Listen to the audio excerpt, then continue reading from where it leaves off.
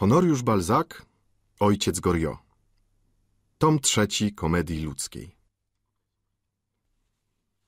Pani Wauquet z domu de Conflans jest to kobieta w podeszłym wieku, posiadająca od lat 40 mieszczańską gospodę, położoną przy ulicy Nów Saint-Junvive, między dzielnicą łacińską a przedmieściem Saint-Marceau.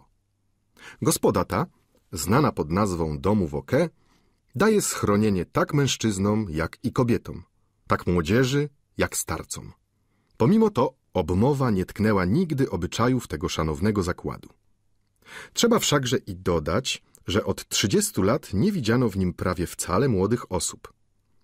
Zabłąkał się tam chyba taki nieborak, któremu rodzina przysyłała utrzymanie bardzo szczupłe. Jednakże w roku 1819, to jest w chwili rozpoczęcia się naszego dramatu, mieszkała tam jedna uboga dziewczyna. Musimy posługiwać się tu wyrazem dramat, jakkolwiek w tych czasach opłakanej literatury stracił on wiele ze swej wziętości z powodu, że go nadużywano i naciągano wedle potrzeby. Posługujemy się nim nie dlatego, by powieść ta miała być dramatyczną w całym znaczeniu tego słowa, ale dlatego, że fakt spełniony wyciśnie może kilka łez intramuro i ekstra. Czy go ktokolwiek pojmie poza obrębem Paryża? Pozwalamy sobie wątpić. Szczegóły tej sceny tak są pełne spostrzeżeń i barw miejscowych, że można je dobrze zrozumieć tylko pomiędzy wzgórzami Montmartre a wyniosłością Montrouge, w tej sławnej dolinie wiecznie osypujących się tynków i rynsztoków czarnych od błota. W dolinie cierpień prawdziwych i radości często zwodniczych. W dolinie, gdzie się wszystko tak straszliwie kotłuje, że chyba nadzwyczajny wypadek może wywrzeć nieco silniejsze wrażenie.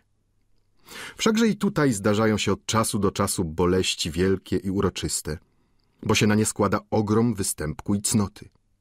Na ich widok egoizm nawet zatrzymuje się wzruszony. Ale to chwilowe wrażenie przypomina smaczny owoc pochłonięty z chciwością.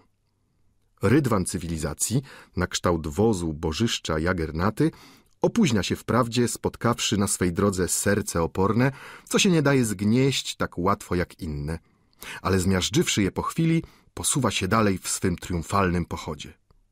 Tak samo postąpicie wy, co wziąwszy w białe ręce książkę, pogrążycie się w miękkim fotelu, mówiąc sobie, może też mnie zabawi. Przeczytawszy o tajemnych nieszczęściach ojca Goriot, zjecie obiad z apetytem, składając swą nieczułość na karp autora, zarzucając mu przesadę, obwiniając o zbytek poezji. Ach, wierzcie mi, ten dramat nie jest ani wymysłem, ani romansem. All is true. Jest on tak prawdziwy, że każdy znajdzie w sobie, może nawet w swym sercu, te same czynniki, z których on się składa. Dom, w którym mieści się gospoda mieszczańska, należy do pani Wauquet i znajduje się przy końcu ulicy Nów Saint-Junvive. W tym miejscu właśnie, gdzie grunt zniżający się ku ulicy Arbalais tworzy tak raptowną pochyłość, że konie rzadko wjeżdżają na nią. Okoliczność ta przyczynia się do ciszy panującej wśród ulic ściśniętych pomiędzy murami Val du Gras i Panteonu. Oba te gmachy nadają odrębny charakter atmosferze, powlekając ją żółtawym kolorytem, na którym jakoś posępnie ich cień się zarysowuje. Bruk tam suchy, rynsztoki bez błota i wody, trawa porasta wzdłuż murów. Najswobodniejszy człowiek musi tam ulec smutkowi ogarniającemu wszystkich przechodniów. Turkot powozu to rzadki wypadek. Domy ponure, ściany przypominają więzienie. Zbłąkany Paryżanin ujrzałby tam same gospody mieszczańskie lub zakłady.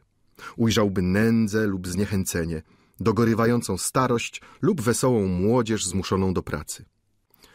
Żadna z dzielnic Paryża nie jest okropniejsza ani mniej znana. Mianowicie ulica Nów Saint-Junvive niby rama brązowa, jedynie stosowana do naszego opowiadania, przed zaczęciem którego trzeba, o ile możności, nastroić umysł do barw ciemnych, do myśli poważnych. Tak wędrowiec wstępujący z katakumb, za każdym stopniem prowadzącym w głąb, coraz mniej widzi światła dziennego, coraz niewyraźniej słyszy śpiew przewodnika. Prawdziwe porównanie. Któż bowiem powie, co przedstawia straszliwszy obraz? Czy serca wyschłe, czy czaszki próżne? Front gospody zwrócony jest na ogródek. wskutek czego dom przytyka pod kątem prostym do ulicy Nów Saint-Junvive, miejscu najbardziej zagłębionym, gdzie ją przeżyna inna ulica. Wzdłuż całego frontu, pomiędzy domem a ogrodem, znajduje się na sążeń szeroka przestrzeń wybrukowana okrągłymi kamieniami. A dalej aleja wysypana piaskiem i otoczona wazonami z białego i niebieskiego fajansu, w których rosną krzewy geranium, oleandry i granaty. Furtka prowadząca w głąb tej alei ma nad sobą deskę z napisem Dom Woke, a poniżej Gospoda dla płci obojej i innych. Przez kratę znajdującą się we drzwiach opatrzonych donośnym dzwonkiem widać niszę wymalowaną na przeciwległym murze, wznoszącym się przy końcu wyżej wzmiankowanego bruku. Artysta tej dzielnicy nadał niszy kolor zielonego marmuru, udając zagłębienie, pod którym umieszczono statuę przedstawiającą Kupidyna. Patrząc na obłupany lakier, co go pokrywa, amatorowie symbolów ujrzeliby w nim może mit miłości paryskiej, która się leczy o kilka kroków dalej. Na podstawie napis wpół zatarty przypomina epokę, do której się ta ozdoba odnosi, świadcząc o zapale dla Voltera, który powrócił do Paryża roku 1777. Ktokolwiek jesteś, oto obraz tego, kto jest twym mistrzem, był nim albo będzie. Gdy noc nadchodzi, drzwi z kratą ustępują miejsca innym, całym drzwiom. Ogródek tak szeroki jak front domu, otoczony od strony ulicy murem, przytyka drugim bokiem do ściany sąsiedniego domu, na którym zawiesza się okrywająca go szczelnie zasłona bluszczu. Widok ten sprawia w Paryżu malownicze wrażenie i przyciąga oczy przechodniów. Mur okalający ogródek osłonięty jest szpalerem i winną latoroślą, której owoce nędznie i zapylone bywają przedmiotem corocznej troski pani Woke i rozmów jej z mieszkańcami domu. Po obu stronach, wzdłuż muru, ciągnie się wąska dróżka prowadząca pod cień lip, które pani Woke, chociaż z domu du Conflon, nazywa uporczywie Tioil, pomimo gramatycznych uwag swych stołowników. Pomiędzy dwiema równoległymi alejami znajduje się przestrzeń kwadratowa zasadzona karczochami, otoczona drzewami owocowymi karłowatego gatunku i objęta w koło szczawiem, sałatą i pietruszką. Pod lipami umieszczono okrągły stół zielony, otoczony ławeczkami. W dni świąteczne przychodzą tu bogatsi goście, którym środki pozwalają zapłacić za filiżankę kawy i popijają ją zwolna, przy upale dochodzącym do tak wysokiego stopnia, że kurczęta mogłyby się wykluć z jaj, gdyby je umieszczono w podobnej temperaturze. Trzypiętrowa facjata domu, nad którą wznoszą się jeszcze poddasza, zbudowana jest z piaskowca i pomalowana na kolor żółty, który wszystkim prawie domom paryskim nadaje jakiś nieszlachetny charakter. Na każdym piętrze znajduje się po pięć okien o małych szybkach. Żaluzje w oknach podniesione tak nierówno, że przecznice ich zdają się kłócić między sobą. Boczna ściana domu mieści dwa okna w rząd. Na parterze mają one zamiast ozdób żelaznych sztaby wyrabiane w kratkę. Poza domem znajduje się podwórze, szerokie blisko na dwadzieścia stóp, gdzie trzoda chlewna żyje w najlepszej zgodzie z kurami i królikami. W głębi widać drwalnię. Między tą drwalnią a oknem kuchennym przytwierdzono szafę spiżarną, pod którą znajduje się ściek brudnej wody. Z podwórza na ulicę prowadzą wąskie drzwiczki, przez które kucharka wyrzuca wszystkie nieczystości, polewając następnie kałużę czystą wodą dla uniknięcia zarazy. Parter, przeznaczony na mieszczańską gospodę, składa się z pokoi o szklanych drzwiach i dwóch oknach wychodzących na ulicę. Ten salon łączy się z jadalnym pokojem, oddzielonym od kuchni sionką, w której znajdują się schody drewniane malowane i woskowane. Trudno znaleźć coś bardziej smutnego jak ten salon, którego całe umeblowanie stanowią fotele i krzesła obite włosianą materią w pasy błyszczące i matowe. Po środku stoi stół okrągły z marmuru Saint-Anne, na którym postawiono dla ozdoby bardzo dzisiaj rozpowszechniony serwis biały porcelanowy o złotych paskach w połowie już pozacieranych. Podłoga w tym pokoju dosyć nędzna. Ściany obwiedzione u dołu szeroką lamperią, wyżej zaś wyklejone lakierowanym papierem przedstawiającym główne sceny z telemaka, w których klasyczne osoby, dla odróżnienia, odmalowano żywszymi barwami. Przestrzeń między dwoma oknami o żelaznych sztabach przedstawia mieszkańcom gospody obraz uczty, którą Kalipso wydała na cześć syna Ulisesowego. Lat czterdzieści minęło od dnia, w którym powyższe malowidło ukazało się w salonie pani Woke. A jeszcze do tej pory nie przestaje ono pobudzać do żartów młodszych stołowników, którym się zdaje, że się wzniosą ponad swoje smutne położenie, drwiąc ze skromnego obiadu, na jaki nędza ich skazuje.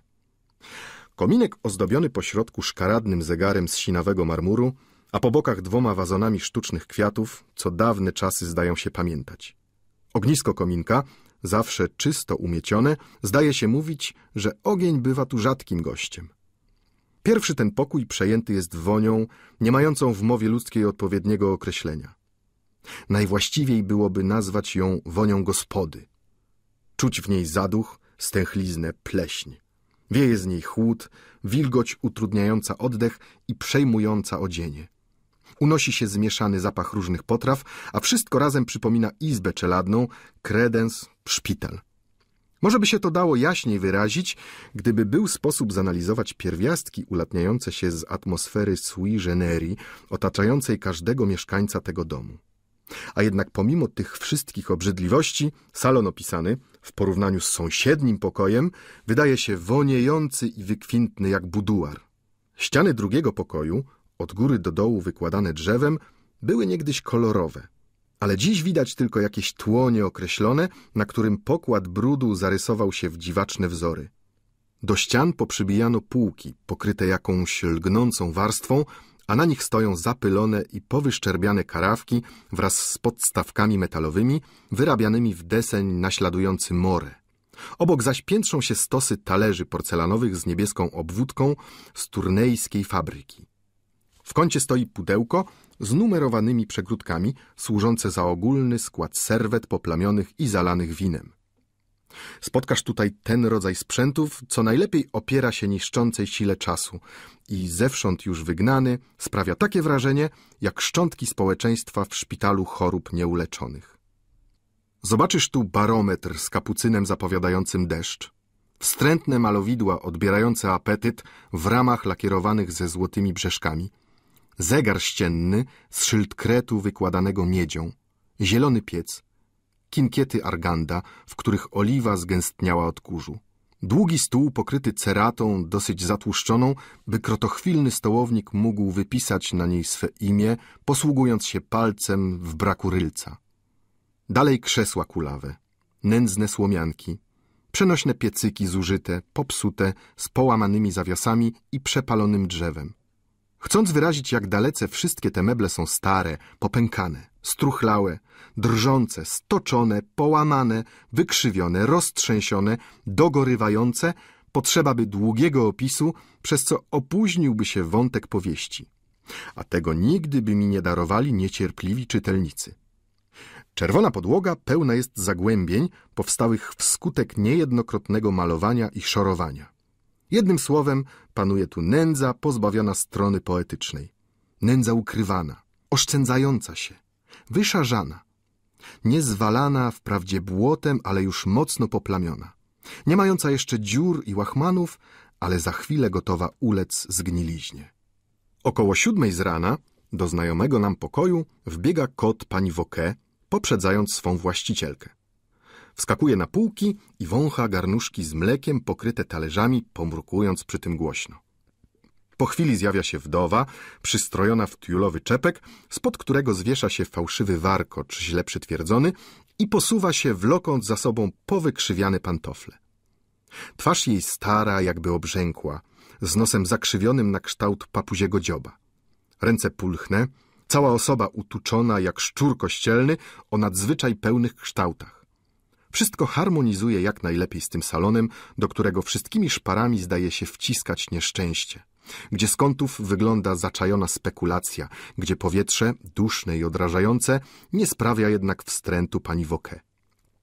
Oblicze jej, świeże jak pierwszy przymrozek jesienny, oczy otoczone siecią zmarszczek, których wyraz słodki jak uśmiech tancerki może w jednej chwili zmienić się w pochmurne spojrzenie rachmistrza.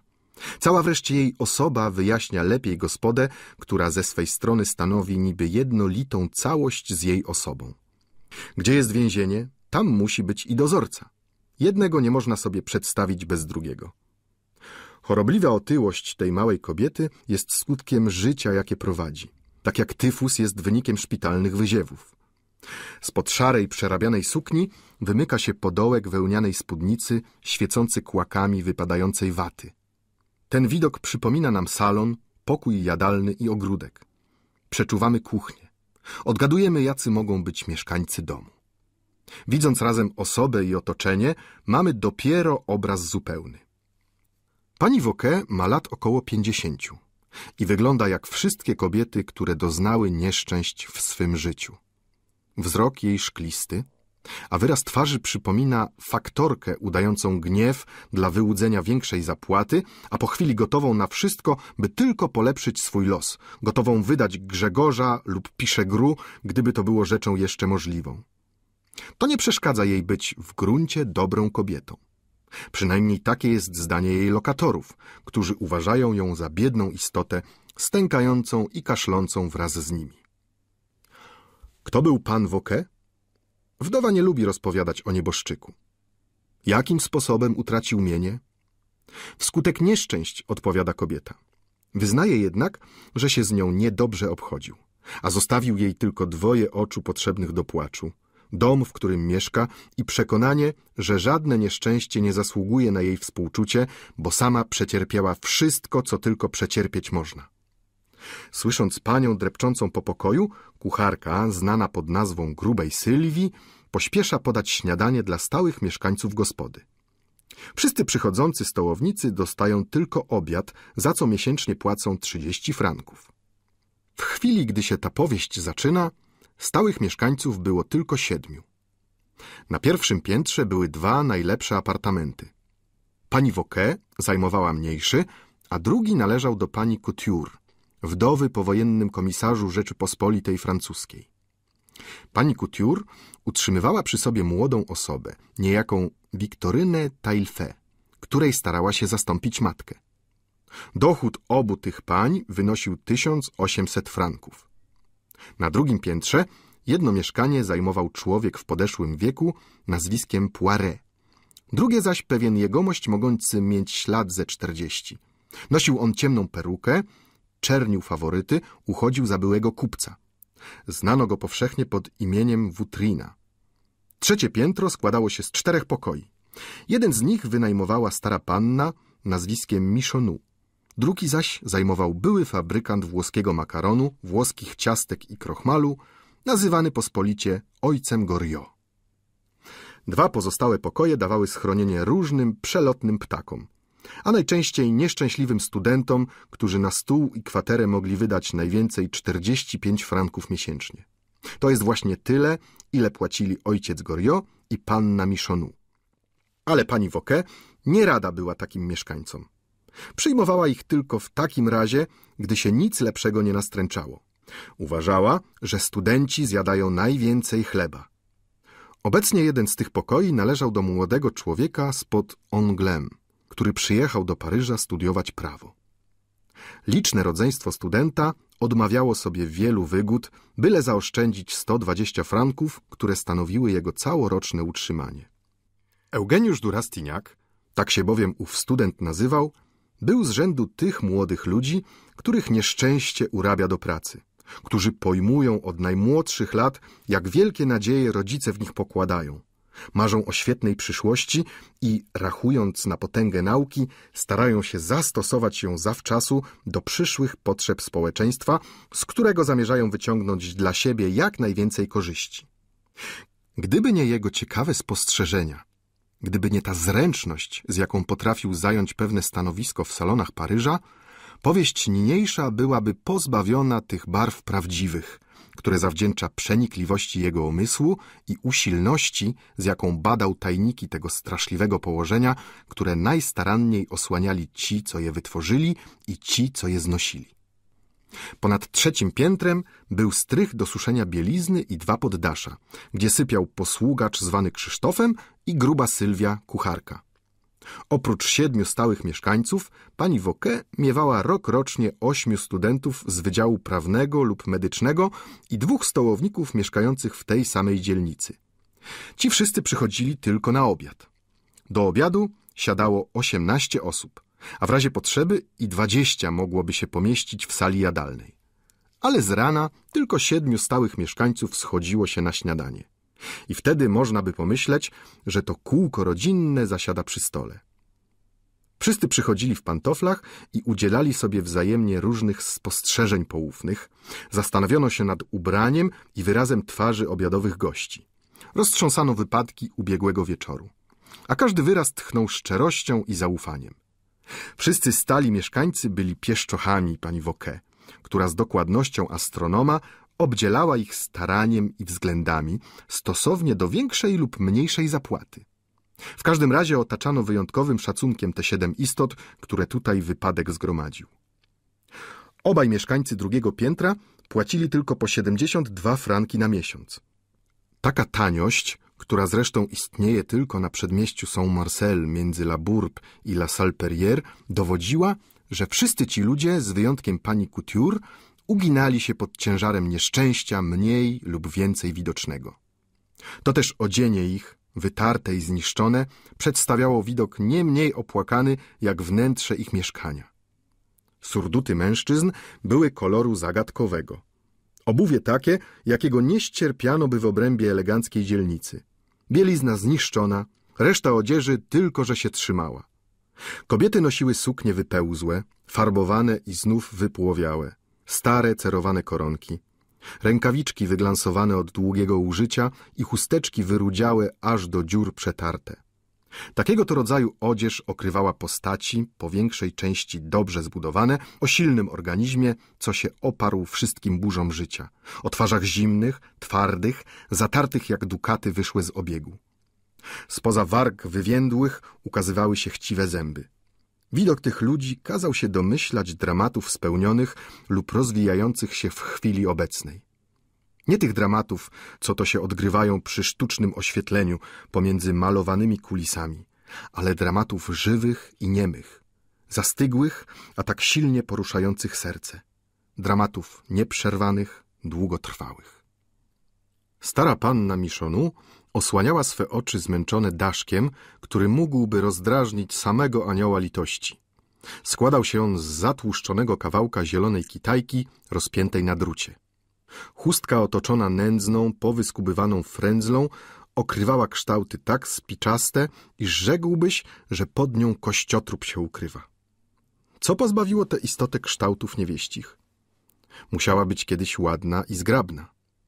Cóż ją doprowadziło do stanu obecnego? Występek? Zgryzota czy chciwość? Czy kochała zbyt wiele? Czy była ostatnią z kobiet? Czy tylko kurtyzaną? Może starość odrażająca była karą za triumfy młodości ambitnej, spędzonej wśród uciech różnorodnych. Wzrok jej wygasły, przejmował chłodem. W pomarszczonej twarzy czytałeś groźbę jakąś niepojętą. Gdy się odezwała, dźwięk jej głosu przywodził na myśl konika polnego, co za zbliżeniem się zimy odzywa się ciągle w głębi zarośli. Opowiadała o sobie, że dozorowała pewnego starca cierpiącego na katar pęcherza, którego dzieci opuściły, sądząc, że się po nim niczego spodziewać nie można. Ten oto starzec zapisał pannie Miszonu tysiąc franków dożywotniego dochodu, co dało powód do niejednokrotnych zatargów z sukcesorami, którzy nie przestawali prześladować jej po twarzą. Chociaż gra namiętności wyryła się na jej twarzy, można było jednak dopatrzeć jeszcze pewnych śladów płci białej i delikatnej, co pozwalało przypuszczać, że ciało jej zachowało dotąd pewne szczątki piękności. Pan Poiret był rodzajem automatu. Trzeba było widzieć go w chwili, gdy na kształt cienia szarego przesuwał się po alei ogrodu botanicznego. Zmięta czapka okrywała mu głowę, Laska o zżółkłej gałce z kości słoniowej gotowa była lada chwila wypaść z ręki niedołężnej. Wygniecione poły surduta rozwiewały się z wiatrem, ukazując spodnie obwisłe, a nogi okryte sinymi pończochami plątały się jak u pijaka. Reszta stroju składała się z białej zbrukanej kamizelki i z żabotu z grubego, powyciąganego muślinu, który nie przystawał dobrze do chustki okręconej w koło indyczej szyi. To też nie jeden przechodzień pytał siebie, czy ten cień chiński należy rzeczywiście do śmiałej rasy synów Jafeta, fruwających po bulwarze włoskim. Jakiego to rodzaju praca mogła go tak powyłamywać? Jaka namiętność nadała ciemnobrunatny kolor jego szyszkowatej twarzy, która na rysunku wydałaby się przesadną karykaturą? Czym był ten człowiek? Może urzędnikiem w Ministerstwie Sprawiedliwości? W biurze, do którego kaci przedstawiają rachunek za dostawę czarnych welonów dla ojcobójców, za otręby do napełniania koszów, za sznurki i noże. A może do niego należało oczyszczanie szlachtuza lub inna jakaś czynność nakazana przez komisję sanitarną.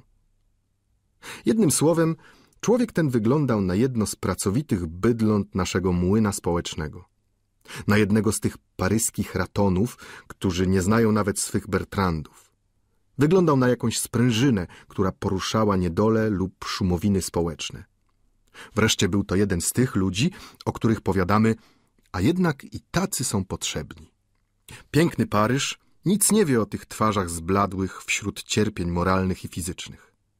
Ale Paryż to istny ocean. Na próżno sondę zapuszczać będziecie, nigdy nie zbadacie jego głębokości. Możecie go zwiedzać i opisywać, ale na cóż się zdadzą wasze starania? Tylu jest badaczy sumiennych, co się tym morzem zajmują, a jednak pozostanie tam wiecznie jakaś ustroń nietknięta, jakaś nieznana pieczara. Znajdą się zawsze kwiaty, perły, potwory. Coś niesłychanego, o czym zapomnieli nurkowie literaci. Dom Woke to właśnie jedna z takich ciekawych potworności. Dwie twarze stanowiły tam uderzającą sprzeczność z ogółem mieszkańców i stołowników. Chociaż cera panny Wiktoryny Taillefe pociągnięta była bladością chorobliwą, jaka cechuje zwykle dziewczęta cierpiące na bladaczkę.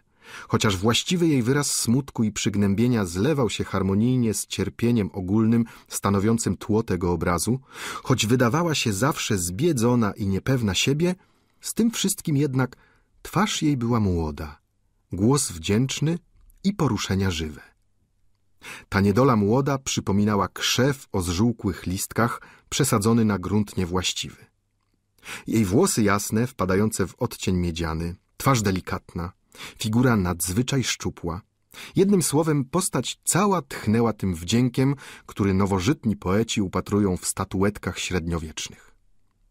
Oczy szare z czarnym odcieniem wyrażały chrześcijańską łagodność i poddanie się. Ubranie skromne i niedrogie wdzięcznie się układało na młodej, kształtnej figurze. W szczęściu dziewczę to byłoby zachwycające. Szczęście jest poezją kobiety, tak jak strój jest jej dekoracją. Niechby uciecha balu rozlała na tej bladej twarzy swoją barwę różaną, a wygody wykwintnego życia wypełniły i zarumieniły te policzki trochę już wpadłe.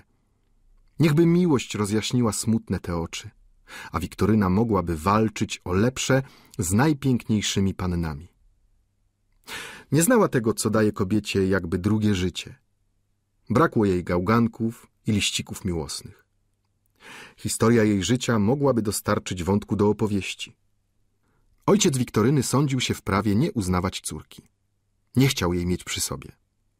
Przeznaczał jej tylko 600 franków rocznie.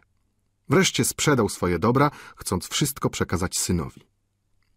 Matka Wiktoryny umarła z rozpaczy u dalekiej swej krewnej pani Couture, która odtąd z macierzyńską troskliwością zaopiekowała się sierotą. Na nieszczęście wdowa po wojennym komisarzu wojsk Rzeczypospolitej nic w świecie nie posiadała prócz swej wdowiej pensji. Mogła więc kiedyś zostawić na łaskę i niełaskę świata biedne dziewczę bez doświadczenia i środków do życia. Dobra kobieta chciała na wszelki wypadek zaszczepić pobożność w sercu Wiktoryny. W tym celu co niedziela bywały z nią na mszy, a co dwa tygodnie wodziła ją do spowiedzi. I miała słuszność. Tylko uczucia religijne mogły wesprzeć w przyszłości to dziecko odrzucone, które nie przestało kochać ojca i corocznie udawało się do niego, niosąc przebaczenie swej matki. Ale szło tylko po to, by wyczekiwać nadaremnie u drzwi ojcowskiego domu, które przed nią nielitościwie zamykano. Brat, jedyny pośrednik, na którego mogła rachować, ani razu nie odwiedził jej przez cztery lata. Nigdy nie pośpieszył jej z pomocą. Wiktoryna błagała Boga, by ojca jej wyprowadził z błędu i zmiękczył serce brata. Modliła się za obydwóch, nie obwiniając ich wcale. Natomiast pani Couture i pani Wauquet wyczerpały cały słownik obelg, nie znajdując wyrazu, który by dobrze określał barbarzyńskie postępowanie tych ludzi. Podczas gdy obie przeklinały niecnego milionera, Wiktoryna odzywała się łagodnie i wyrazy jej przypominały głos zranionego gołębia, który nawet krzykiem boleści wyraża miłość. Eugeniusz Durastiniak przedstawiał typ południowy. Miał płeć białą przy czarnych włosach i oczach niebieskich. Cała jego powierzchowność i wszystkie ruchy zdradzały potomka szlachetnej rodziny, gdzie początkowe wychowanie bywa zwykle przesiąknięte tradycją wytwornego gustu. Oszczędny z potrzeby, musiał zadowalać się na co dzień przeszłorocznymi sukniami.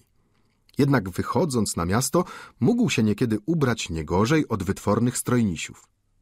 W dni powszednie nosił surdut stary, kamizelkę zużytą, czarny krawat, zmięty i niedbale po studencko zawiązany, spodnie odpowiednie do całego stroju i buty podzelowane. Czterdziestoletni Wutrę z poczernionymi faworytami stanowił niby przejście od tej młodej pary do reszty mieszkańców. Był to jeden z tych ludzi, o których lud prosty powiada to tęgi chłop. Szeroki w ramionach, biust miał potężny, muskuły wydatne i ogromne. Czworogranne ręce porośnięte na palcach kępami gęstych, ognistorudych włosów. Twarz poorana przedwczesnymi zmarszczkami miała w sobie jakiś wyraz okrucieństwa i nieludzkości – ale łatwość i zgodność w obcowaniu z ludźmi zadawały kłam temu wyrazowi.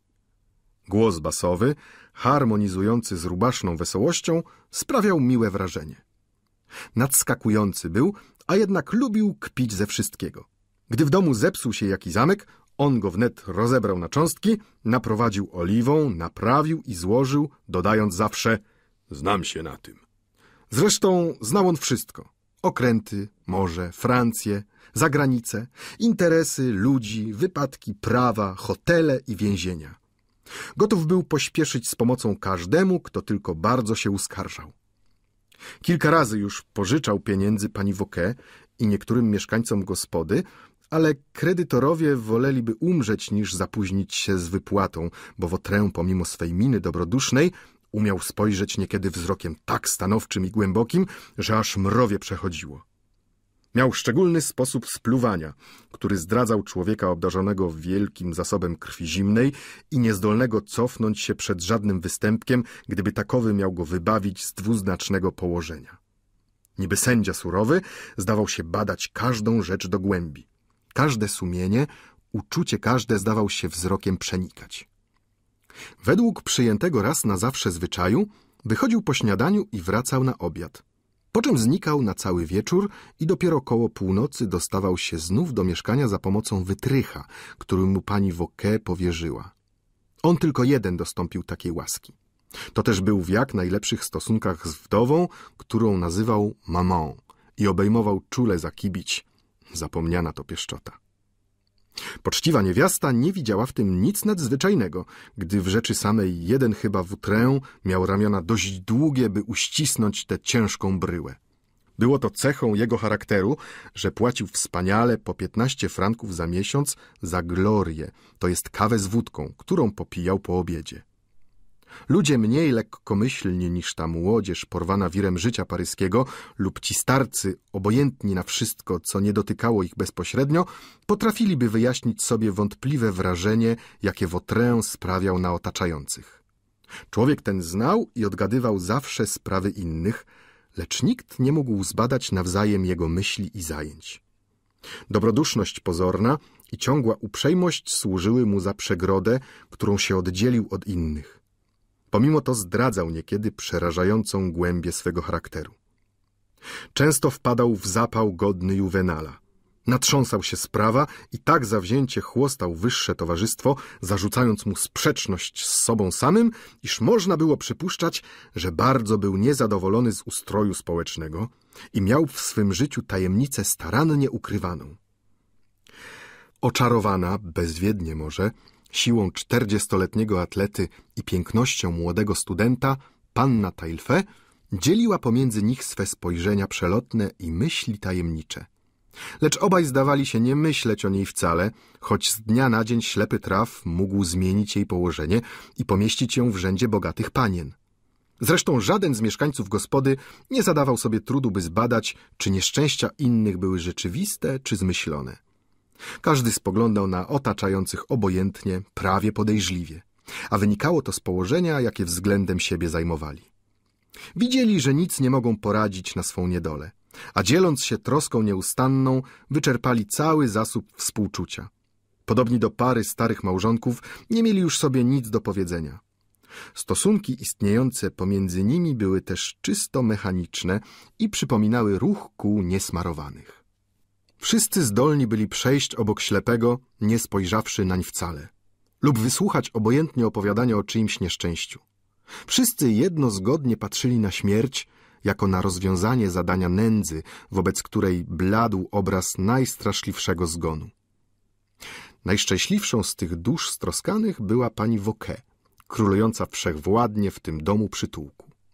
Mały ogródek, który pod wpływem zimna, suszy i wilgoci stał się pustym i głuchym stepem, dla niej był zawsze rozkosznym gajem.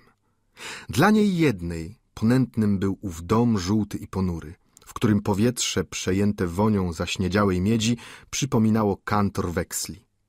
Do niej należały wszystkie te celki ciemne. Ona żywiła wszystkich tych galerników skazanych na karę dożywotnią.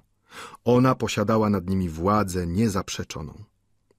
Czyż biedne te istoty znalazłyby w całym Paryżu za taką cenę, jak u niej pożywienie zdrowe i dostatnie? Mieszkanie, które nie odznaczało się co prawda wdziękiem i wygodą, lecz mogło być porządnym i ochędożonym, boć to przecie od samych mieszkańców zależało. Wiedziała też, że gdyby dopuściła się jakiej krzyczącej niesprawiedliwości względem jednego ze swych lokatorów, to ofiara zniosłaby ją bez szemrania. Zgromadzenie podobne musiało przedstawiać i rzeczywiście przedstawiało na małą skalę wszystkie składowe części społeczeństwa. W gronie osiemnastu stołowników znalazło się to, co się znajduje i w szkole, i w świecie. Znalazła się owa istota wzgardzona, ów kozioł ofiarny, służący wszystkim za cel do żartów. Na początku drugiego roku osobistość ta stała się dla Eugeniusza Durastiniak najwybitniejszą ze wszystkich, pomiędzy którymi skazany był przeżyć jeszcze dwa lata. Owym patirasem był stary fabrykant makaronu, ojciec Gorio, na którego głowie malarz skupiłby światło całego obrazu. Jakim sposobem on, najdawniejszy mieszkaniec, zasłużył na tę pogardę graniczącą prawie z nienawiścią, na to prześladowanie miarkowane niekiedy litością, na to lekceważenie, z jakim spoglądano na jego nieszczęście. Czy wywołał je dziwactwem lub jakąś śmiesznością, która zwykle surowiej od występku bywa sądzona? Pytania te odnoszą się bezpośrednio do wielu objawów niesprawiedliwości społecznej. Może to leży w naturze ludzkiej, że najmniej litości mamy dla tych, którzy przez pokorę, słabość lub obojętność najwięcej znieść gotowi. Czyż nie lubimy wszyscy próbować sił naszych kosztem kogoś lub czegoś?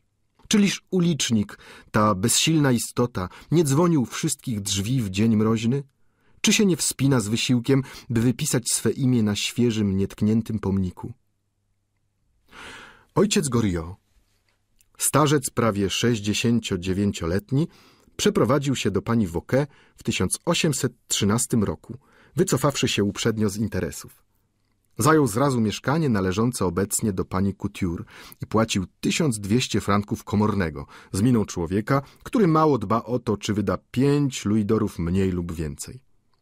Pani Woke odświeżyła wszystkie trzy pokoje. Wzięła jednak z góry pieniądze, wystarczające aż nadto na pokrycie kosztów nędznego umeblowania. Sprawiła firanki z żółtej bawełnianej tkaniny fotele lakierowane wybite pluszem, kilka nędznych malowideł i tapety, którymi pogardziłby każdy szynk miejski.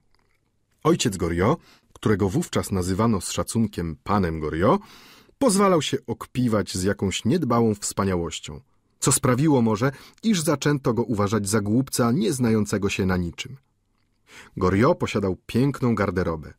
Przybył bowiem ze wspaniałą wyprawą kupca, który porzucając interesy niczego sobie nie odmawia. Pani Woke podziwiała osiemnaście koszul z płótna holenderskiego, których cienkość tym bardziej wpadała w oko, że fabrykant makaronów wpinał do żabotu dwie duże szpilki brylantowe połączone z sobą złotym łańcuszkiem. Nosił zwykle garnitur szafirowy koloru bławatka, ale co dzień brał świeżą kamizelkę z piki, pod którą wznosił się i opadał wydatny żołądek kształtu gruszkowatego, ozdobiony ciężkim łańcuchem z brelokami. Tabakierkę złotą zdobił medalion napełniony włosami, co naprowadzało na myśl, że właściciel musiał być szczęśliwy w miłości. Gospodyni nazywała go bałamutem, a on się uśmiechał wesołym uśmiechem mieszczanina, którego zręcznie po sercu pogłaskano. Wszystkie szafy, a nazywał je ormoire, na wzór prostego ludu, zostały zapełnione rozlicznym sprzętem srebrnym. I skrzyły się oczy wdowy, gdy z wielką usłużnością pomagała mu rozkładać na półkach łyżki wazowe i stołowe, nakrycia srebrne, nalewki do oliwy i sosów, kilka półmisków, złocony serwis do śniadania i wiele innych przedmiotów, z którymi Goriot nie chciał się rozstać, a wszystko to było mniej lub więcej piękne. Każda sztuka ważyła pewną liczbę grzywien. Były to podarunki, które mu przypominały różne, uroczyste chwile życia domowego. Patrz pani, mówił chowając półmisek i filiżankę z pokrywką, na której znajdowała się para gołąbków złączonych z sobą dzióbkami. Oto jest pierwszy podarunek, którym dostał od żony w rocznicę naszego ślubu. Poczciwe biedactwo. Poświęciła na to wszystkie pieniądze zaoszczędzone z czasów panieńskich. Wiesz pani co? Wolałbym kopać ziemię paznokciami, niżeli z tym oto się rozstać. Z łaski Boga mogę do końca życia pić co rano kawę z tej filiżanki. Nie jestem biedakiem godnym litości. Jeszcze mi na długo chleba wystarczy. Oprócz tego, bystre oko pani Woke dostrzegło w głównej księdze handlowej kilka cyfr, które dodane razem mogły dać nieocenionemu Goriotowi od ośmiu do dziesięciu tysięcy franków dochodu. Od owego dnia pewien plan zrodził się w głowie pani Woke z domu de Conflon, która miała wówczas lat 48, a przyznawała się tylko do 39. Znajdowała, że Goriot odznaczał się powierzchownością przyjemną i przyzwoitą. Chociaż co prawda gruczołki łzowe jego oczu były nabrzękłe i wydatne, wskutek czego musiał dość często ocierać sączącą się łzę. Zresztą łydki mięsiste i wydatne, wraz z długim, prawie kwadratowym nosem i okrągłą, naiwnie głupkowatą twarzą poczciwca, znamionowały przymioty moralne, które, jak się zdaje, wdowa ceniła wysoko. Wyglądał na bydle dobrze zbudowane, u którego uczuciowość przeważa nad rozsądkiem. Fryzjer szkoły politechnicznej przychodził co rano pudrować mu włosy, które zaczesane w Alice de Pigon przyozdabiały jego oblicze, tworząc pięć pukli nad niskim czołem.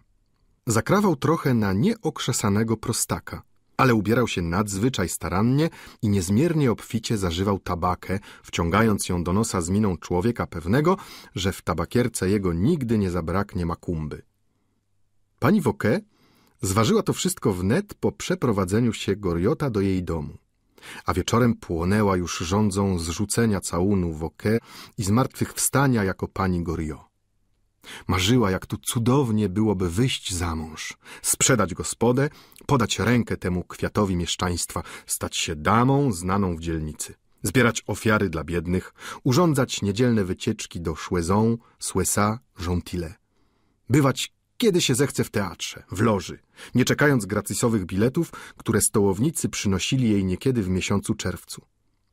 Widziała w marzeniu całe Eldorado życia paryskiego. Nie wyznała dotąd nikomu, że składając grosz do grosza zebrała 40 tysięcy franków. Otóż ze stanowiska majątkowego uważała siebie za partię stosowną.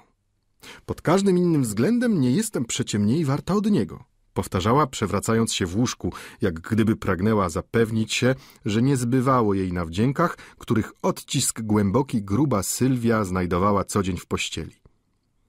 Począwszy od tego dnia, Wdowa korzystała prawie przez trzy miesiące z fryzjera pana Goriot i porobiła niektóre sprawunki z zakresu toalety, tłumacząc się potrzebą utrzymania domu na pewnej stopie harmonizującej z szanownymi osobami, które w nim bywały. Zaczęła się bardzo starać o to, żeby zmienić cały personal mieszkańców. powtarzając, że odtąd będzie przyjmowała tylko ludzi wyborowych pod każdym względem. Każdy nowy przybysz musiał się dowiedzieć, że pan Goriot, jeden z najszanowniejszych i najznaczniejszych kupców paryskich, oddał jej domowi pierwszeństwo przed wszystkimi innymi. Zaczęła rozdawać ogłoszenia opiewające zalety domu Woquin. Była to według słów prospektu jedna z najdawniejszych i najszanowniejszych gospód dzielnicy łacińskiej, odznaczająca się przyjemnym widokiem na dolinę, wśród której wznosi się fabryka gobelinów. Można ją było dostrzec z trzeciego piętra, przytykająca do pięknego ogrodu, wzdłuż którego ciągnie się ulica Lipowa. Dalej wspomniano coś o świeżym powietrzu i położeniu ustronnym. Ogłoszenie to zwabiło hrabinę Dulomber-Mesnil, 36-letnią kobietę, która żyła nadzieją likwidacji i emerytury, należnej jej jako wdowie po generale poległym na polach bitwy. Pani Woke zaprowadziła u siebie stół wykwintny. Kazała opalać salony blisko przez sześć miesięcy i tak sumiennie wypełniała obietnicę prospektu, że musiała swego dołożyć. Ale za to hrabina nazywała panią Woke Cherami i obiecywała zwabić do niej baronową de Wumerlon i wdowę po pułkowniku hrabi Picozot, które musiały jeszcze domieszkać do końca kontraktu w hotelu droższym niż dom Woke. Zresztą interesy finansowe tych pań powrócą do stanu kwitnącego, skoro tylko biura wojenne ukończą swą czynność. Ale, dodawała hrabina, biura wojenne nigdy nic nie kończą. Po obiedzie obie wdowy udawały się do pokoju pani Wokę, gdzie zajmowały się gawędką, popijając przy tym nalewkę porzeczkową i zajadając przysmaczki przeznaczone dla podniebienia samej gospodyni. Pani Dulomber-Mesnil pochwalała bardzo plan wdowy względem Goriota. Odgadła była jej myśl od razu i utrzymywała, że Goriotowi nic zarzucić niepodobna. Ach, pani moja droga, mówiła wdowa, ten człowiek zdrów jak ryba, zakonserwowany jest wybornie i może jeszcze bardzo uprzyjemnić życie kobiecie. Hrabina udzieliła wspaniałomyślnie niektórych uwag dotyczących stroju pani Woke, który nie był wcale odpowiedni do jej pretensji. Trzeba się trzymać na stopie wojennej, mówiła. Po długich naradach obie wdowy udały się do Palais Royal i kupiły w galerii Dubois kapelusz z piórami i czepeczek. Hrabina pociągnęła przyjaciółkę do magazynu małej Żanety, gdzie wybrano suknię i przepaskę. Dzięki wszystkim tym sprawunkom wdowa stanęła pod bronią i przypominała żywo szyld dubów a la mode. Znalazła siebie tak zmienioną na korzyść, że uczuła żywą wdzięczność dla hrabiny i ofiarowała jej dwudziestofrankowy kapelusz, chociaż była to osoba nie przynosząca wielkiego zysku. Miała wprawdzie zamiar prosić przyjaciółkę, by wybadała Goriota i zwróciła jego uwagę na wszystkie przymioty wdowy Woquin. Pani de Lomber-Mesnil podjęła się tej sprawy skwapliwie i trzymała starego fabrykanta w oblężeniu tak długo, aż jej udzielił posłuchania. Miała ona niekłamaną chętkę zbałamucić go na swój własny rachunek. Ale stary okazał się tak nieśmiały, a pomimo to oporny, że wszystkie usiłowania spełzły na niczym i hrabina wyszła obrażona jego gburowatością. Mój aniele, powiedziała do swej najdroższej przyjaciółki, nie dasz rady z tym człowiekiem. Niedowierzający jest aż do śmieszności. Przy tym taki to dusigrosz, takie głupie bydle, że na nieprzyjemności tylko mógłby cię narazić. Między panem Goriot i panią de Lomber-Mesnil rzeczy tak stanęły, że hrabina nawet widzieć go już nie chciała. Nazajutrz opuściła dom wdowy, zapominając zapłacić komornego za sześć miesięcy. Pozostawiła trochę starych rzeczy wartych może pięć franków. Pani Woquin poszukiwała zapalczywie zbiegłej przyjaciółki, ale w całym Paryżu nie umiano jej odpowiedzieć o hrabinie de Lomber-Mesnil. Odtąd powracała często do tej sprawy opłakanej, utyskując na swą łatwowierność, choć w rzeczy samej żadna kotka nie mogła być bardziej nieufna od niej. Ale podobna była do tej licznej klasy ludzi, co to bliskim nie dowierzają, a obcym ufają bez granic. Jest to fakt moralny, dziwaczny, lecz prawdziwy, którego zarodek łatwo znaleźć w sercu ludzkim. Są ludzie, co nie spodziewają się już nie pozyskać u osób, z którymi żyją. Może czują, że zdradziwszy przed otaczającym próżnię swej duszy, Zasłużyli na ich sąd surowy, ale nie umieją się obejść bez pochlebstwa. Trawi ich żądza błyszczenia pozorem cnót, których nie posiadają. I pragną zdobyć szacunek lub serce obcych ludzi, choćby wkrótce mieli utracić oboje. Wreszcie bywają ludzie z natury już sprzedajni. Ci nie zrobią nic dobrego przyjaciołom lub bliskim, dlatego tylko, że to jest ich obowiązkiem. Ale obcym gotowi ofiarować usługi, bo to pochlebia ich miłości własnej. Im ciaśniejsze jest koło, w którym się ich uczucie obraca, tym mniej zdolni są kochać. Im więcej się ono rozszerza, tym czulszymi się stają. Pani Woke łączyła w sobie obydwie te natury małoduszne, fałszywe i nędzne. Gdybym ja był tutaj, mówił jej Wutrę, nie spotkałoby pani podobne nieszczęście. Potrafiłbym zedrzeć maskę z tej komediantki. O, bo ja się znam na takich sztuczkach. Obyczajem wszystkich ludzi ciasnej głowy, pani Woke nie wykraczała nigdy poza sferę faktów i nie zagłębiała się w badanie przyczyn. Chętnie zwalała na innych swe błędy. To też przyniósłszy ową stratę, patrzyła na uczciwego fabrykanta makaronu jako na źródło swych nieszczęść i od owego dnia, jak mówiła, zaczęła się rozczarowywać. Teraz odgadła, dlaczego na nic się nie zdały wszystkie zaczepki z jej strony, również jak i kosztowna wystawność, jaką się otaczała. Teraz dopiero spostrzegła, że lokator jej miał, jak mówiła, swoje narowy. Musiała wreszcie zgodzić się na to, że nadzieja jej tak czule wykołysana spoczywała na podstawie chimerycznej. Musiała przyznać słuszność hrabinie, która dała dowód wielkiej przenikliwości, przepowiadając stanowczo, że wdowa nie da sobie rady z tym człowiekiem.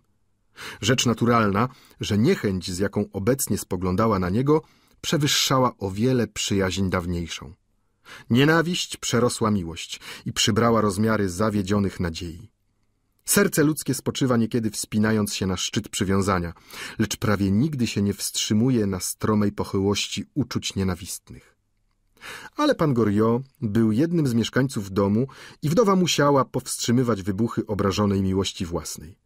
Musiała tłumić westchnienia wyrywające się na myśl o zawodzie i przemagać pragnienie zemsty, jak mnich, którego rozdrażnił przełożony. Ludziom płytkiego umysłu nędzne środki wystarczają do zadowolenia i złych, i dobrych skłonności. Wdowa wyczerpała całą złośliwość kobiecą, gotując swej ofierze szereg prześladowań tajemnych. Zaczęła od tego, że odrzuciła wszelkie dodatkowe ulepszenia zaprowadzone ostatnimi czasy w gospodzie. Nie potrzeba nadal ani korniszonów, ani sardeli. Po co te głupstwa? Powiedziała pewnego dnia do grubej Sylwii i od tej chwili wróciła do dawnego programu. Pan Goriot należał do rzędu tych ludzi wstrzemięźliwych, co to dobijając się majątku, przywykają tak dalece do oszczędności, że ta staje się w końcu ich drugą naturą. Obiad składający się z zupy, sztuki mięsa i jarzyn wystarczał mu aż nadto. Trudno było pani Woke udręczyć swego stołownika, bo w niczym nie mogła sprzeciwić się jego upodobaniom. Wpadała w rozpacz, nie mogąc znaleźć słabej strony w tym człowieku. Zaczęła go lekceważyć. I tak wpłynęła na innych mieszkańców swego domu, że wszyscy zwolna przejęli się jej niechęcią dla Goriota i przez lekkomyślność stali się narzędziem jej zemsty. Ku końcowi pierwszego roku nieufność wdowy rozrosła się do tego stopnia, że zaczęła się zastanawiać, Dlaczego ten kupiec, posiadający siedem lub osiem tysięcy liwrów dochodu, pyszne srebra i brylanty, których mogłaby mu pozazdrościć niejedna kobieta lekkich obyczajów, mieszka u niej, płacąc komorne tak małe w stosunku do znacznej fortuny? W tym pierwszym roku Goriot jadał obiad na mieście raz lub dwa razy na tydzień. Później nieznacznie doszło do tego, że tylko dwa razy na miesiąc jadał poza domem. Pani Woke bardzo rada była wyprawą jegomości Goriota. To też gniewało ją okrutnie, że stołownik coraz punktualniej zaczął się zjawiać u jej stołu. Przypisywano te zmiany zarówno powolnemu zmniejszaniu się majątku, jak i chęci sprzeciwienia się gospodyni. Nieznośna to właściwość umysłów poziomych, że wszystkich mierzyć chcą swoją miarą. Ku końcowi drugiego roku Goriot usprawiedliwił niestety plotki krążące o nim, gdyż zapragnął przeprowadzić się na drugie piętro i zmniejszyć komorne do dziewięciuset franków. Musiał się tak dalece ograniczyć, że przez całą zimę nie opalał swego mieszkania.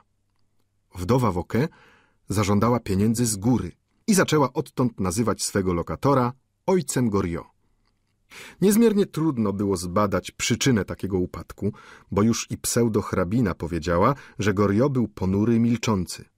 Ludzie o pustych głowach, zajęci zwykle rzeczami małej wagi, nie lubią trzymać języka na wodzy.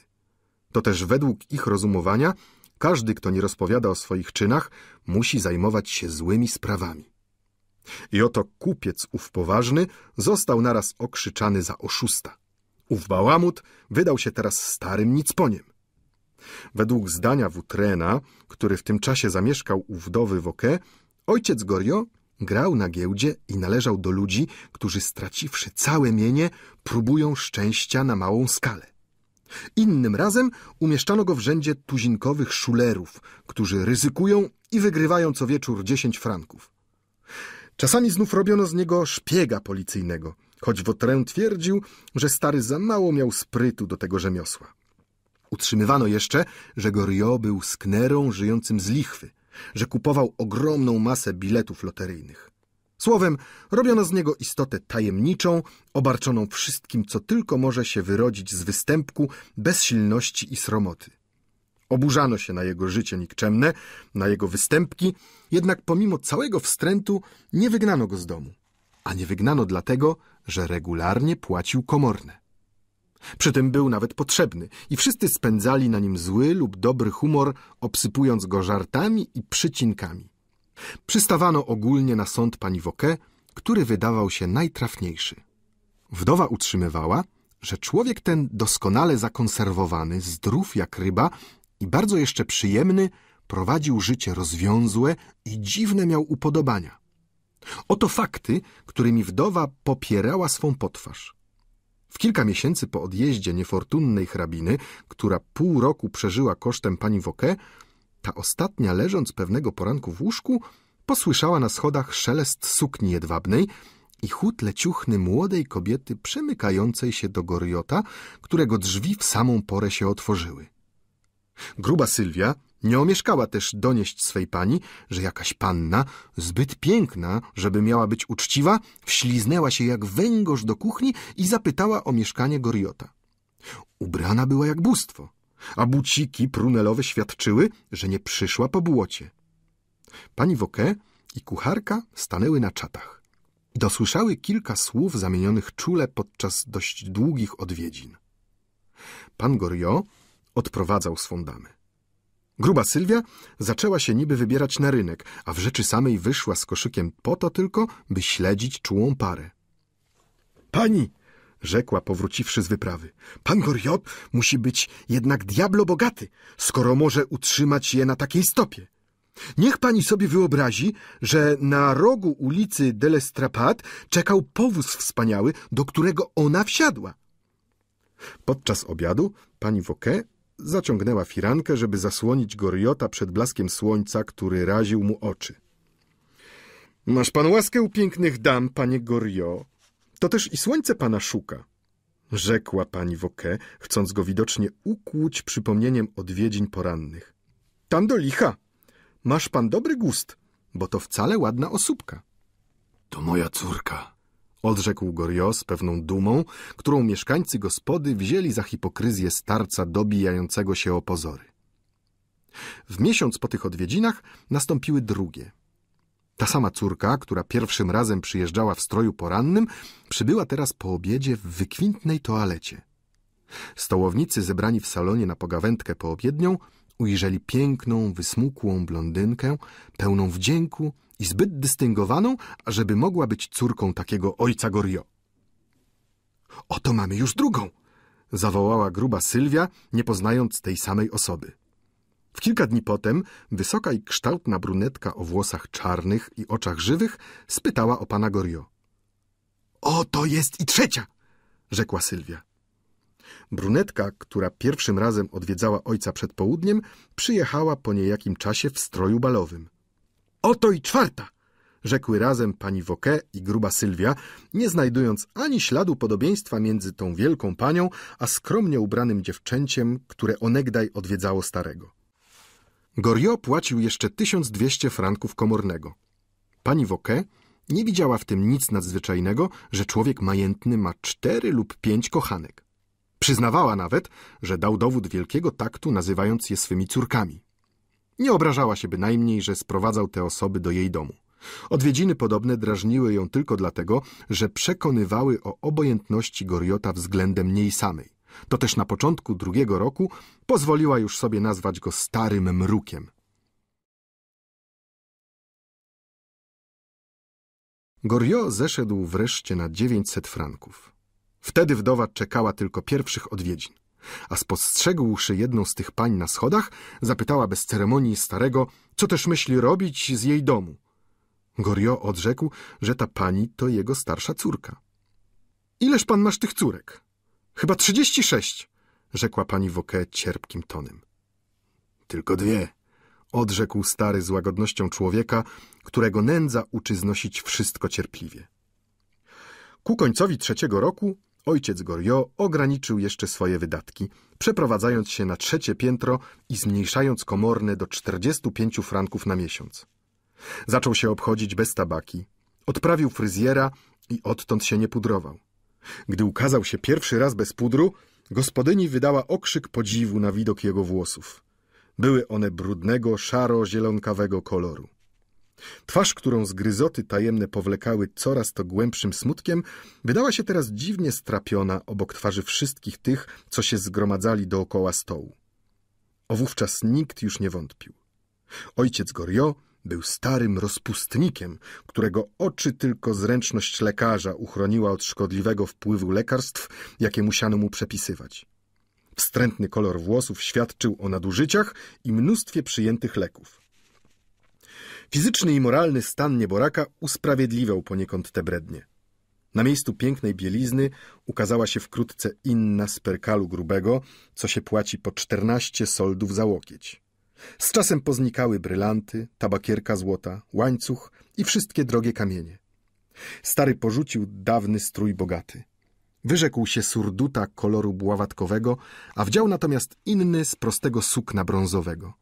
Do tego też nosił zimą i latem tę samą kamizelkę z koziej wełny i szare spodnie z grubego sukna angielskiego. Zeszczuplał niezmiernie. Nogi mu ścieniały, twarz, jaśniejąca niegdyś pełnią szczęścia mieszczańskiego, osunęła się i pomarszczyła. Czoło się sfałdowało, a szczęki zarysowały się wyraźnie. Zanim upłynął czwarty rok od przeprowadzki na ulicę Nów Saint-Junvif, poczciwy fabrykant makaronu niepodobny był do siebie. Ów mieszczanin, sześćdziesięcioletni, pulchny i okrągły, o twarzy bezmyślnej i świeżej, który wyglądał najwięcej na lat czterdzieści i zachwycał przechodniów swą postawą pełną życia i uśmiechem młodzieńczym, dziś wydawał się siedemdziesięcioletnim starcem, osłupiałym, drżącym i wybladłym. Żywe oczy niebieskie zblakły. Przeszły w odcień prawie żółto-szary i zaschły. Tylko spod czerwonej powieki krwawe łzy zdawały się sączyć. Na widok starca jednych przejmowała zgroza, inni odczuwali litość. Młodzi studenci medycyny nadaremnie drażnili go przez czas długi. Wreszcie, zauważywszy osunięcie się jego dolnej wargi i wymierzywszy kąt twarzy, zawyrokowali, że wpadł już w kretynizm. Pewnego wieczora, po skończonym obiedzie, pani Woke rzekła niby żartem. No cóż, zdaje się, że te córki już pana nie odwiedzają. Chciała mu dać odczuć, że nie wierzy w rzeczywistość tych związków rodzinnych. Ale ojciec Goriot drgnął na te słowa, jak gdyby ostrze żelaza go ukłuło. Przychodzą niekiedy, rzekł głosem wzruszonym.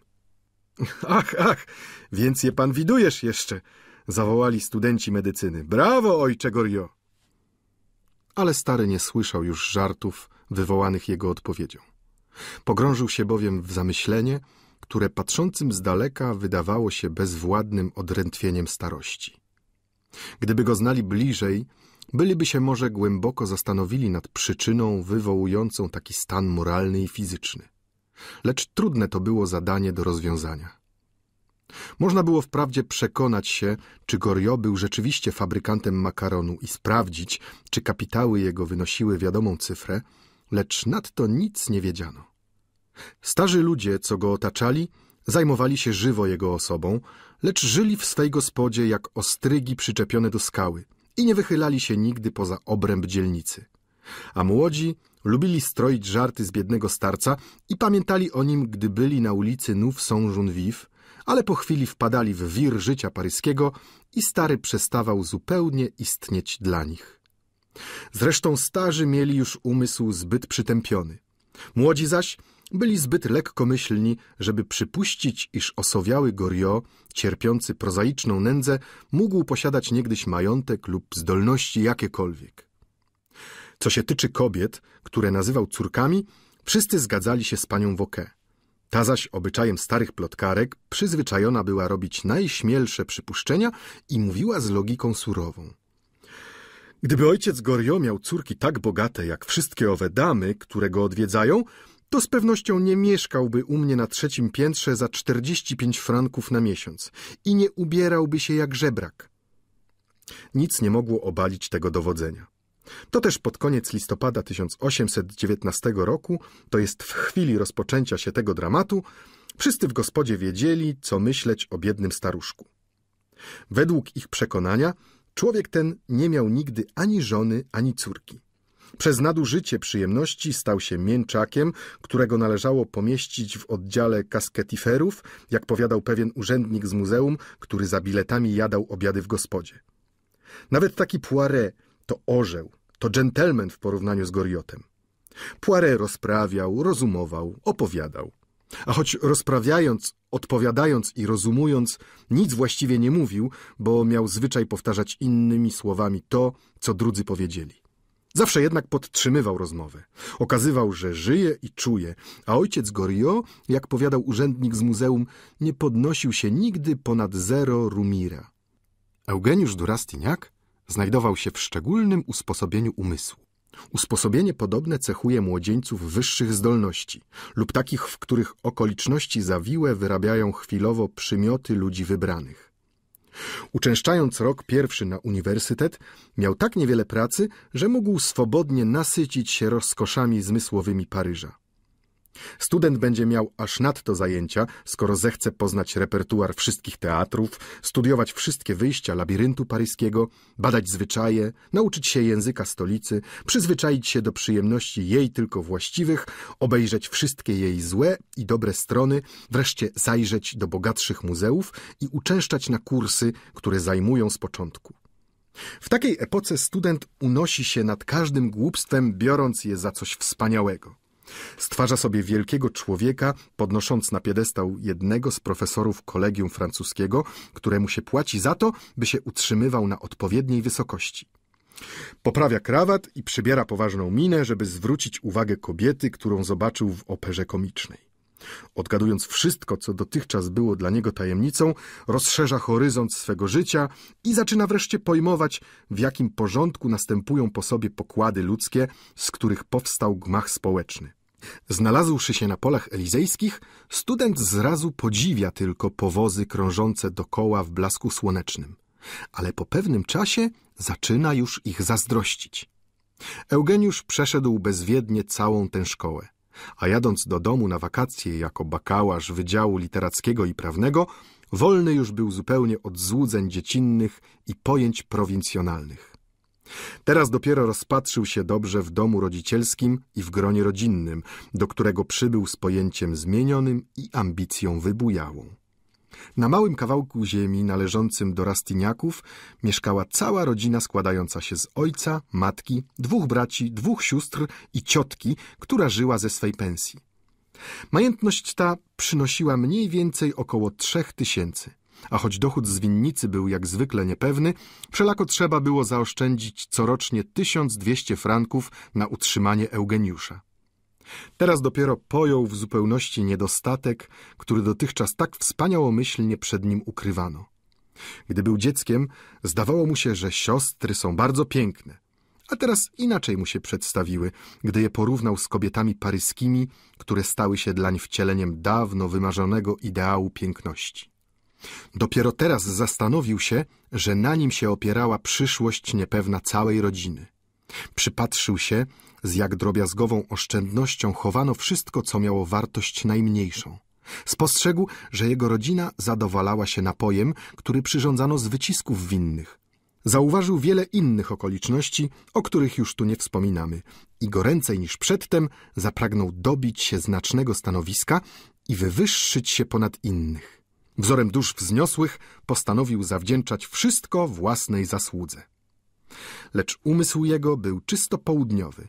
Gdy przyszło do wykonania postanowień, zaczynał się chwiać jak wszyscy młodzi ludzie, którzy wypływają na pełne morze, nie wiedząc, w którą stronę skierować swe siły i pod jakim kątem rozpiąć żagle.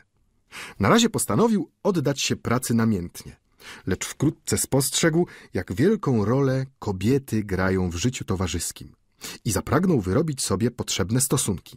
Postanowił nagle rzucić się w świat i bądź co bądź zdobyć sobie protektorki, które by go wzięły w opiekę. Czyż miałby się na nich zawieść? On, co posiadał umysł żywy i zapał niekłamany, a przy tym odznaczał się ułożeniem pełnym wdzięku i nerwową pięknością, która w oczach kobiet najwięcej ma uroku? Wszystkie te myśli zrodziły się w jego głowie, gdy błądził swobodny wśród pól razem z siostrami, które znalazły go wielce zmienionym. Ciotka Eugeniusza, pani Dumarcia, bywała niegdyś u dworu i znała sam kwiat arystokracji.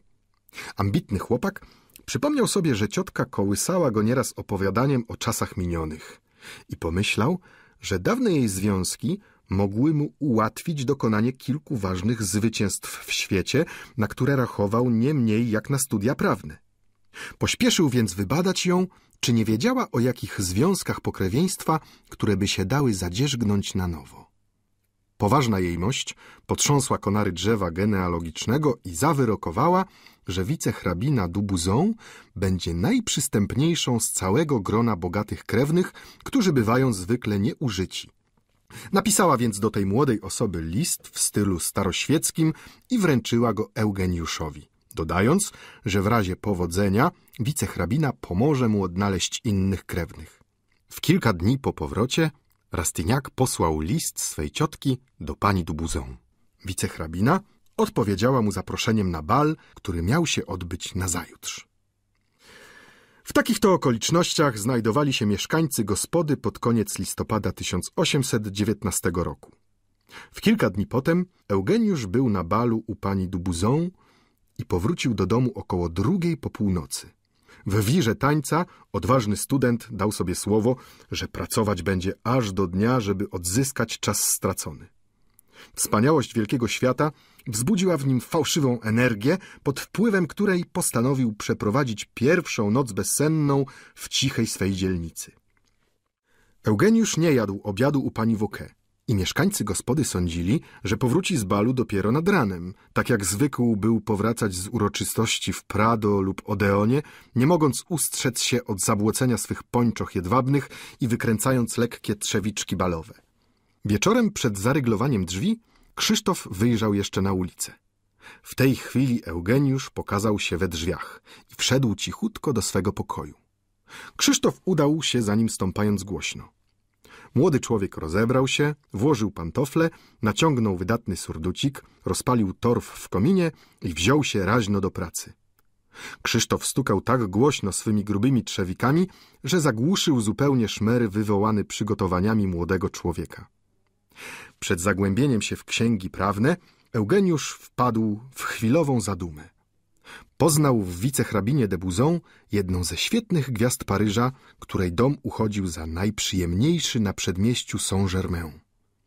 Prócz tego imię i majątek stawiały ją w pierwszym rzędzie arystokracji. Dzięki pani de Marcia biedny student został mile przyjęty w domu wicehrabiny, nie pojmując nawet całej doniosłości podobnej łaski. Być przyjętym w owych salonach złocistych znaczy to tyle, co otrzymać dyplom szlachecki.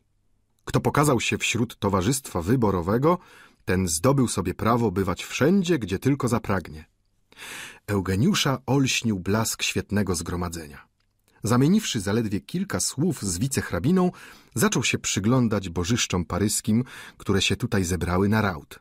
I wkrótce wyróżnił w tłumie kobietę taką, jaka zazwyczaj bywa pierwszym ideałem młodzieńca hrabina Anastazja Duresto, wysoka i okazała, Słynna była z nadzwyczaj kształtnej kibici. Wyobraźcie sobie duże czarne oczy, rękę prześliczną, nogę kształtną, ruchy pełne ognia. Słowem, wyobraźcie kobietę, którą margrabia de Ronquerolles nazywał koniem czystej krwi. Usposobienie nerwowe nie ujmowało jej bynajmniej wdzięku. Figurę miała pełną, ale nie można jej było zarzucić zbytniej otyłości.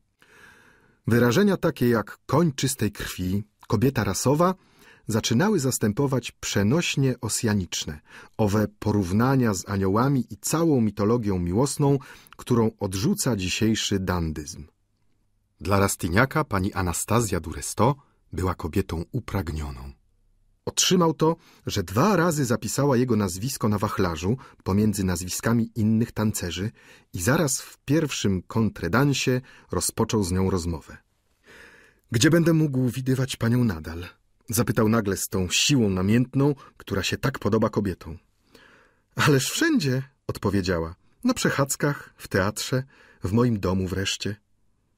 I lekkomyślny południowiec przywiązał się do rozkosznej hrabiny o tyle, o ile młodzieniec może się przywiązać do kobiety w ciągu jednego kontredansa i walca. Hrabina, która mu się wydała wielką panią, zaprosiła go do siebie, dowiedziawszy się, że jest kuzynem pani de Bouzon.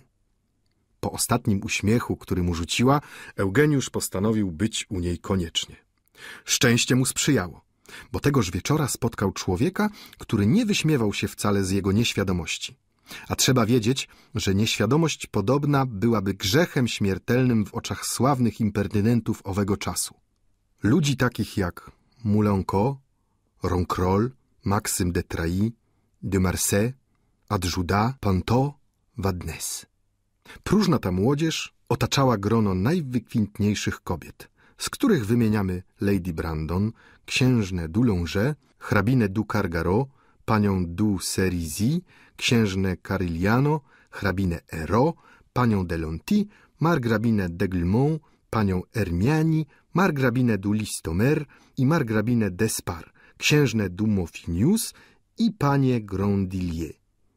Szczęściem więc naiwny student natrafił na margrabiego Montriveau, kochanka księżnej Doulonge. Generał ten prostoduszny jak dziecię objaśnił mu, że hrabina de Resto mieszka przy ulicy Dieu LD. Młody, spragniony świata, tęskniący do kobiety, ujrzał naraz dwa domy otwierające się przed sobą. Mógł bywać na przedmieściu Saint-Germain u wicehrabiny Dubuzon, a na Chaussée d'Anton uklęknąć przed hrabiną Duresto. Mógł jednym spojrzeniem ogarnąć cały szereg salonów paryskich, wiedząc, że jest młodzieńcem dość pięknym, by znaleźć w sercu kobiety współczucie i opiekę. Czuł w sobie dość ambicji, by wskoczyć na linę, po której trzeba iść ze śmiałością skoczka pewnego siebie, a przy tym najśliczniejsza z kobiet miała mu służyć za balans. Któż na miejscu Eugeniusza nie zagłębiłby się myślą w przyszłość? Któż nie marzyłby o powodzeniach, mając głowę pełną myśli podobnych i widząc oczyma wyobraźni obraz wspaniałej kobiety wznoszący się na tle rozżarzonego torfu pomiędzy kodeksem z jednej, a nędzą z drugiej strony. Bujna wyobraźnia malowała mu tak żywo przyszłe rozkosze, że zaczynał prawie wierzyć, iż pani Deresto znajduje się tuż przy nim. Gdy nagle głośne westchnienie rozległo się w ciszy nocnej i ozwało się w sercu młodzieńca jakby chrapliwy oddech konającego. Otworzywszy ostrożnie drzwi, wyszedł na korytarz i spostrzegł smugę światła wymykającą się spod drzwi ojca Gorio. Przyszło mu na myśl, że sąsiad mógł zachorować nagle. Zbliżył się więc do drzwi, przyłożył oko do dziurki od klucza i zajrzawszy w głąb pokoju, spostrzegł starca zajętego dziwną pracą. Zajęcie jego wydało się Eugeniuszowi tak występnym, że postanowił wyświadczyć społeczeństwu przysługę, śledząc nocne sprawki mniemanego fabrykanta makaronu. Ojciec Gorio przytwierdził do listwy przewróconego stołu półmisek srebrny wyzłacany i taką żwazę. Następnie wziął sznur i okręciwszy nim oba naczynia wspaniale rzeźbione, zaczął je ściskać z nadzwyczajną siłą, jak gdyby chciał zrobić z nich jednolitą bryłę metalu. Cóż to za człowiek u licha? szepnął Rastignac, spoglądając na żylaste ramiona starca, który otoczywszy sznurem kawał srebra, gniótł je jak ciasto, nie sprawiając najmniejszego szmeru. Może to złodziej? Lub wspólnik złodziejski, który żyje jak żebrak, udając głupotę i niedołęstwo, aby tym bezpieczniej oddać się swemu rzemiosłu. Student wyprostował się po tych słowach, lecz po chwili przyłożył znów oko do dziurki od klucza. Ojciec Gorio odwinął szpagat, rozesłał na stole kołdrę i zaczął taczać bryłę srebrną, robiąc z niej walec podłużny. Czynność tę wykonywał z niepojętą łatwością. Chyba ten człowiek posiada siłę Augusta, króla polskiego, szepnął Eugeniusz, widząc, że walec coraz bardziej się wydłuża. Ojciec Goriot popatrzył ze smutkiem na swe dzieło. Łzy zabłysły mu w oczach i zdmuchnął stoczek, który przyświecał jego pracy, po czym nowe westchnienie obiło się o uszy Eugeniusza. To wariat, pomyślał student. Biedne dziecię, zawołał głośno ojciec Goriot. Na te słowa Rastignac postanowił zamilczeć o nocnej przygodzie i nie sądzić zbyt srogo swego sąsiada. Chciał już powracać do siebie, gdy posłyszał nagle szmer dziwny. Zdawało się, że ktoś w skarpetkach wełnianych stąpa po schodach. Eugeniusz nadstawił ucha i rozpoznał rzeczywiście oddech miarowy dwóch ludzi. Nie słyszał ani skrzypnięcia drzwi, ani wyraźnego stąpania, tylko światełko słabe nagle zabłysło na drugim piętrze pana Wotrę. Ile tu tajemnic w tej gospodzie mieszczańskiej, powiedział student, schodząc o kilka stopni niżej. Zaczął się przysłuchiwać i po chwili dźwięk złota obił się o jego uszy. Światło zagasło wkrótce i znowu dał się słyszeć podwójny oddech, przy czym nie można było rozróżnić ani otwierania, ani zamykania drzwi. Szmer stawał się coraz słabszy, w miarę jak się dwaj mężczyźni oddalali. — Kto idzie? — zawołała pani Woke, otwierając okno. — To ja powracam, mamo Woke — ozwał się gruby głos Wotrena. Jednak to coś dziwnego. Krzysztof pozasuwał przecie rygle, mówił Eugeniusz, wracając do swego pokoju. W Paryżu trzeba czuwać, żeby wiedzieć wszystko, co się dzieje dokoła. To, co słyszał, przerwało wątek miłosnych i ambitnych rozmyślań. Postanowił zająć się pracą, lecz nie mógł odżegnać podejrzeń pobudzonych postępkiem ojca Gorio. Nie mógł zapomnieć twarzy pani Duresto, która stawała przed nim co chwila, niby wróżka świetnej przyszłości i skończył na tym, że upadłszy na łóżko, zasnął snem kamiennym. Na dziesięć nocy, które młodzież obiecuje poświęcić pracy, siedem odpadnie z pewnością na sen. Trzeba mieć więcej niż dwadzieścia lat, żeby móc czuwać. Nazajutrz rano gęsta mgła pokryła Paryż. W taką pogodę ludzie najbardziej punktualni mylą się co do czasu. Spóźniają się na spotkania, które naznaczyli we własnym interesie. A o południu myślą, że to dopiero ósma rano. Było już w pół do dziesiątej, a pani Woke nie myślała jeszcze ruszyć się z łóżka. Krzysztof i gruba Sylwia wstali też później niż zwykle i zapijali najspokojniej kawę zabieloną wierzchnią warstwą mleka przeznaczonego dla stołowników. Zdjąwszy najgęstszą śmietankę, Sylwia gotowała mleko bardzo długo, żeby pani Woke nie mogła się domyśleć owej dziesięciny nieprawnie pobieranej. — Sylwio! — rzekł Krzysztof, biorąc pierwszą grzankę. — Pan Wutre, który trzeba wam wiedzieć jest bardzo dobry, Dzisiejszej nocy przyjmował znów dwie osoby. Jeżeli się pani niepokoi, to nic mówić nie trzeba. Czy dostaliście co od niego? Dał mi sto sous na miesiąc. To znaczy tyle, jakby powiedział, trzymaj język za zębami. Tylko on i pani Couture nie drżą nad każdym groszem, rzekła Sylwia. Zresztą wszyscy radzi, by wyciągnąć nam z lewej ręki to, co w dzień nowego roku wkładają do prawej. Jeszcze żeby choć co dobrego dawali, dorzucił Krzysztof. Wielkie mi dziwy. Jakieś nędzne sto sous.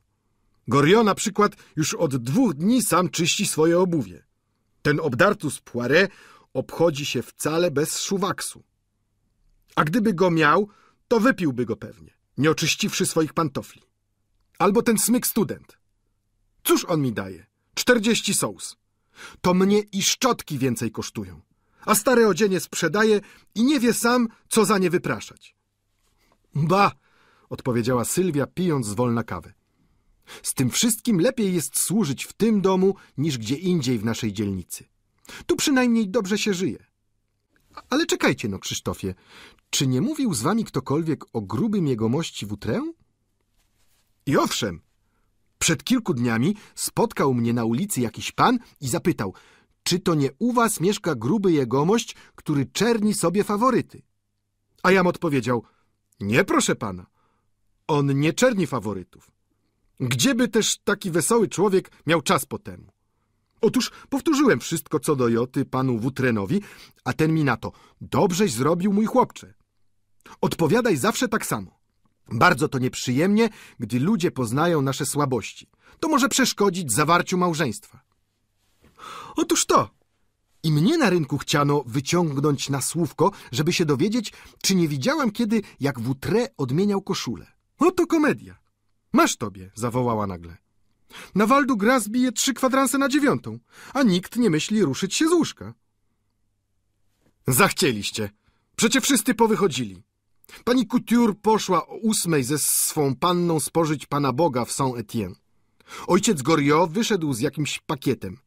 Student powróci z lekcji dopiero o dziesiątej. Zamiatałem właśnie schody, gdy wszyscy wychodzili. Ojciec Goriot trącił mnie tym, co niósł w ręku, a było to coś twardego jak żelazo. Jednak to ciekawość, czym się ten nieborak zajmuje. Musi zawsze tańczyć, jak mu inni każą, pomimo to najpoczciwszy jest ze wszystkich i więcej wart od innych. Niewiele się u niego pożywić można, ale za to owe panie, do których mnie czasami posyła, postrojone są jak lalki i nie żałują dać człowiekowi na piwo. Jakież to? Te, które nazywa córkami? Jest ich, zdaje się, cały tuzin. Ja ci tam nie byłem u innych, tylko u tych dwóch, które tutaj przychodzą. Słyszę, że już pani zaczyna się ruszać. To dopiero zacznie Sodomę wyprawiać. Trzeba iść co prędzej. Pilnujcie mleka, Krzysztofie, żeby się tu kot nie zawinął. Sylwia poszła do pokoju swej pani. Co to ma znaczyć, Sylwio? Biło już trzy kwadranse na dziewiątą, a ja z waszej łaski spałam jak bobak. Nic podobnego jeszcze nie bywało. To proszę pani z powodu mgły dzisiejszej, którą choć nożem krajać, tak jest gęsta. A cóż będzie ze śniadaniem? Ba, wszyscy nasi lokatorowie mieli chyba diabła za skórą, bo wszyscy zemknęli równo z brzaskiem. Śniadanie więc może być dziś o dziesiątej. Michonnet i Poiret ani myśleli jeszcze wstawać. Tylko oni oboje są w domu i śpią jak prawdziwe bałwany. Ależ, Sylwio, mówisz o obojgu razem, jak gdyby... Jak gdyby co? Zapytała Sylwia, wybuchając głupim śmiechem. Przecie oboje jakby dobrani do pary. Jednak to coś dziwnego, Sylwio, jakim sposobem pan Wotrem wrócił dziś w nocy do domu, kiedy Krzysztof pozasuwał przedtem rygle. Wcale nie, proszę pani. Krzysztof posłyszał, że pan Wotrem wraca i zszedł na dół, żeby mu otworzyć drzwi. A pani się zdało, że... Podaj mi kaftanik i ruszaj śpiesznie zająć się śniadaniem. Przybierz kartoflami pozostałą baraninę i podaj gruszki gotowane. Tylko te, co kosztują po dwa liardy sztuka. Niebawem pani Woke zeszła na dół i spostrzegła na wstępie kota, który rzucił łapką z talerz pokrywający garnuszek z mlekiem i raczył się z największym pośpiechem. — Mistigri! — krzyknęła wdowa. Kot zemknął, lecz po chwili powrócił, łaszcząc się do pani. — Tak, tak, przymilaj się, stary łotrze. — Sylwio! Sylwio! Co pani każe? Zobacz no, co kot zrobił. To wina tego bydlaka Krzysztofa, któremu poleciłam nakryć do stołu.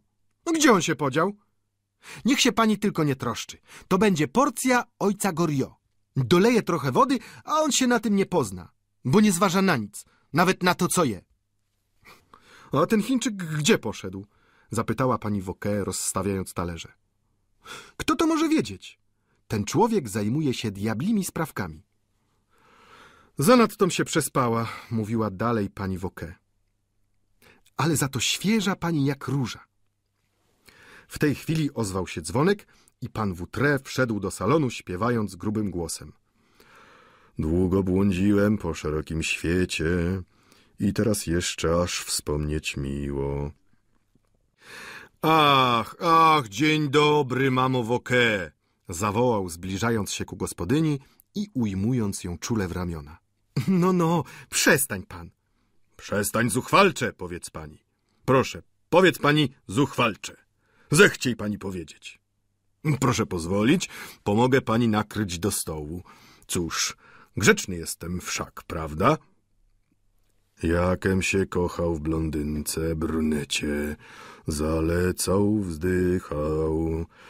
Widziałem przed chwilą rzecz dziwną. Jak się zdarzyło.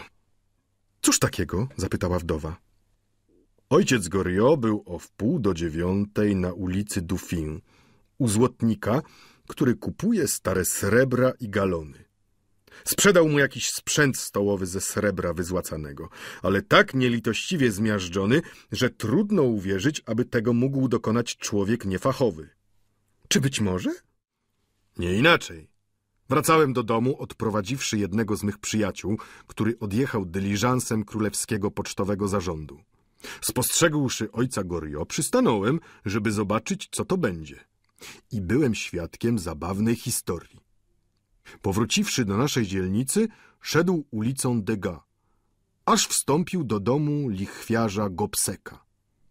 Trzeba widzieć, że ten Gopsek to porządny łotr, który bez żadnego wahania robiłby tabliczki do domina z kości swego ojca. Jakiś Żyd, Arab, Grek czy Cygan, którego niełatwo byłoby okraść, bo umieszcza swoje dukaty w banku. To jednak dziwne. Co też ten Goriot robi? Nic nie robi, a przeciwnie, przerabia to, co ma. To głupi niedołęga, co wszystko stracił przez miłość dla kobiet, które... Oto i on, rzekła Sylwia. Krzysztofie, zawołał ojciec Gorio. Pójdź ze mną na górę. Krzysztof poszedł i powrócił za chwilę. Dokąd idziesz? zapytała go pani Woke. Posyła mnie ojciec Goriot. A to co? Zawołał Wotre, wyrywając Krzysztofowi list zaadresowany do hrabiny Anastazji Duresto. Dokądże idziesz?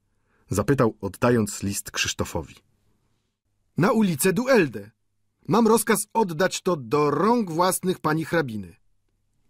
Cóż tam być może wewnątrz? rzekł Wotrę, przeglądając list przed światłem. Czy nie bilet bankowy? Ale nie, mówił dalej, rozwierając z lekka róg koperty. To kwit, zawołał. Daj go katu. Ten stary frant umie się zalecać. Idź, stary marudo, dodał kładąc swą dłoń szeroką na głowie Krzysztofa i okręcając go w kółko jak pionek. Nie pożałują dać ci na piwo. Stół był już nakryty. Sylwia gotowała mleko. Pani Woke roznieciła ogień z pomocą Wotrena, który nie przestawał nucić. Długo błądziłem po szerokim świecie i teraz jeszcze aż wspomnieć miło. Wszystko już było gotowe, gdy pani Couture weszła w towarzystwie panny Tailfe. Skądżeście to tak rano, moje piękne panie? spytała pani Woke, zwracając się do wchodzących. Byłyśmy w Saint-Étienne Dumont u spowiedzi. Przecie mamy dziś być u pana Tailfe. Biedna moja mała drży jak listek, mówiła pani Couture, siadając koło pieca i wygrzewając przed ogniem trzewiki, które zaczęły parować pod wpływem ciepła. Ogrzej się, Wiktoryno, rzekła pani Woke. Bardzo to pięknie, że się pani modli do Boga, by raczył zmiękczyć serce jej ojca, rzekł Wotrę, podając krzesło sierocie. Ale sama modlitwa tu nie wystarcza. Potrzeba pani przyjaciela, który by potrafił przemówić stosownie do tego starego bydlaka. Powiadają przecie, że dziki ten człowiek ma trzy miliony kapitału, a pani nie daje żadnego posagu. W naszych czasach najpiękniejsza panna potrzebuje posagu. Biedne dziecię, rzekła pani Woke. Wiesz co, moja rybko? Ten potwór, którego nazywasz ojcem, ściąga dobrowolne nieszczęście na swą głowę. Na te słowa oczy Wiktoryny zaszły łzami, a pani Couture dała znak wdowie, by nie mówiła dalej. Gdybyśmy tylko mogły zobaczyć go i wręczyć mu ostatni list jego żony, rzekła wdowa po wojskowym komisarzu. Nigdy nie odważyłam się przesłać go pocztą. Tailfe zna moje pismo. O, kobiety niewinne, nieszczęśliwe i prześladowane, zawołał Wotrę. Więc Tak to rzeczy stoją. Za kilka dni ja się wmieszam w wasze sprawy i wszystko pójdzie jak spłatka. O panie, zawołała Wiktoryna, a oczy jej zamglone i palące zarazem spoczęły na Wotrenie, którego spojrzenie dziewczęcia nie wzruszyło wcale. Jeżeli pan znajdziesz sposób zbliżenia się do mego ojca, to powiedz mu, że jego przywiązanie i dobra sława mej matki droższe mi są nad wszystkie skarby świata. Będę się modliła za pana, jeśli pan potrafisz złagodzić jego surowość. Możesz pan być pewien wdzięczności. Długo błądziłem po szerokim świecie, zaśpiewał Wotrę głosem pełnym ironii. W tej chwili Goriot, panna Michonet i Poiret weszli do pokoju, zwabieni prawdopodobnie zapachem masła, na którym Sylwia podsmażała kawałki baraniny. Wszyscy obecni zajęli swoje miejsca, życząc sobie dnia dobrego. W tej chwili właśnie wybiła dziesiąta, a na ulicy dały się słyszeć kroki studenta. Ot i dobrze, panie Eugeniuszu, rzekła Sylwia. Dziś pan zje śniadanie razem ze wszystkimi. Student ukłonił się zgromadzonym i zajął miejsce obok ojca Gorio. Miałem dziś szczególną przygodę, wyszekł biorąc ogromną porcję baraniny i spory kawał chleba, który pani Woke zmierzyła kilkakrotnie okiem. Przygodę! zawołał Poiret. Cóż stąd? Czy cię to zadziwia, stara szlafmyco? rzekł Wotrę do Poiret. Takim ludziom jak pan Eugeniusz nie trudno o przygodę. Panna Tailfe rzuciła nieśmiałe spojrzenie na młodego studenta. Opowiedz nam pan, co to była za przygoda, prosiła pani Woke. Wczoraj byłem na balu u mojej kuzynki, wicehrabiny Dubuzon, która posiada dom wspaniały i przepyszne salony obite materią jedwabną. Bal był świetny. Bawiłem się jak król. Ik, wtrącił Wotrę, przerywając studentowi. Co to ma znaczyć, panie? zawołał Eugeniusz z żywością. Powiedziałem ik, bo królik bawi się lepiej niż król. Wielka prawda. Wolałbym być tą ptaszyną swobodną niż królem, ponieważ, potwierdził zgadzający się na wszystko Poirot, Jednym słowem, przerwał student, nie dając mu dokończyć, tańczyłem z najśliczniejszą kobietą, z pewną zachwycającą hrabiną, nad którą nic piękniejszego w życiu nie widziałem. Miała we włosach kwiaty brzoskwiniowe, u boku prześliczny bukiet żywych kwiatów, które rozlewały dokoła woń cudowną. Ale ba, trzeba było ją widzieć. Bo któż zdoła opisać kobietę ożywioną wirem tańca? Otóż wystawcie sobie państwo, że dziś o dziewiątej rano spotkałem tę boską hrabinę, gdy szła ulicą Degon. Ach, jak mi serce biło. Zdawało mi się, że ona tu zmierza, rzekł Wotrę, rzucając na studenta głębokie wejrzenie. A ona szła pewnie do papy Gobseka, znanego lichwiarza. Jeżeli będziesz pan kiedy badał serca kobiet paryskich, to bądź pewien, że lichwiarza znajdziesz zawsze przed kochankiem. Pańska hrabina nazywa się Anastazja Duresto i mieszka przy ulicy Du LD. Na to imię student wpatrzył się w Wotrę. Ojciec Goriot podniósł nagle głowę i ku ogólnemu zdziwieniu zmierzył obu mówiących wzrokiem jasnym i pełnym niepokoju. Pewnie Krzysztof się spóźni i ona sama tam poszła, zawołał Goriot z boleścią. Cóż, czy nie zgadłem?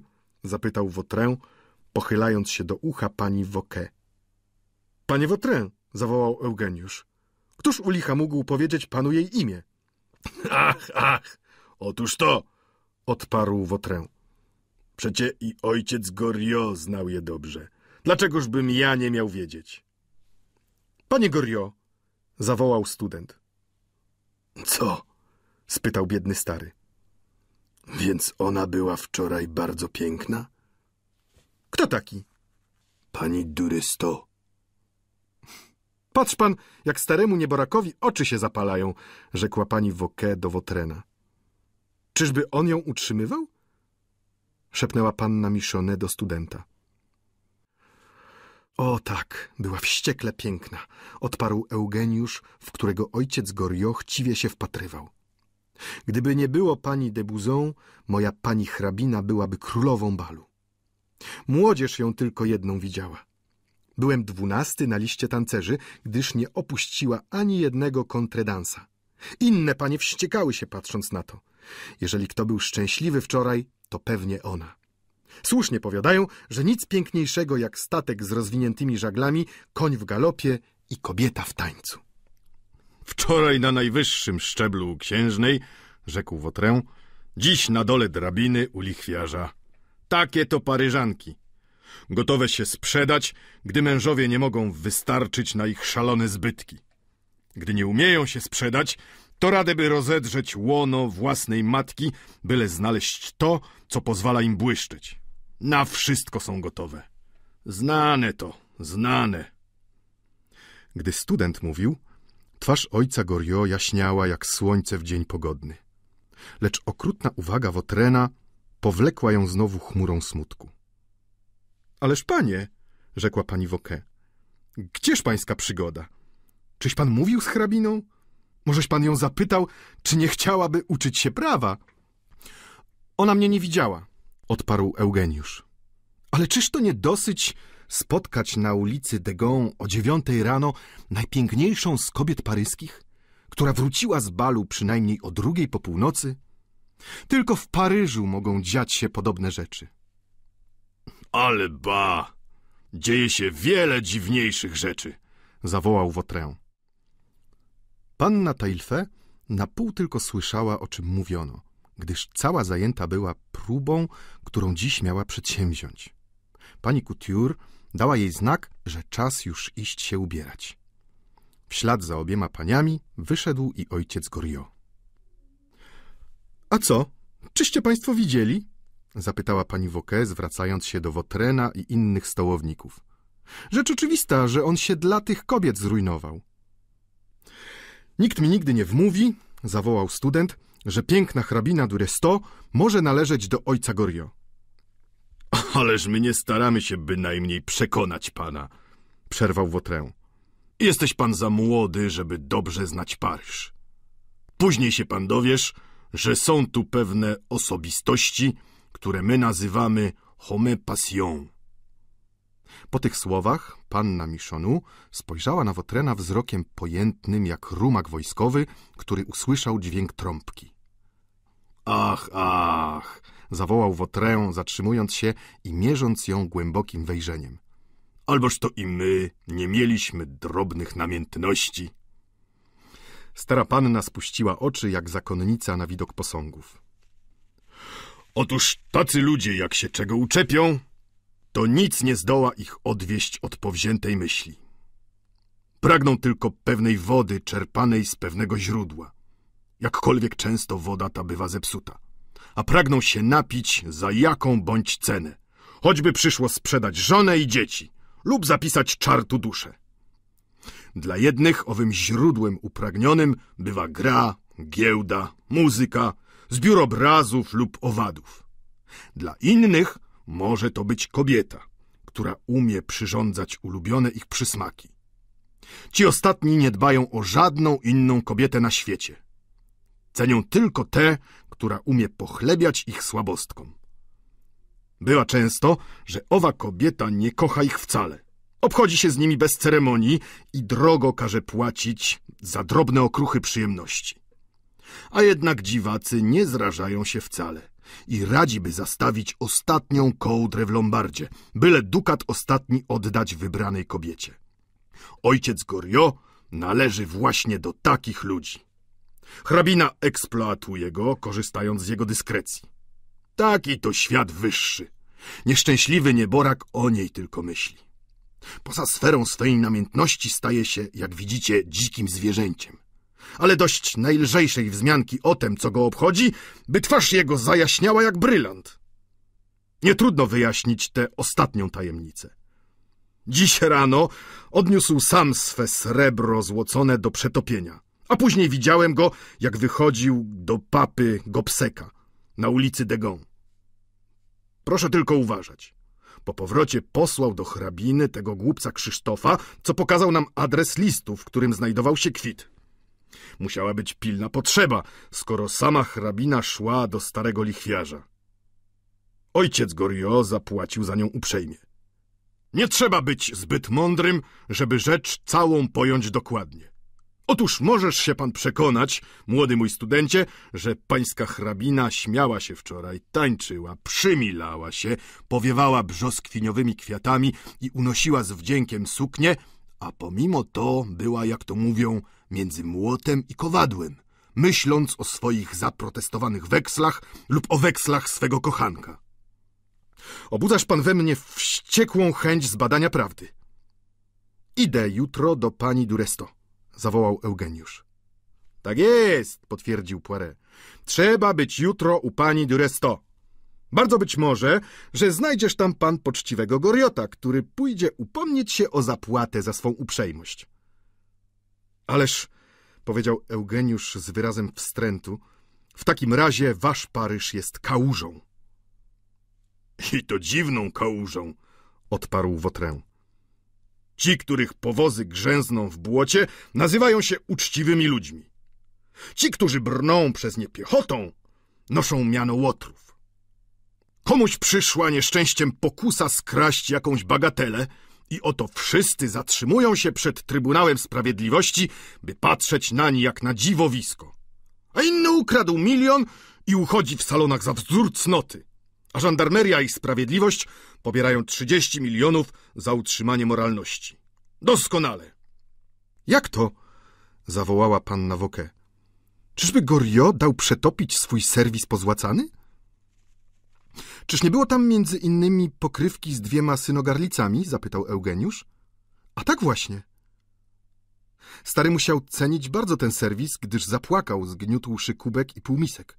Widziałem to przypadkiem rzekł Eugeniusz. Cenił go jak własne życie, odrzekła wdowa.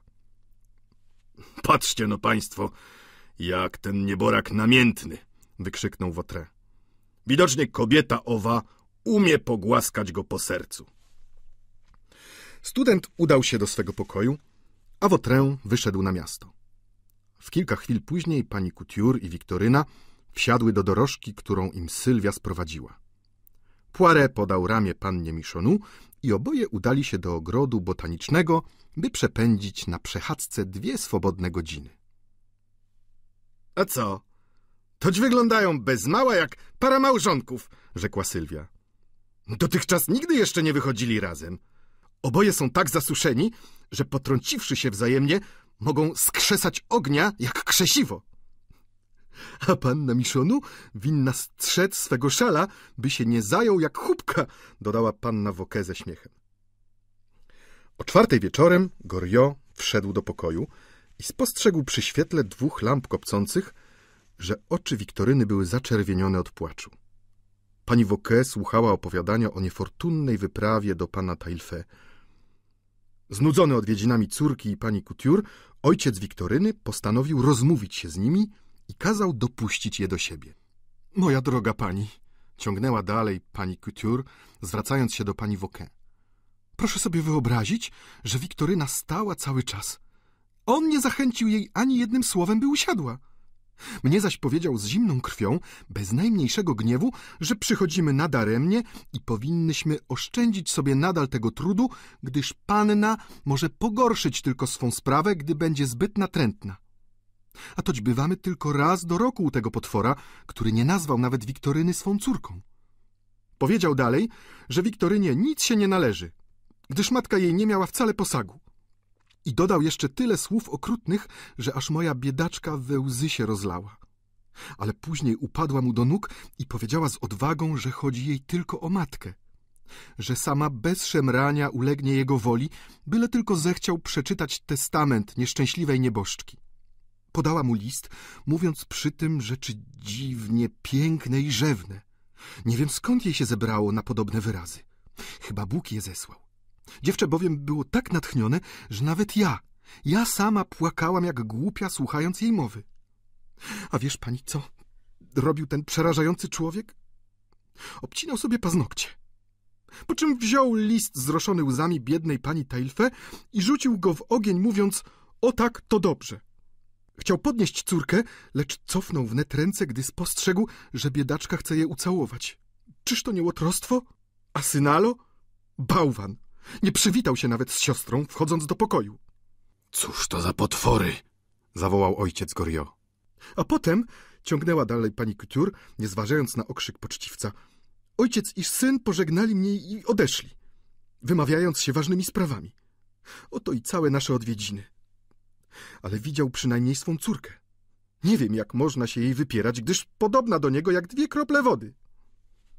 Wszyscy stołownicy i mieszkańcy gospody zgromadzili się zwolna, życząc sobie dnia dobrego i zamieniając nic nieznaczące wyrazy, które w pewnych kółkach paryskich uchodzą za dowcip błyskotliwy, choć same przez się bywają bezmyślne, a całe znaczenie nadaje im gest i sposób, w jaki się wymawiają. Ten rodzaj żargonu zmienia się nieustannie, odnawiając się przynajmniej co miesiąc kosztem jakiegoś nowego żartu. Byle co nadaje się do podtrzymania takiej gry dowcipu. Zarówno wypadek polityczny, jak i proces sądowy. Piosenka uliczna lub farsa jakiego aktora. Gdyż gra cała polega na tym, by chwytać myśli i wyrazy i niby volanta na powrót je odrzucać. W nowszych czasach wynaleziono świeżo dioramę, wywołującą silniejsze złudzenie optyczne niż panorama. Wskutek tego w niektórych malarniach przyjął się dla zabawy zwyczaj dodawania końcówki rama do wielu wyrazów. Pewien młody malarz, uczęszczający do gospody w Oke, zaprowadził między mieszkańcami zwyczaj dodawania tej końcówki do wyrazów. Panie Poiret, jakże tam pańskie zdrowieczko rama? zapytał urzędnik z muzeum i nie czekając odpowiedzi zwrócił się do pani Couture i Wiktoryny. Zdaje się, rzekł, że panie mają jakieś zmartwienie. Czy będziemy dziś objadowali? zawołał jeden ze studentów medycyny, przyjaciel Rastiniaka imieniem Horacy Biąszą. Moje żołądeczko opadło uskie atalon. Dziś wściekle zimno w rama, rzekł Wotrę. Proszę się pofatygować, ojcze Gorio. Cóż u licha? Pańska noga zakrywa cały otwór pieca. Znakomity panie Wotrę, rzekł Biąszą. Dlaczego mówisz pan zimno w rama? To omyłka. Należy mówić zimno rama. Nie, zawołał urzędnik z muzeum. Mówi się zimno w rama na zasadzie, że mówi się zimno w nogi. Ach, ach, oto i jego ekscelencja markiz Durastignac, doktor prawa lewego. Zawołał Biąszą, schwyciwszy Eugeniusza za szyję i dusząc go w uścisku. Oho, są już i inni, oho! Panna Miszonu weszła zwolna, pozdrawiając obecnych milczącym ukłonem i usiadła obok trzech kobiet. Ta stara sowa nabawia mnie zawsze dreszczów, szepnął Biąszą do Wotrena, wskazując na pannę Miszonu. Trzeba wiedzieć, że ja studiuję system Galla i widzę na jej głowie judaszowe wypukłości. Czyś pan ją znał przedtem? zapytał Wotrę. Któż by jej nie spotkał? odparł Biąszą. Słowo daję, ta wybladła stara panna przypomina mi owe długie robaki, co zdolne są stoczyć najgrubszą belkę. Tak to bywa, młodzieńcze, rzekł czterdziestoletni mężczyzna, głaszcząc faworyty. Więc róża żyła tyle, ile żyją róże. Poranek jeden tylko. Ach, ach, oto i wyborna zuporama! zawołał Poiret na widok Krzysztofa wnoszącego rosół z wielką powagą. Młodzież wybuchnęła śmiechem. Przepraszam, zawołała pani Woke, bo to kapuśniak.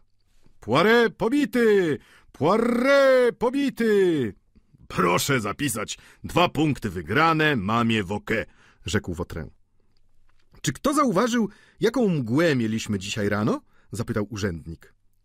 Była to, rzekł Biąszą, mgła wściekła i bezprzykładna. Mgła ponura, melancholijna, zielona, dusząca.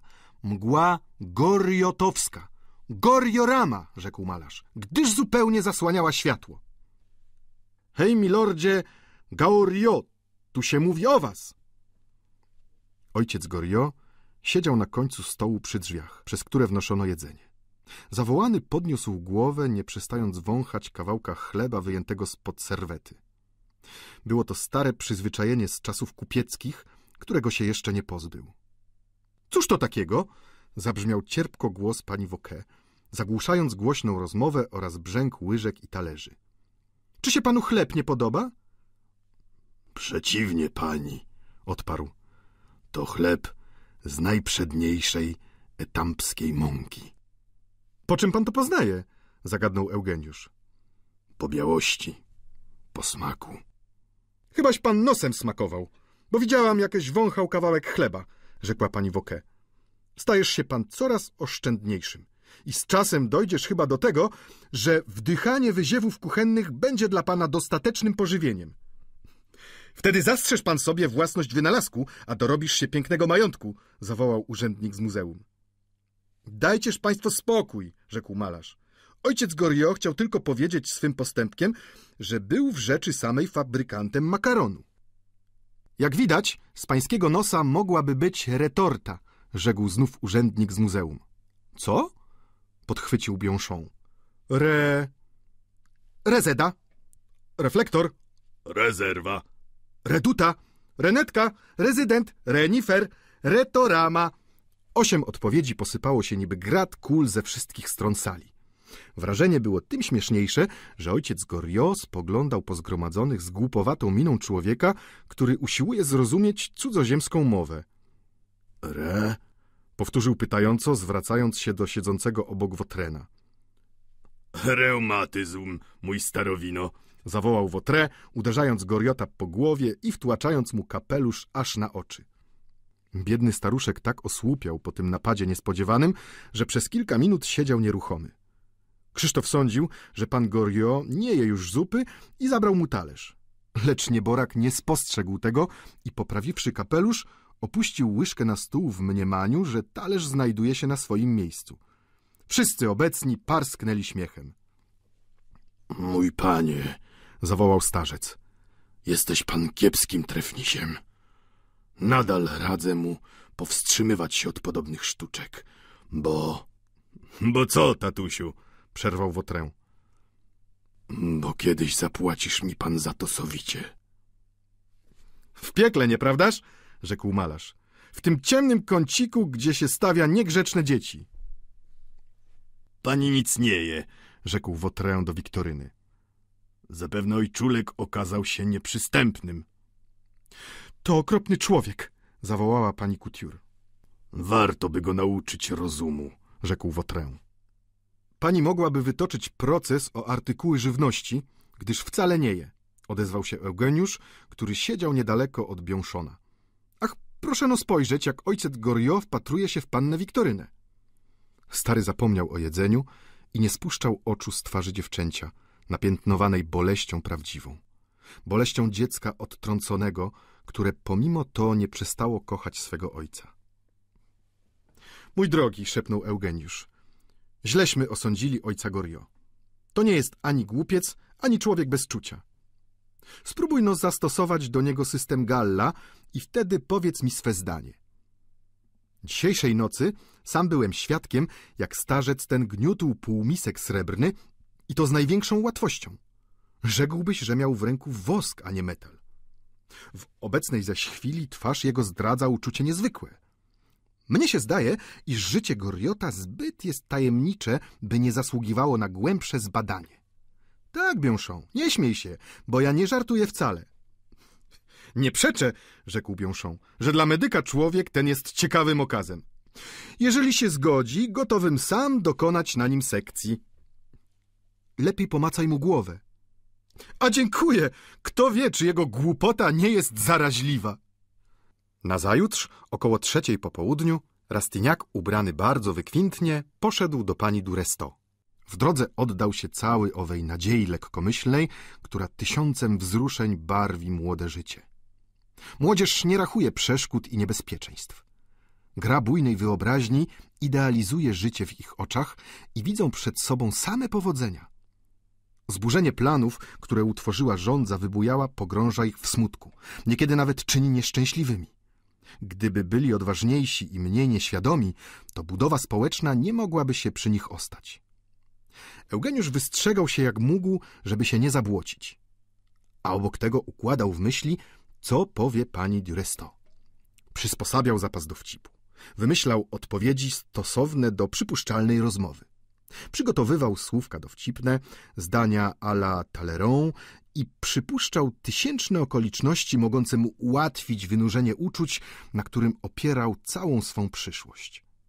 I biedny student zabłocił się tak okrutnie, że w Palais Royal musiał kazać czyścić sobie buty i spodnie.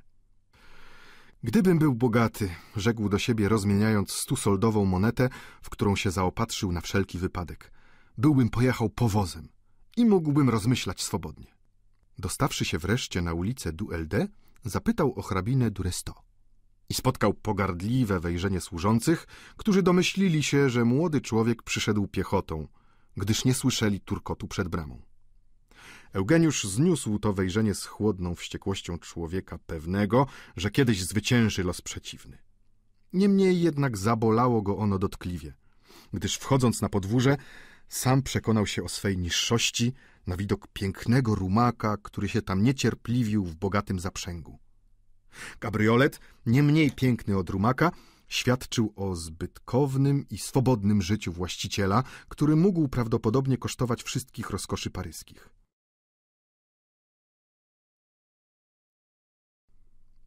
Dosyć było tej okoliczności, by zupełnie zepsuć studentowi humor. Wszystkie skrytki jego mózgu, które naładował dowcipem, zamknęły się naraz. I Eugeniusz stał się zupełnie głupi. Stanął na jednej nodze przed oknem przedpokojowym, oparł łokieć o zasuwkę i patrzył machinalnie na dziedziniec, czekając odpowiedzi hrabiny, której lokaj poszedł zameldować odwiedzających. Czas wydawał mu się nieznośnie długi i byłby wyszedł niezawodnie, gdyby nie posiadał tej uporczywości właściwej południowcom, która może działać cuda, jeżeli jest skierowana na drogę właściwą. Pani jest bardzo zajęta w swoim buduarze, rzekł kamerdyner. Nie odpowiedziała mi wcale. Ale może pan zechce przejść do salonu. Tam czeka już ktoś inny. Zastanawiając się nad władzą potężną tych ludzi, którzy jednym słowem obwiniają i sądzą swych panów, Eugeniusz zbliżył się do drzwi, przez które wychodził kamerdyner. Otworzył je niedbale, chcąc zapewne pokazać nadętym lokajom, że zna dobrze wewnętrzny rozkład mieszkania. Ale wpadł nierozważnie do jakiegoś pokoju, w którym znajdowało się pełno lamp, bufetów i przyrząd służący do nagrzewania serwet po kąpieli. Dalej widać było korytarz ciemny i schodki ukryte. Stłumiony śmiech, który posłyszał w przedpokoju, zbił go do reszty stropu. Proszę pana, tędy się idzie do salonu, rzekł kamerdyner z ową fałszywą uniżonością, która zdaje się być tylko nową obelgą. Eugeniusz zawrócił się z takim pośpiechem, że zawadził o wannę. Szczęściem jednak zdążył zatrzymać wymykający się z rąk kapelusz. W tej samej chwili drzwi jakieś otworzyły się w głębi korytarza oświeconego małą lampką i Eugeniusz posłyszał głos hrabiny i ojca Goriot. Po czym rozległ się odgłos pocałunku. Kamerdyner przeprowadził Eugeniusza przez pokój jadalny do pierwszego salonu, gdzie student nasz przystanął przed oknem wychodzącym na podwórze. Pragnął się przekonać, czy spotkany tu ojciec Goriot był rzeczywiście owym znanym mu Goriotem. Serce biło mu jakoś dziwnie, gdy przywodził sobie na pamięć przerażające uwagi Wotrena.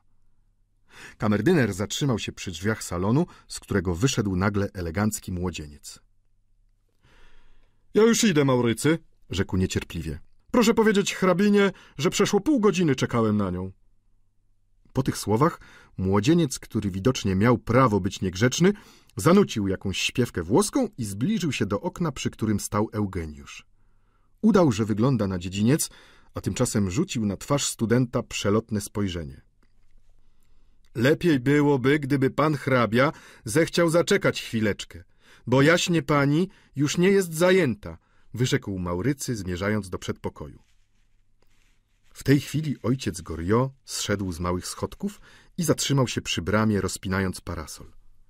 Nieborak nie widział, że w otwartej bramie pokazało się właśnie tilbury, w którym siedział młody mężczyzna z orderem na piersi. Ojciec Goriot w samą porę rzucił się w tył, żeby nie być stratowanym. Koń przestraszył się rozpiętego parasola i rzuciwszy się w bok, popędził gwałtownie ku pojazdowi.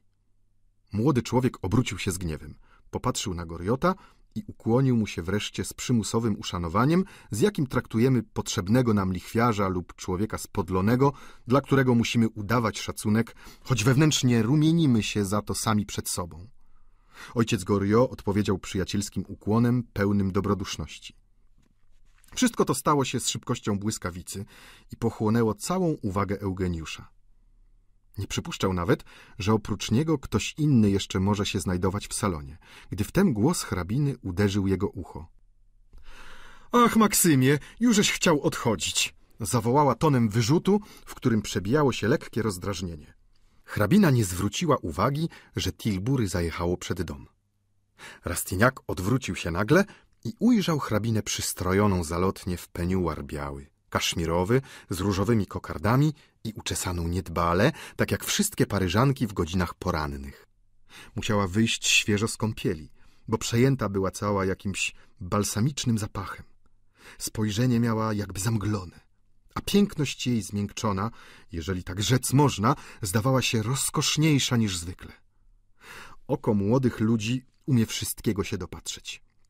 Dusza ich zlewa się z promiennym obrazem kobiety, tak jak roślina napawa się powietrzem, z którego przyswaja sobie część potrzebną. To też i Eugeniusz nie dotknął się rąk hrabiny, a jednak przeczuł świeżość ich niezrównaną. Odgadł przez kaszmir różową białość jej gorsu, którą zdradzał niekiedy przed jego wzrokiem peniuar trochę rozwarty. Hrabina nie potrzebowała gorsetu. Przepaska tylko odznaczała gibką jękibić. Szyję miała nęcącą, a nogi jakże ślicznie wyglądały w pantofelkach. Maksym złożył na jej ręce pocałunek i wtedy dopiero Eugeniusz spostrzegł Maksyma, a hrabina Eugeniusza. Ach, to pan Durastiniak! Jakże mi przyjemnie widzieć pana!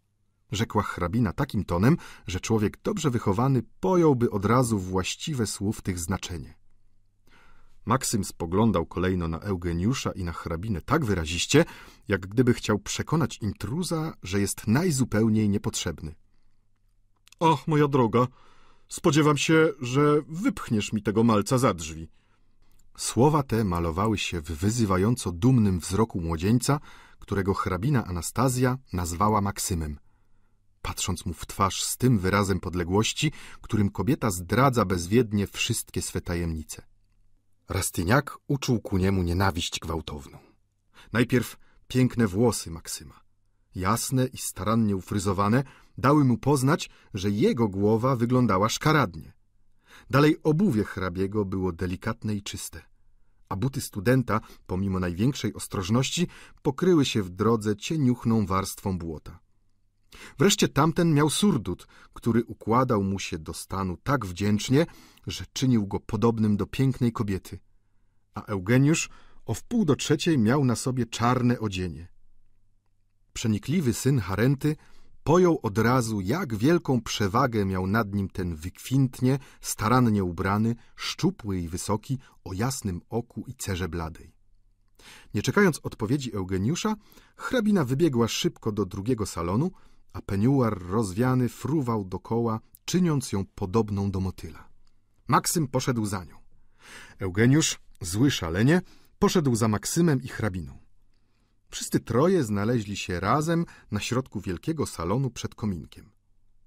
Student wiedział dobrze, że będzie krępować swą obecnością tego wstrętnego Maksyma, a pragnął bądź co bądź dokuczyć elegantowi. Choćby nawet przyszło się narazić w oczach hrabiny. Nagle przypomniał sobie, że widział tegoż Maksyma na balu u pani de Buzon i odgadł, czym on był dla pani Duresto. Ale zdobył się na odwagę młodzieńczą, która bywa źródłem głupstw wielkich lub wielkich niepowodzeń i rzekł do siebie. Oto mój rywal. Muszę go pokonać. Niebaczny. Nie wiedział, że hrabia Maksym de Trailly pozwalał się znieważać, po czym strzelał pierwszy i zabijał przeciwnika. Eugeniusz słynął jako dobry strzelec, ale na dwadzieścia dwa strzały nigdy jeszcze nie zdarzyło mu się trafić dwadzieścia razy. Młody hrabia rzucił się na fotel w rogu kominka. Wziął szczypce i zaczął rozrzucać węgle tak gwałtownie i niecierpliwie, że piękna twarz Anastazji zasępiła się od razu. Młoda kobieta rzuciła na Eugeniusza spojrzenie zimne i pytające, które mówi tak wyraźnie, czemu sobie nie idziesz? Że ludzie dobrze wychowani od razu pojmą znaczenie takiego zapytania, które można by nazwać zapytaniem pożegnalnym. Eugeniusz rzekł, jak mógł najmilej. Pani, śpieszno mi było odwiedzić panią, żeby... I urwał. Drzwi się otworzyły, a na progu pokazał się niespodziewanie jegomość, który przyjechał w Tilbury. Nie miał kapelusza i nie przywitał hrabiny, tylko spojrzawszy badawczo na Eugeniusza, wyciągnął rękę do Maksyma. Dzień dobry, rzekł do niego z braterską poufałością, która zdziwiła wielce Eugeniusza. Młodzieńcy z prowincji nie rozumieją słodyczy życia we troje. Pan Durysto, rzekła hrabina, wskazując studentowi swego męża. Eugeniusz złożył ukłon głęboki. To jest pan Durastyniak, mówiła dalej, przedstawiając Eugeniusza hrabiemu Duresto. Spokrewniony przez Marsijaków z wicehrabiną Dubuzą. Miałam przyjemność poznać pana na ostatnim balu u wicehrabiny. Spokrewniony przez Marsijaków z wicehrabiną Debuzą. Hrabina wymówiła te słowa prawie przesadnie – z pewnym rodzajem dumy, której doznaje pani domu, mogąca dowieść, że przyjmuje u siebie tylko ludzi dystyngowanych. Pod czarodziejskim wpływem słów powyższych hrabia ożywił się i porzucił swój sposób obejścia się oziębły i ceremonialny. Jakżem rad poznać pana, rzekł kłaniając się studentowi. Nawet hrabia Maksym de Trai porzucił naraz ton wyzywająco zuchwały i zmierzył studenta wzrokiem niespokojnym jedno nazwisko. Potężne jak skinienie laski czarodziejskiej, otworzyło naraz owe trzydzieści skrytek w mózgu południowca i powróciło mu cały zapas przygotowanego dowcipu. Niespodziewane światło rozjaśniło przed nim ciemną dotychczas atmosferę wyższego towarzystwa paryskiego. Gospoda Woke z ojcem Goriot była w tej chwili daleko od jego myśli. A ja sądziłem, że ród Marsjaków wygasł, rzekł hrabia Duresto do Eugeniusza. Tak jest, panie hrabio, odparł student. Mój dziad stryjeczny, kawaler Durastyniak, ożenił się z dziedziczką rodziny Marsjaków i miał jedną tylko córkę, która wyszła za marszałka du Clarambol, rodzonego z dziada pani Dubuzon. My stanowimy linię młodszą, tym biedniejszą, że dziad mój stryjeczny, wiceadmirał, postradał całe mienie służąc królowi. Rząd rewolucyjny nie chciał uwzględnić naszych wierzytelności przy likwidacji kompanii indyjskiej. Czy czasem pański dziad stryjeczny nie dowodził wążuerem przed rokiem 1789? Tak jest właśnie. W takim razie musiał znać mego dziada, który dowodził Warwickiem. Maksym wzruszył ramionami i spojrzał na panią Durysto, jak gdyby chciał powiedzieć: Zginęliśmy bo oni myślą rozprawiać o marynarce. Anastazja pojęła spojrzenie pana Dutrei i uśmiechnąwszy się z niepojętą potęgą, właściwą kobietą, zawołała. Panie Maksymie, proszę ze mną. Mam pana o coś poprosić. Wam zaś, panowie, pozwalamy płynąć w jedne drogę na Warwicku i Wążuerze. Po czym wstała i skinąwszy niby zdradziecko na Maksyma, skierowała się ku buduarowi. Zaledwie ta para morganatyczna, piękny wyraz niemiecki, który nie ma odpowiedniego we francuskim języku, zbliżyła się do drzwi, gdy hrabia przerwał rozmowę z Eugeniuszem. Anastazjo, zostań, proszę cię, moja droga, zawołał z niechęcią. Wiesz przecież, że natychmiast, natychmiast powracam, przerwała hrabina. Mam tylko poprosić o coś Maksyma. W istocie powróciła zaraz.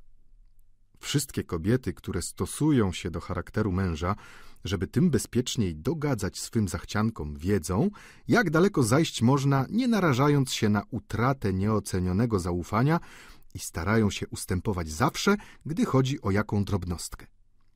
Hrabina poznała też po głosie hrabiego, że niebezpiecznie byłoby zatrzymywać się długo w buduarze. Główną przyczyną nieprzyjemności był student. To też pani ukazała nań pogardliwym ruchem Maksymowi, który zwracając się do wszystkich trojga, rzekł bardzo epigramatycznie. Wiecie co państwo? Widzę, żeście bardzo zajęci. Nie będę więc przeszkadzał. Do zobaczenia. I wyszedł. Zostań, panie Maksymie, zawołał książę. Przyjdź pan na obiad, rzekła hrabina, idąc znów za Maksymem do pierwszego salonu, gdzie zatrzymali się oboje sądząc, że pan Duresto pożegna tymczasem Eugeniusza. Rastyniak słyszał, jak raz w raz śmieli się, rozmawiali i znów oczekiwali w milczeniu. Ale student złośliwy wyczerpywał cały dowcip. Pochlebiał hrabiemu i wciągał go w dysputy, byle tylko doczekać powrotu hrabiny i zbadać, jakiego rodzaju były jej stosunki z Goriotem. Ta kobieta, zakochana w Maksymie, przewodząca nad mężem i złączona tajemnie ze starym fabrykantem makaronu, była dlań zagadką wielką. Chciał koniecznie przeniknąć tajemnicę, za pomocą której spodziewał się zapanować nad tą prawdziwą Paryżanką. Anastazjo! zawołał znów hrabia na żonę. Cóż robić, biedny mój Maksymie? Trzeba zrezygnować, rzekła hrabina do młodego człowieka. Do wieczora. Spodziewam się, Laściu, szepnął jej Maksym do ucha, że nadal nie będziesz przyjmować tego młodzieńca, którego oczy rozżarzały się jak węgle, gdy się twój peniuar cokolwiek rozchylał. On nie zaniedbałby oświadczyć się tobie, przez co mógłby cię narazić, a ja byłbym zmuszony go zabić. Czyś ty rozum stracił, Maksymie? odparła. Ci mali studenci są przeciwnie, doskonałymi konduktorami, które strzegą nas od piorunów. Już ja nie zaniedbam podburzyć Restoda przeciw niemu. Maksym roześmiał się i wyszedł wraz z hrabiną, która stanęła przy oknie, chcąc widzieć go jeszcze, gdy będzie wsiadał i klaśnie z bata, by pobudzić konia do szybkiego biegu. Odeszła od okna wtedy dopiero, gdy zobaczyła, że się za nim brama zamknęła. — Co powiesz na to, moja droga? — zawołał hrabia, gdy weszła do pokoju. Wszak majątek, w którym mieszka rodzina pana Durastyniak, leży niedaleko od Vertoil nad Szarą. Dziad stryjeczny pana Durastyniak znał osobiście mego dziada. Jestem zachwycona prawdziwie, żeśmy tak blisko znajomi, rzekła hrabina z roztargnieniem. Bliżej niż pani sądzi, odparł Eugeniusz z cicha. Jak to? zapytała żywo.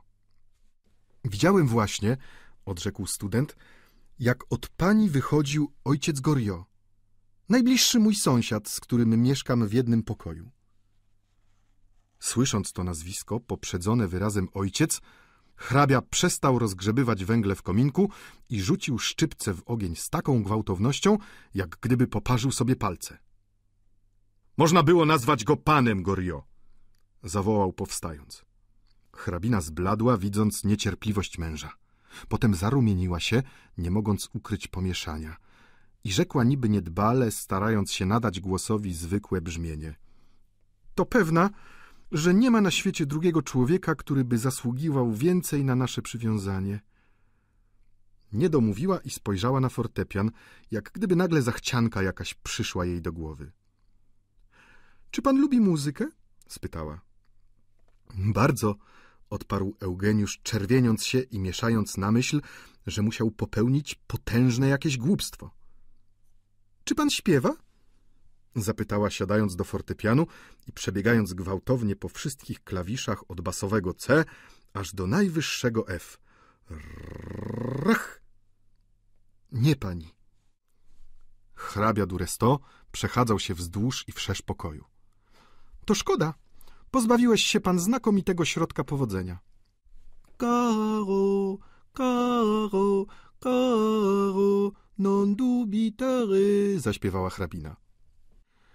Nazwisko ojca Gorio było znów niby skinieniem różdżki czarnoksięskiej, tylko skutek był wręcz przeciwny temu, jaki sprawiły słowa krewny pani Dubuzon. Eugeniusz znajdował się w położeniu człowieka, którego amator osobliwości zaprosił łaskawie do swego mieszkania, a on niebaczny potrącił szafę z figurami rzeźbionymi i zrzucił trzy czy cztery główki niedobrze umocowane. Biedak rzuciłby się chętnie w przepaść. Twarz pani Duresto przybrała wyraz chłodny i surowy, a oczy obojętne unikały wzroku nieszczęśliwego studenta. Pani życzy zapewne pomówić z panem Duresto, wyrzekł. Proszę przyjąć zapewnienie najgłębszego szacunku i pozwolić mi... Ilekroć tylko zechcesz pan przyjść, rzekła hrabina pośpiesznie zatrzymując Eugeniusza skinieniem, bądź pan pewien, że zrobisz największą przyjemność i mnie, i hrabiemu Duresto. Eugeniusz złożył głęboki ukłon przed obojgiem i wyszedł w towarzystwie pana Duresto, który nie zważając na prośby studenta przeprowadził go aż do przedpokoju. Ile razy ten pan przyjdzie? rzekł hrabia do Maurycego. Ani pani hrabina, ani ja nie będziemy w domu. Wyszedłszy za drzwi, Eugeniusz spostrzegł dopiero, że deszcz pada. Masz tobie, powiedział. Przyszedłem po to, by popełnić niezręczność, której nie pojmuję przyczyny ani doniosłości, a do tego zniszczę sobie odzienie i kapelusz. Lepiej było siedzieć w kącie i ślęczeć nad prawem, myśląc o tym tylko, żeby zostać kiedyś surowym prawnikiem.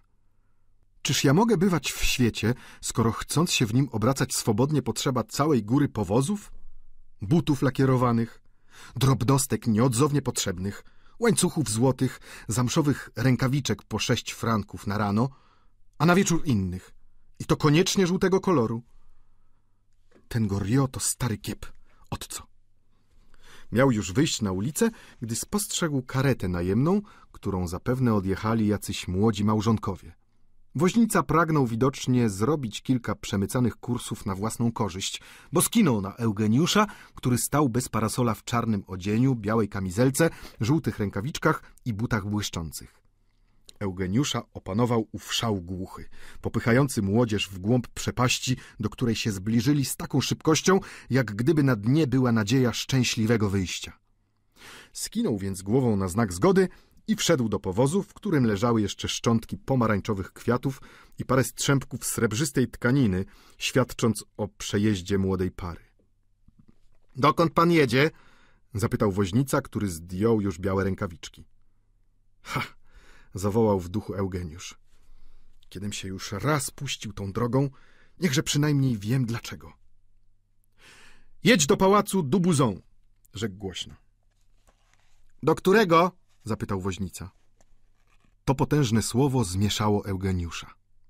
Świeżo upieczony wykwintniś nie wiedział, że były dwa pałace Buzą. Nie przeczuwał, że miał potężny zastęp krewnych, nie dbających wcale o niego. Do wicehrabiego du Buzon, ulica du Gronel, przerwał woźnica, kiwając głową. Bo to widzi pan, jest jeszcze pałac hrabiego i markiza du Buzon na ulicy Saint-Dominique, dodał, podnosząc stopień od powozu. Wiem o tym, odparł Eugeniusz sucho. Dziś wszyscy chyba kpią ze mnie, zawołał, rzucając kapelusz na przednie siedzenie. Jeszcze za to błazeństwo będę musiał po królewsku zapłacić. Ale za to odwiedzę moją mniemaną kuzynkę w sposób prawdziwie arystokratyczny. Ten stary łotr Gorio kosztuje mnie już przynajmniej dziesięć franków. Daję słowo. Opowiem mą przygodę pani de Buzon, może to ją rozśmieszy. Ona zna pewnie tajemnicę występnych stosunków między tym szczurem bez ogona, a ową piękną hrabiną. Wolę przypodobać się kuzynce, niż otrzeć się o tę kobietę niemoralną, która, o ile mi się zdaje, musi być bardzo kosztowna. Jeżeli samo imię pięknej wicehrabiny jest tak potężne, jakiż to dopiero wpływ musi wywierać jej osoba. Spróbujmy sięgnąć jak można najwyżej.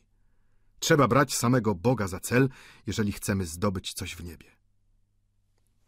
Te słowa są krótką formułą tysiąca i jednej myśli, które się snuły po głowie studenta. Odzyskał nieco spokoju i pewności siebie, widząc, że deszcz nie przestaje padać.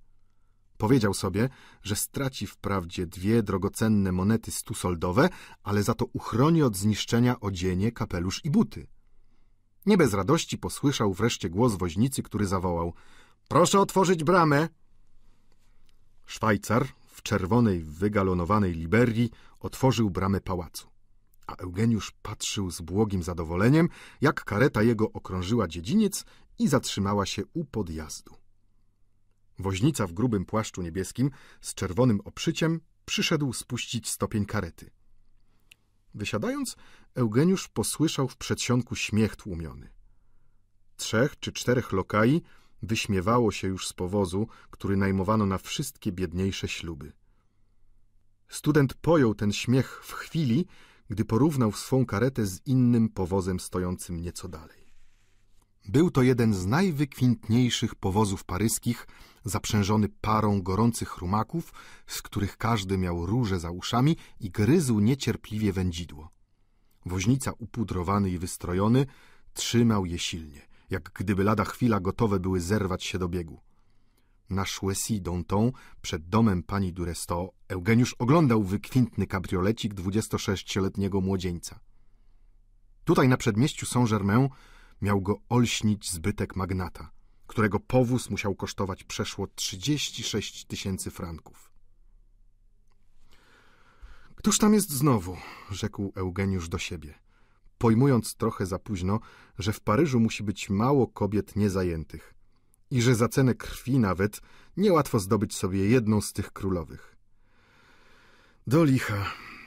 Kuzynka musi mieć także swego Maksyma. Wszedł na ganek ze śmiertelną trwogą w duszy. Drzwi oszklone otwarły się przed nim, a lokaje przyjęli go z poważną miną osła, którego czeszą z grzebłem.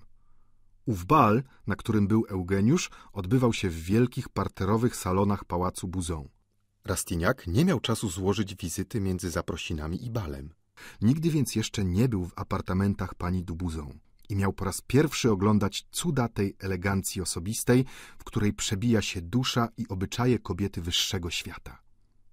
Było to studium tym ciekawsze, że salon pani Duresto mógł służyć do porównania. Wicehrabina przyjmowała od pół do piątej. Gdyby więc Eugeniusz przybył o pięć minut wcześniej, to nie mógłby oglądać kuzynki. Poprowadzono go przez schody o złoconej poręczy, pełne kwiatów i wysłane dywanem ponsowym.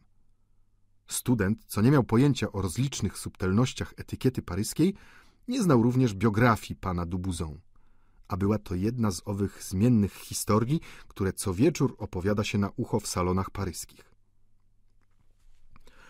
Od trzech lat wicehrabina utrzymywała ścisłe stosunki z margrabią d'Adjuda Panto, jednym z najznakomitszych i najbogatszych magnatów portugalskich. Był to jeden z tych związków niewinnych, który ma tyle uroku dla ludzi, że nie chcą dzielić się swym szczęściem z trzecią osobą. Wicehrabia Dubuzon dał dobry przykład publiczności, szanując, może wbrew swej woli, ów związek morgantyczny. W początku istnienia tej przyjaźni wszyscy znajomi zgromadzający się o drugiej po południu w salonie wicehrabiny zaczęli spotykać u niej codziennie markiza d'Adjuda Panto. Nie mogąc zamknąć drzwi swego domu, gdyż byłoby to bardzo nieprzyzwoicie, pani Dubuzon przyjmowała odwiedzających tak ozięble i wpatrywała się tak uporczywie w gzym z sufitu, że wreszcie pojęli, iż są natrętnymi gośćmi. Wkrótce rozpowiadano sobie w Paryżu, że wizyty między drugą a czwartą po południu krępują panią Dubuzon i od tej pory pozostawiono ją w najzupełniejszej samotności. Bywała wprawdzie na komedii lub w operze w towarzystwie pana Dubuzon i pana d'Adjuda Panto, ale pan Dubuzon umiał żyć na świecie. Towarzyszył więc żonie aż na miejsce, a później usuwał się, zostawiając ją z Portugalczykiem. Pan d'Adjuda miał się żenić z panną Durofi. W całym wyższym świecie jedna tylko osoba nie wiedziała nic o małżeństwie zamierzonym, a osobą tą była pani Dubuzon. Przyjaciółki wprawdzie nie zaniedbały nadmienić coś o tym, lecz ona się śmiała, sądząc, że ludzie zazdroszczą jej szczęścia i dlatego chcieliby je zatruć. Tymczasem nadchodził czas zapowiedzi. Piękny Portugalczyk przyszedł oznajmić wicehrabinie o swoim małżeństwie ale siedział długo, nie odważając się ani słówka powiedzieć w tym przedmiocie. Dlaczego? Bo chyba nie ma nic trudniejszego, jak oznajmić kobiecie podobne ultimatum. Są ludzie, co woleliby stanąć wobec przeciwnika godzącego w nich ostrzem szpady, niż znajdować się przy kobiecie, która wywodzi elegię przez dwie godziny, a potem woła o ratunek i pada jak nieżywa. Otóż i pan Adjuda Panto siedział jak na węglach rozżarzonych i chciał już wychodzić, tłumacząc sobie, że pani Dubuzon dowie się tej nowiny bez niego, że wreszcie on sam napisze do niej, gdyż na piśmie łatwiej będzie popełnić to grzeczne morderstwo. To też Markis drgnął z radości, gdy kamerdyner hrabiny przyszedł oznajmić przybycie pana Eugeniusza Durastignac. Trzeba wam wiedzieć, że kobieta kochana więcej jeszcze ma daru do tworzenia przypuszczeń podejrzliwych niż do wymyślania coraz to nowych przyjemności. Gdy ma być opuszczona, to zgaduje myśl ukrytą w najlżejszym skinieniu.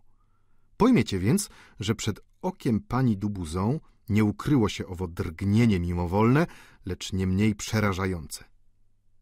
Eugeniusz nie wiedział, że w Paryżu, chcąc bywać u kogoś, trzeba wpierw poprosić przyjaciół domu, by opowiedzieli historię męża, żony lub dzieci. W przeciwnym bowiem razie można popełnić jedno z tych głupstw, do których zastosowano w Polsce malownicze przysłowie zaprzęgajcie woły do woza, po to zapewne, by czym prędzej wycofać się z nieprzyjemnego położenia.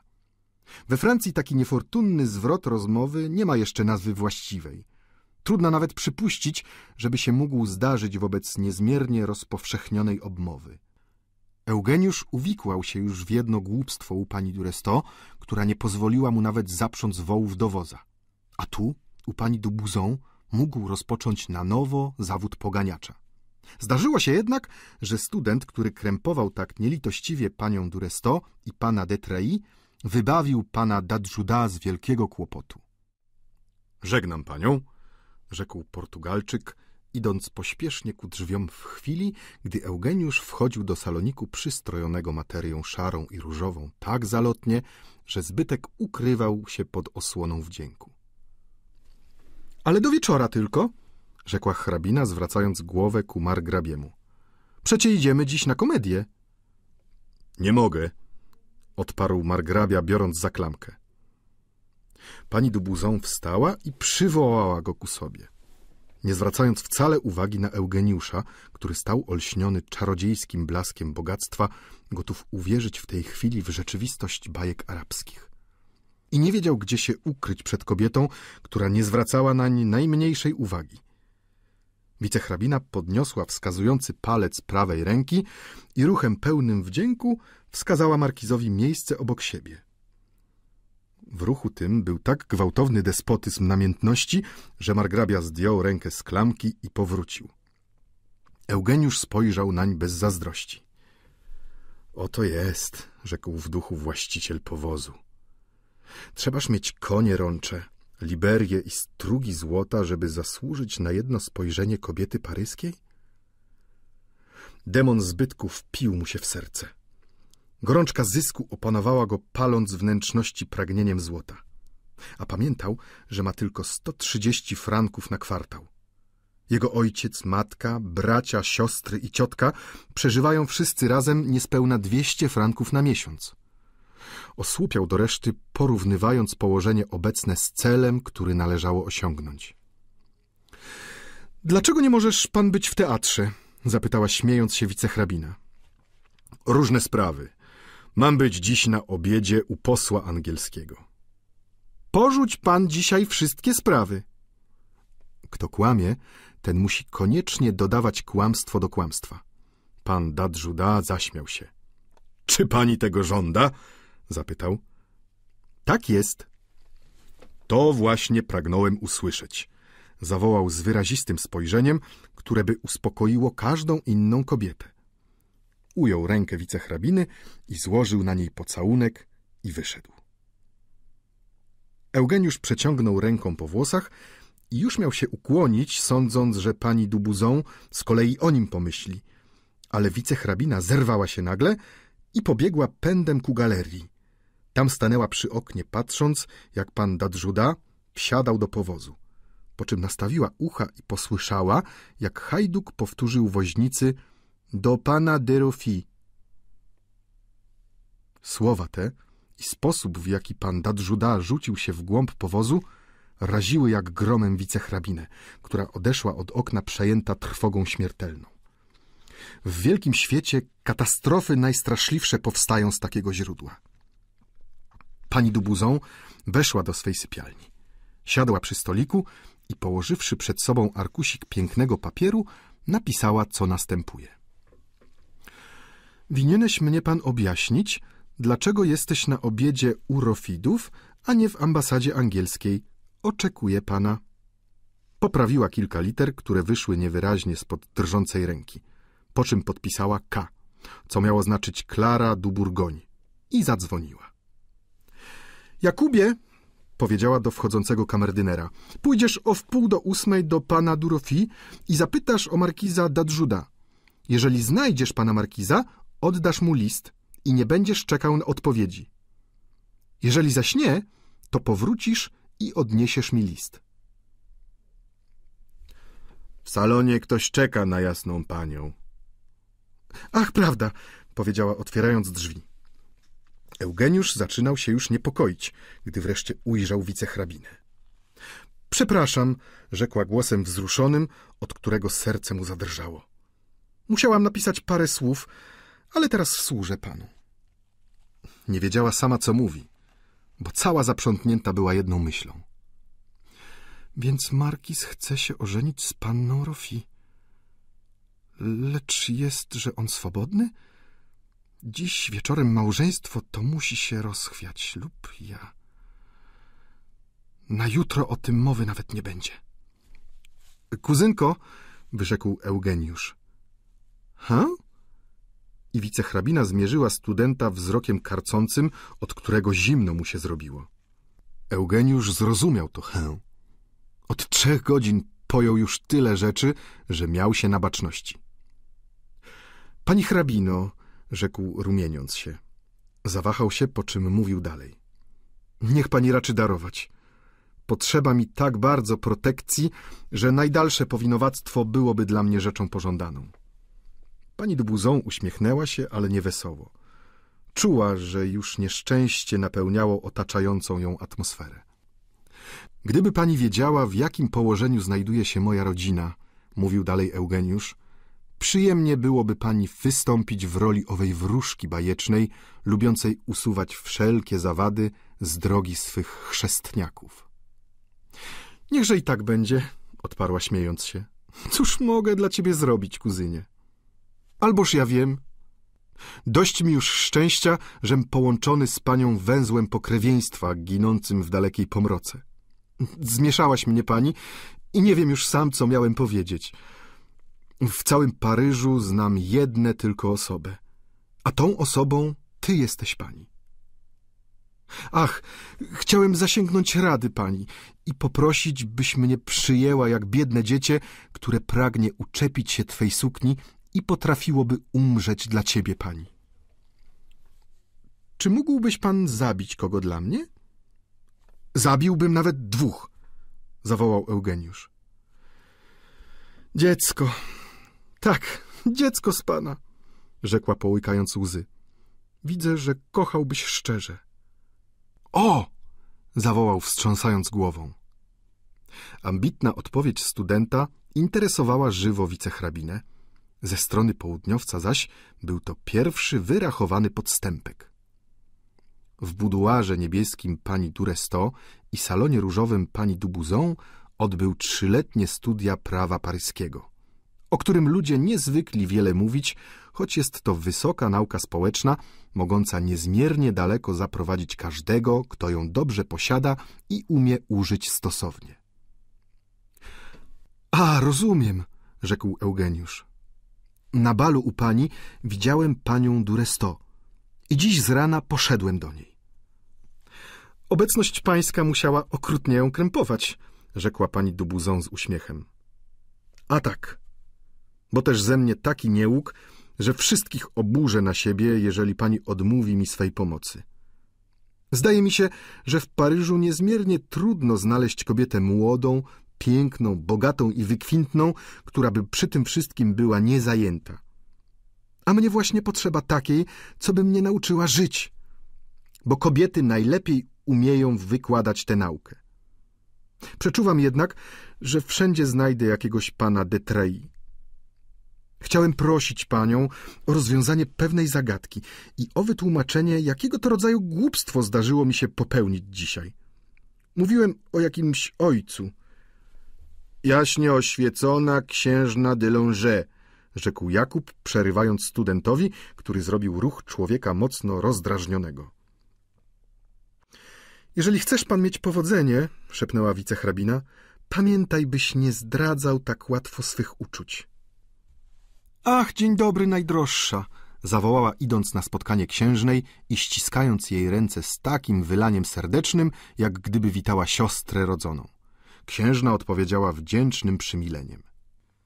To dwie przyjaciółki serdeczne, rzekł Rastiniak do siebie. Będę więc miał odtąd dwie protektorki. Obie muszą mieć upodobania jednakie, a więc i ta zajmie się mym losem. Jakiejże to szczęśliwej myśli zawdzięczam twą obecność, najdroższa Antonino? spytała pani Dubuzon. Widziałem właśnie, jak pan Adjuda Panto wchodził do pana Durofi i sądziłam, żeś ty sama jedna. Pani Dubuzon nie zagryzła ust ani się zarumieniła. Oczy jej spoglądały tak jak i przedtem, a czoło zdawało się wyjaśniać, gdy księżna wymawiała złowrogie wyrazy. Gdybym wiedziała, żeś zajęta, dodała księżna, zwracając się ku Eugeniuszowi. To pan Durastiniak, jeden z mych kuzynów, rzekła wicehrabina. Czy nie masz wiadomości o generale Dumont-Trivaux? Sorizi mówiła mi wczoraj, że go wcale nie widać. Czy nie był dziś u ciebie? Powiadano, że pan de Montriveau opuścił księżnę, która była w nim szalenie rozkochana. To też zapytanie przyjaciółki ukłuło ją w serce i odparła zarumieniona. Wczoraj był w pałacu elizejskim. Z obowiązku służbowego, dorzuciła pani Dubuzon. Musisz już wiedzieć, Klaro, odparła księżna ze wzrokiem błyszczącym złośliwością, że jutro wyjdą zapowiedzi pana Dadżuda Panto i panny Rofi. Był to cios zbyt gwałtowny. Wicehrabina zbladła i zaśmiała się. To plotka, którą się głupcy bawią, odparła. Czyżby pan Dadżuda rzucił Rofidom jedno z najpiękniejszych imion Portugalii? Przecież Rofidowie to taka świeża szlachta. Ale Berta będzie miała, jak mówią, dwieście tysięcy liwrów dochodu. Pan Dadżuda zbyt jest bogaty, aby się miał bawić w podobne rachuby. A, ależ moja droga, panna Derofi jest zachwycająca. Wreszcie markiz zaproszony dziś do nich na obiad. Warunki już są ułożone. Dziwi mnie niezmiernie, że ty wiesz o tym tak mało. Jakież to głupstwo popełniłeś pan dzisiaj, panie Durastiniak? Zapytała pani Dubuzon. To biedne dziecko tak niedawno znalazło się na świecie, że nic a nic nie rozumie, co my mówimy, najdroższa Antonino. Odłóżmy ten przedmiot do jutra. Zrób to dla niego. Jutro, widzisz, cała ta sprawa będzie już miała charakter urzędowy i ty będziesz mogła głosić na pewno. Księżna zwróciła na Eugeniusza wzrok wyzywający, co to ogarnia człowieka od nóg do głowy. Spłaszcza go i zniża do wartości zera. Bezwiednie wbiłem sztylet w serce pani Duresto. Uczyniłem to bezwiednie i w tym leży błąd mój cały, rzekł student, który miał dosyć sprytu, by odkryć krwawe przycinki obydwóch kobiet, ukryte pod zasłoną czułych słówek. Można się nawet obawiać człowieka, który z całą świadomością ból nam zadaje. Ale ten, co uderza, nie wiedząc nawet, czy rani głęboko, uchodzi za głupca niezręcznego, który nie umie korzystać ze sposobności i zasługuje na pogardę. Pani Dubuzon rzuciła na studenta spojrzenie powłóczyste, którym dusze wzniosłe umieją wyrażać wdzięczność połączoną z godnością. W spojrzeniu tym był balsam na serce studenta, zranione wzrokiem taksatora, jakim go księżna zmierzyła. Proszę sobie wyobrazić, ciągnął dalej Eugeniusz, że udało mi się właśnie zdobyć przychylność hrabiego Duresto, gdyż, rzekł zwracając się do księżnej, a ton jego mowy był pokorny i złośliwy zarazem, y, trzeba pani wiedzieć, że ze mnie tylko mizerny student, opuszczony, biedny bardzo. Nie mów pan tego, panie Durastiniak. My, kobiety, nie przyjmujemy tego, czego nikt nie chce. Cóż robić? zawołał Eugeniusz. Liczę dopiero lat dwadzieścia dwa i muszę znosić przykrości właściwe memu wiekowi. Przy tym spowiadam się przed paniami, a przyjemnie uklęknąć przy tak pięknym konfesjonale. Zgrzeszywszy przy jednym, pośpieszamy do drugiego, by tam wyznać swą winę. Księżna przybrała oziębłą powagę, słuchając tej mowy niereligijnej. Chciała okazać, że znajduje ją niewłaściwą i rzekła do wicehrabiny. Pan Drastyniak przybywa pewnie? Pani Dubuzon zaczęła się śmiać szczerze i z kuzyna swego, i z księżnej. Przybywa, moja droga, starać się o nauczycielkę, co by się podjęła nauczyć go dobrego tonu. Pani, rzekł Eugeniusz do księżnej, cóż dziwnego, że chcemy zgłębić to, co was zachwyca. Jednak, rzekł w duchu, zdaje mi się, że niemądrze jakoś do nich przemawiam. Ależ pani Duresto jest, zdaje mi się, uczennicą pana de Trei, rzekła księżna. Jam nic o tym nie wiedział, odparł student. I dlatego nierozważnie znalazłem się między nimi. Potrafiłem jednak porozumieć się z mężem i wiedziałem, że żona będzie mnie znosić przez czas pewien. Ale przyszło mi do głowy przyznać się, że znam pewnego jegomościa, który w moich oczach wyszedł z ich domu tajemnymi schodami, ucałowawszy poprzednio hrabinę w głębi ciemnego korytarza. Cóż to za jeden? zapytały obie kobiety. Jest to pewien starzec z przedmieścia Saint-Marceau, wydatkujący, tak jak ja, nieborak, tylko dwa luidory na miesiąc. Biedak ten, z którego wszyscy się śmieją, nazywa się ojciec Gorio. Ach, jakież z pana dziecko, zawołała pani Dubuzą. Wszakże Gorio to panieńskie nazwisko hrabiny Duresto. Ona jest córką fabrykanta makaronu, dorzuciła księżna. Może pamiętasz, Klaro, wszak osóbka ta prezentowała się u dworu jednego dnia z jakąś córką pasztetnika. Król zaczął się śmiać i powiedział po łacinie jakiś dowcip o mące. Powiedział, że to są ludzie... Ach, jakże on ich nazwał? Ludzie... Onjus de farine, podchwycił Eugeniusz. Tak, tak, rzekła księżna. Ach, więc to jej ojciec, zawołał student przerażony. Ależ tak. Nieborak ma dwie córki, które kocha nad życie, jakkolwiek obie zaparły się go prawie zupełnie. Wszak druga wyszła, zdaje się, za mąż za jakiegoś bankiera o niemieckim nazwisku. Za jakiegoś barona de Nucingen? rzekła wicehrabina, spoglądając na panią Doulonge. Zdaje się, że, że się ona nazywa Delfina. Czy nie będzie to tylko ta blondynka, która ma boczną lożę w operze i bywa w teatrze komicznym, gdzie zawsze śmieje się bardzo głośno, chcąc zwrócić na siebie uwagę? Księżna uśmiechnęła się. Prawdziwie podziwiam cię, najdroższa. Z jakiej przyczyny zajmujesz się tak bardzo tymi ludźmi? Tylko szalenie rozkochany Duresto odważył się opylić mąką panny Anastazji i nic z tym nie zyskał. Anastazja wpadła w ręce pana de Trai, który ją zgubi. Obie zaparły się ojca, powtarzał Eugeniusz. A tak, ojca. Ojca własnego, odrzekła wicehrabina. Dobrego ojca, który, jak mówią, wyzuł się ze wszystkiego, zachowując dla siebie tylko od ośmiu do dziesięciu tysięcy liwrów dochodu, a każdej z nich dał pięćset czy sześćset tysięcy franków, byle tylko wydać je dobrze za mąż i zapewnić im przyszłość szczęśliwą. I spodziewał się, że obie córki pozostaną dla niego córkami. Sądził, że wydawszy je za mąż, podwoi swe własne życie, że znajdzie zawsze dwa domy, gdzie uwielbiać i pieścić go będą. Po upływie dwóch lat zięciowie wygnali go ze swego towarzystwa jak ostatniego nędzarza.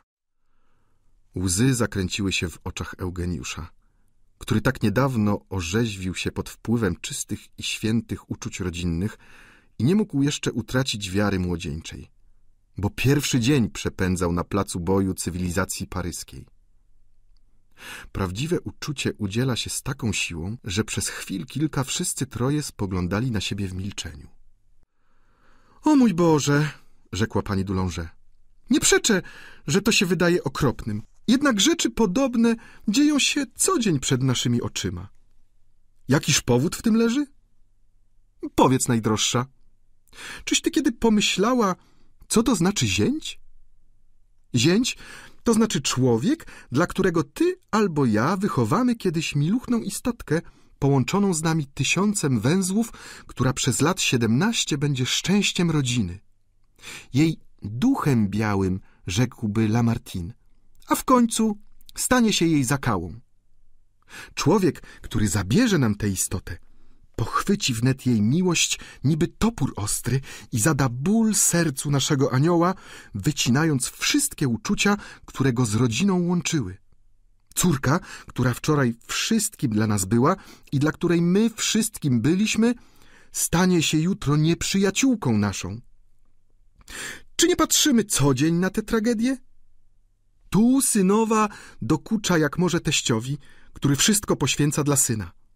Tam zięć wygania świekrę za drzwi. I pytają, co dziś jest tragicznego w naszym społeczeństwie. Ależ sam dramat zięcia jest przerażający. Że już nie wspomnę o małżeństwach naszych, które stały się czymś bardzo niezabawnym. Pojmuję doskonale, co się przytrafiło owemu staremu fabrykantowi makaronu.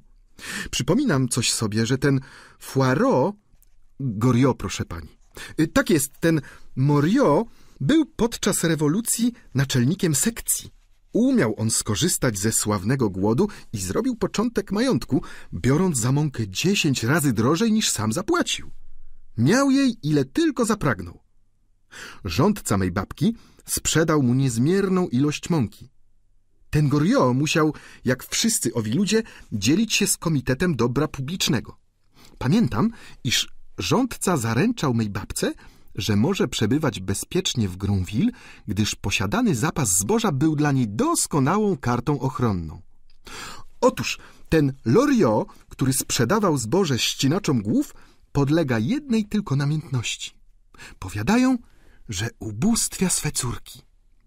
Dla starszej usłał gniazdo wysoko w domu Duresto, a drugą połączył z baronem du Nusijon, bogatym bankierem, który uchodzi za royalistę. Pojmiecie państwo, że za czasów cesarstwa obaj zięciowie znosili u siebie starego przedstawiciela 93 roku. Uchodziło to jakoś przy Bonapartem.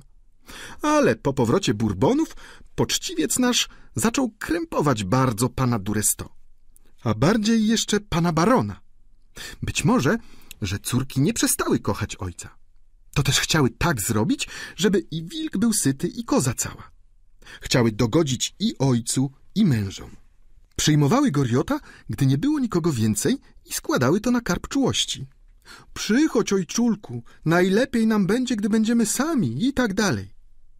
Co do mnie, moja droga, zdaje mi się, że prawdziwe uczucie umie widzieć i pojmować.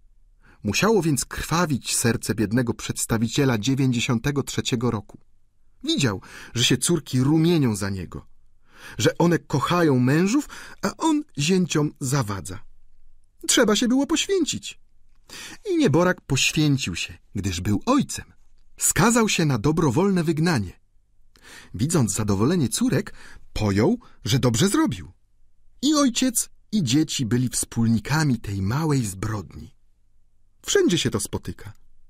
Czy taki ojciec Doriot nie wyglądałby jak plama dziekciowa w salonach swych córek? Nudziłby się i czułby, że nie jest na właściwym miejscu. To, co spotkało owego ojca, może też spotkać każdą piękną kobietę ze strony najukochańszego człowieka. Niech tylko znudzi go swą miłością, a porzuci ją natychmiast i gotów będzie popełnić czyn nikczemny, byle tylko uciec od niej. Wszystkie uczucia podlegają temu prawu. Serce nasze to skarbnica. Wypróżnijmy je od razu i otośmy zrujnowani. Nie przebaczamy uczuciu, co się od razu wylało. Jak nie przebaczamy również człowiekowi, który ani grosza nie posiada. Ojciec ów nie miał już nic dodania. Przez lat dwadzieścia nie żałował uczucia, miłości, a z majątku wyzuł się od razu. Cytryna była dostatecznie wyciśnięta i córki wyrzuciły szczątki na ulicę. Świat jest nikczemny, rzekła wicehrabina. Skubała szal ze spuszczonymi oczyma, gdyż była do żywego dotknięta słowami, które pani Dulonże do niej zastosowała, opowiadając historię Goriot. Nikczemny? Nie, odparła księżna. Idzie tylko zwykłym trybem. Mówię ci o nim w ten sposób, bo chcę cię przekonać, że znam go doskonale. Zresztą myślę tak jak ty, rzekła ściskając ręce wicehrabiny. Świat kałużą. Starajmy się więc trzymać na miejscu najbardziej wyniosłym. Wstała i złożyła pocałunek na czole pani Dubuzon. Dziwnie piękną jesteś w tej chwili, najdroższa, wyrzekła. Masz niewypowiedzianie piękne rumieńce. Po czym spojrzała na kuzyna wicehrabiny, skinęła z lekka głową i wyszła. Ojciec Goriot jest wzniosły, zawołał Eugeniusz, przypominając sobie w tej chwili, starzec gniótł wśród nocy półmisek srebrny. Pani Dubuzon wpadła w zadumę i nie słyszała słów jego. Chwil kilka upłynęło w milczeniu. Biedny student wpadł w dziwne jakieś odrętwienie i nie śmiał ani odejść, ani pozostać, ani przemówić. Świat jest nikczemny i zły, rzekła wreszcie wicehrabina. Niech tylko nieszczęście, jakie spadnie na nas, oto wnet znajdzie się przyjaciel, który pośpiesza oznajmić o tym i rozrywa serce ostrzem sztyletu, każąc tymczasem podziwiać rękojeść. I tu już jest sarkazm, pośmiewisko. Ach, ja bronić się będę. Podniosła głowę, jak prawdziwie wielka pani, a dumne jej oczy rzucały błyskawice. Ach, zawołała, spostrzegłszy Eugeniusza. Pan tu jesteś. Jeszcze, rzekł student żałośnie. A więc, panie Durastniak, postępuj pan ze światem tak, jak na to zasługuje. Chcesz pan dorobić się przyszłości? Ja ci dopomogę. Przekonasz się pan, jak głęboko sięga zepsucie kobiety i zmierzysz cały ogrom nędznej próżności ludzkiej. Jam tak pilnie czytała w tej księdze świata, a jednak znalazły się stronice, których nie znałam jeszcze. Teraz wiem już wszystko. Im chłodniej będziesz pan rachował, tym dalej zajdziesz. Kto bije bez litości, tego wszyscy się boją. Niech mężczyźni i kobiety będą w oczach pana końmi pocztowymi, które mogą sobie padać na każdej stacji. Bylebyś pan doścignął szczytu swych pragnień. Pojmiesz pan sam, że nie będziesz tu nic znaczył, jeżeli nie zasłużysz sobie na współczucie kobiety młodej, bogatej i wykwintnej. Jeżeli zaś obudzi się w panu uczucie prawdziwe, to ukrywaj je jak skarb jaki, żeby nikt się go nie domyślił. Inaczej byłbyś zgubiony. Nie mógłbyś być katem i zostałbyś sam ofiarą. Jeżeli pokochasz pan kiedy, strzeż dobrze swej tajemnicy. Nie zdradzaj jej, zanim nie będziesz dobrze wiedział, przed kim otworzyć masz serce. Ucz się pan nie ufać światu, bo tylko takim sposobem zabezpieczysz ową nieistniejącą jeszcze miłość. Posłuchaj mię, Miguel. Nie uważała, że tak naiwnie zamienia imię. Jest coś okropniejszego jeszcze niż opuszczenie ojca przez obie córki, które życzą mu śmierci. To współzawodnictwo dwóch sióstr. Resto pochodzi z dobrej rodziny, więc i żona jego została przyjęta do towarzystwa i przedstawiała się u dworu. Ale jej siostra, bogata i piękna pani Delfina Dunusijon, żona kapitalisty, umiera z żalu. Zazdrość ją pożera i nieprzebytą zaporą oddziela ją od siostry. Anastazja przestaje być siostrą dla niej i obie kobiety wyrzekają się jedna drugiej tak samo, jak wyrzekły się ojca. O, pani Denusijon wypiłaby wszystko błoto, jakie znajduje się od ulicy Saint-Lazare aż do ulicy Gronel, byle za tę cenę wejść do mego salonu. Zdawało się jej, że Dumarset doprowadzi ją do celu. Stała się więc jego niewolnicą i nudzi go i dręczy nieustannie. Ale Dumarset nie dba o nią. Otóż pan możesz ją wprowadzić do mego domu, a ręczę, że będzie cię ubóstwiała, że staniesz się odtąd jej Benjaminem. Pokochaj ją pan, jeżeli będziesz mógł. Jeżeli zaś nie, to posługuj się przynajmniej jej osobą. Może być u mnie raz lub dwa razy na wielkim zebraniu wieczornym, gdy będzie tłum gości, ale z rana nigdy jej nie przyjmę. Przywitam ją, to jej wystarczy. Pan zamknąłeś sobie dom hrabiny, wymówiwszy imię ojca Gorio. Tak, mój drogi, nigdy już nie zastaniesz pan hrabiny Duresto, choćbyś dwadzieścia razy chodził do niej. Raz na zawsze zakazano tam wpuszczać pana. Niechże teraz ojciec Gorio wprowadzi pana do Delfiny du Nusijon. Piękna baronowa będzie dla pana dobrym szyldem. Dosyć, byś został wybranym przez nią, to i inne będą przepadać za panem. I rywalki, i przyjaciółki najserdeczniejsze zechcą odbić jej zdobycz. Niektóre kobiety przywiązują się do człowieka wybranego już przez inną, tak jak biedne mieszczki ubierają się w nasze kapelusze w mniemaniu, że z nimi przyswoją sobie nasze maniery. Zdobędziesz pan sobie powodzenie, a w Paryżu powodzenie wszystko znaczy. To klucz potęgi. Jeżeli kobiety osądzą, żeś pan wykształcony i utalentowany, to i mężczyźni podzielą ich zdanie. A od pana zależeć będzie, żeby się to przekonanie utrzymało. Potem możesz pan żądać wszystkiego. Każda droga dla niego otwarta. I wtedy to poznasz pan, że świat jest gromadą głupców i oszustów. Ale sam nie wchodź ani pomiędzy tych, ani pomiędzy owych. Ja daję panu swoje imię jako nić Ariadny, która poprowadzi cię przez ten labirynt. Nie narażaj pan mego imienia, rzekła wyciągając szyję i rzucając na studenta wejrzenie królowej. I oddaj mi je nieskalane. Teraz idź pan i zostaw mnie samą. My, kobiety, musimy też czasem staczać bitwy. Może będziesz pani potrzebowała człowieka dobrej woli, który bez wahania podłożyłby ląd do miny prochowej, przerwał Eugeniusz. A gdyby? spytała wicehrabina. Eugeniusz uderzył się w pierś. Odpowiedział uśmiechem na uśmiech kuzynki i wyszedł.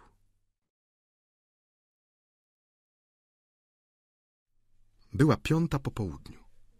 Eugeniusz był głodny i niepokoił się myślą, że może spóźnić się na obiad. Dzięki tej obawie ocenił, co to za szczęście przebywać szybko w powozie ulice Paryża. Pod wpływem tego czysto machinalnego zadowolenia oddał się cały prądowi swych myśli. Młodzieniec w jego wieku, dotknięty pogardą, unosi się, szaleje, wygraża pięścią całemu społeczeństwu i chciałby się zemścić i wątpi o sobie. Rastyniaka przytłaczał w tej chwili ciężar słów okrutnych. Zamknąłeś przed sobą dom hrabiny. Pójdę, zawołał. A jeżeli pani Dubuzon prawdę powiedziała, jeżeli tam zakazano mnie wpuszczać, to ja, pani Duresto, spotka mnie na wszystkich znanych jej salonach. Wyuczę się robić bronią, strzelać z pistoletu i zabiję jej Maksyma. A pieniądze? wołało sumienie. Skąd weźmiesz pieniędzy? I oto przepych roztoczony w domu hrabiny błysnął mu nagle przed oczyma. Panna Gorio z domu musiała się kochać w zbytku, w pozłocie, w kosztownych przedmiotach rzucających się w oczy niesmacznym przepychu Dorobkiewicza, w rozrzutności otaczającej kobietę lekkich obyczajów. Zjawisko to było olśniewające, a jednak rozprysło się bez śladu przed wspaniałym pałacem pani Dubuzon. Wyobraźnia Eugeniusza, uniesiona w wysokie sfery towarzystwa paryskiego, rzuciła mu w serce posiew złych myśli. Rozszerzyła głowę i sumienie. I spojrzał na świat trzeźwym okiem. Zobaczył, że prawo i moralność bezsilne są wobec bogaczy, że bogactwo stanowi ultima ratio mundi. Bo trema słuszność. Powiedział, bogactwo jest cnotą. Znalazłszy się na ulicy Nów Saint-Junvif, pobiegł szybko do swego mieszkania i wyniósł woźnicy dziesięć franków. W obmierzłej sali jadalnej znalazł już wszystkich osiemnastu stołowników, zajadających jak zwierzęta przy drabinie stajennej. Obraz tej nędzy i widok brudnej sali wydały mu się teraz czymś niewypowiedzianie wstrętnym. Przeskok z jednej krańcowości do drugiej był tak gwałtowny, że w sercu studenta uczucie ambicji zaczęło się rozrastać nad miarę. Z jednej strony jaśniały świeże i wdzięczne obrazy towarzystwa najwykwintniejszego, oprawne w cuda sztuki i zbytku, o postaciach młodych i żywych, o głowach tchnących namiętnością i poezją – Z drugiej były płótna złowrogie i poszarpane, wystawiające twarze, na których pozostał już tylko nagi mechanizm namiętności. Rastignac przywiódł sobie na myśl ponętne obietnice pani Dubuzą i wskazówki, których mu udzieliła uniesiona gniewem kobiety opuszczonej. Teraz, wobec nędzy, lepiej zrozumiał jej słowa. Postanowił sobie otworzyć dwie równoległe drogi do szczęścia wiodące. Oprzeć się zarazem na nauce i miłości. Stać się doktorem uczonym i modnym salonowcem. O, jakże był jeszcze dziecinny. Nie wiedział, że to są właśnie dwie linie, które nigdy zejść się nie mogą. Cóżeś to tak posępny, panie markizie? zapytał Wotrę, rzucając na niego owo spojrzenie, którym zdawał się przenikać najskrytsze tajemnice serca ludzkiego. Nie jestem usposobiony znosić żartów tych, którzy nazywają mnie panem markizem, odparł Eugeniusz. Chcąc tu być rzeczywistym markizem, trzeba mieć sto tysięcy liwrów dochodu. A my, mieszkańcy gospody Woke, nie liczymy się wcale do ulubieńców fortuny. Wotrę rzucił na Rastyniaka spojrzenie ojcowskie i lekceważące zarazem, które zdawało się mówić. Bębnie jakiś. Nie wystarczyłbyś mi nawet na jeden kąsek. Po czym dodał głośno. Jesteś pan w złym humorze dlatego, że może ci się nie powiodło z piękną hrabiną Duresto. Ona zamknęła przede mną drzwi za to, żem powiedział, iż ojciec jej zasiada z nami do jednego stołu, zawołał Rastignac. Wszyscy goście spojrzeli po sobie. Ojciec Goriot spuścił oczy i odwrócił głowę, ocierając łzy. — Zaproszyłeś mi pan oko tabaką — rzekł do sąsiada. Kto spróbuje dokuczać ojcu Goriot, ten od dzisiejszego dnia będzie miał ze mną do czynienia — wyrzekł Eugeniusz, zwracając się do sąsiada, starego fabrykanta makaronu. Ojciec Goriot wart więcej od nas wszystkich. Nie mówię tego do pań, dodał zwracając się ku pannie Tailfe. Zdanie to było stanowcze. Eugeniusz wyrzekł je takim głosem, że wszyscy obecni zamilkli. Wotrę tylko rzekł drwiąco. Kto bierze ojca Gorio na swój rachunek i chce zostać jego redaktorem odpowiedzialnym, ten powinien umieć dobrze obchodzić się ze szpadą i pistoletem. Ja też postaram się o to, rzekł Eugeniusz. Czyś pan rozpoczął dziś kampanię? Być może, odparł Eugeniusz. Lecz nie jestem obowiązany zdawać nikomu sprawy z mych czynności. Bo sam nie staram się zbadać, co inni robią po nocy. Wotrę spojrzał na niego z ukosa. Mój mały, jeżeli chcesz ocenić marionetki należycie, to wejdź zupełnie do budy. A nie poprzestawaj na zaglądaniu przez dziury pokrycia. Dość tej gawędy, dodał, widząc, że się Eugeniusz burzyć zaczyna. Pogadamy jeszcze z sobą, jeżeli tylko pan zechcesz. Obiad przechodził w milczeniu ponurym. Usłyszawszy słowa studenta, ojciec Goriot pogrążył się cały w boleści. I nie pojmował nawet tego, że usposobienie ogólne zmieniło się na jego korzyść, gdyż młodzieniec zdolny odeprzeć prześladowanie wystąpił w jego obronie. Czyżby pan Goriot był rzeczywiście ojcem jakiejś hrabiny? spytała z cicha pani Woke. I hrabiny, i baronowej, odrzekł Rastignac. To nic dziwnego, rzekł Biąszą do Rastignaca. Ja macałem już jego głowę i znalazłem na niej jedną tylko wyniosłość. Guz ojcostwa. Z niego będzie ojciec wieku isty. Eugeniusz nie zaśmiał się z żartu Biąszona. Był dzisiaj w zbyt poważnym usposobieniu. Chciał korzystać z rad pani Dubuzą, a nie wiedział, gdzie i jak miał dostać pieniędzy. Zaniepokoił się, patrząc na stepy i lasy tego świata, co rozścielały się przed jego okiem. Takie puste, a jednak takie pełne zarazem. Po obiedzie wszyscy się rozeszli, zostawiając go w sali jadalnej. — Więc pan widziałeś mą córkę? — spytał Goriot głosem wzruszonym. Eugeniusz obudził się z zadumy i pochwycił rękę poczciwca, patrząc nań z nieokreślonym jakimś rozczuleniem. Godny i uczciwy człowiek z pana, zawołał. Pomówimy później o pańskich córkach. Wstał, nie chcąc słuchać ojca Gorio, i odszedł do swego pokoju, gdzie napisał do matki list następującej treści. Matko moja kochana, czy nie posiadasz jeszcze trzeciej piersi, żeby mnie zasilić? Jestem w takim położeniu, że mogę prędko dorobić się funduszu. Potrzeba mi tysiąc dwieście franków i muszę je mieć za jaką bądź cenę. Nie mów ojcu o mojej prośbie. On by się sprzeciwiał. A mnie pozostawałoby chyba zastrzelić się z rozpaczy, gdybym nie dostał tych pieniędzy. Bliższe szczegóły opowiem przy widzeniu się, bo trzeba by zapisać całe tomy, chcąc ci wyjaśnić obecne moje położenie. Nie przegrałem nic, dobra moja matko. Nic nie winienem. Ale musisz mi dostać tę sumę, jeżeli dbasz o zachowanie życia, któreś mi dała. Powiem ci tylko, że bywam u wicehrabiny Dubuzon, która przyrzekła mi swą opiekę. Muszę bywać w świecie, a nie mam za co kupić czystych rękawiczek. Potrafię żyć o chlebie i wodzie. Będę pościł w potrzebie, ale nie mogę obejść się bez narzędzi, którymi uprawia się tutejsza winnica. Chwila obecna rozstrzyga, czy mam pójść drogą obraną, czy zostać w błocie. Nie obce mi są nadzieje, któreście we mnie położyli i pragnę je ziścić jak najprędzej. Dobra, mateczko, sprzedaj jeden ze swych dawnych klejnotów.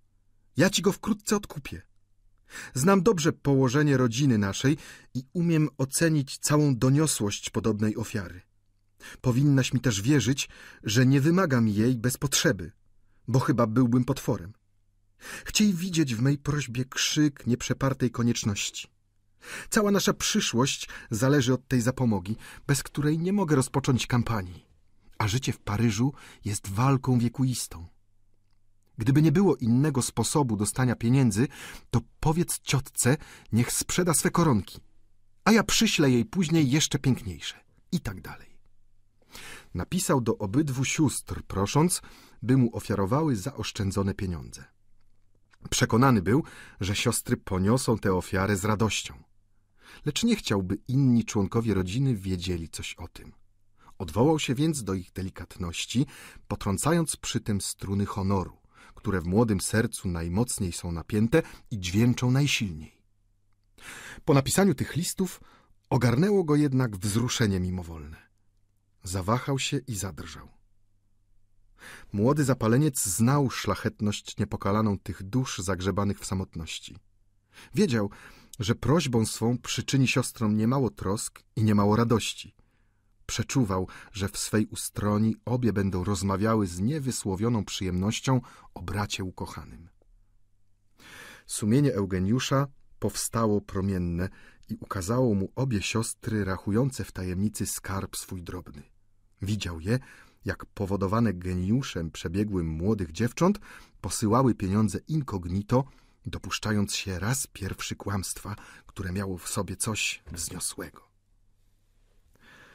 Serce siostry to diament najczystszy, to otchłań czułości, rzekł Eugeniusz i zawstydził się tego, co napisał. Jakaż to potęga leży w ich modłach. Jak czystym lotem dusze ich wznoszą się ku niebu. Czyliż siostry takie nie poświęciłyby się same z rozkoszą? Ach, jakaż boleść napełniłaby serce matki, gdyby nie mogła wysłać żądanej sumy. I takie to uczucia czyste, takie ofiary straszliwe miały mu służyć za stopnie, po których zamierzał dojść do delfiny du Nucingen. Kilka łez wymknęło mu się spod powiek, niby ostatnia szczypta kadzidła rzucona na święty ołtarz rodzinny. Zaczął chodzić po pokoju, miotany wzruszeniem rozpaczliwym. Ojciec Gorio zobaczył go w tym stanie przez drzwi na wpół otwarte. — Co to panu? — zapytał wchodząc do niego.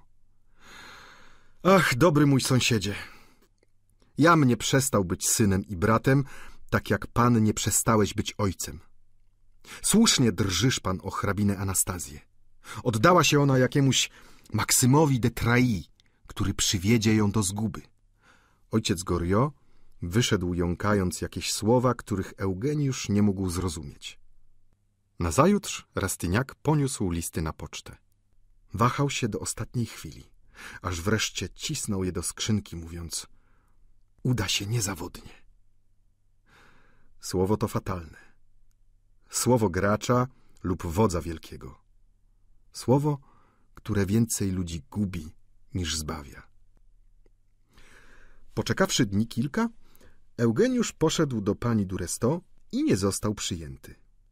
Trzy razy powracał i trzy razy znajdował drzwi zamknięte, chociaż wybierał godziny, w których nie mógł się spotkać z hrabią Dutrei. A więc słuszność była po stronie wicehrabiny. Student nasz przestał studiować prawo. Chodził na kursy po to tylko, by odpowiedzieć na apel. Lecz pokazawszy się na chwilę, znikał natychmiast. Trzymał się zasady przyjętej przez większość studentów i odkładał naukę do chwili, gdy się egzaminy zbliżać będą. Postanowił zbierać notatki z drugiego i trzeciego kursu, a potem w ostatniej chwili wyuczyć się prawa gruntownie. Tymczasem przez piętnaście swobodnych miesięcy mógł pływać po oceanie Paryża, bawić się w miłość lub zajmować się połowem bogactwa.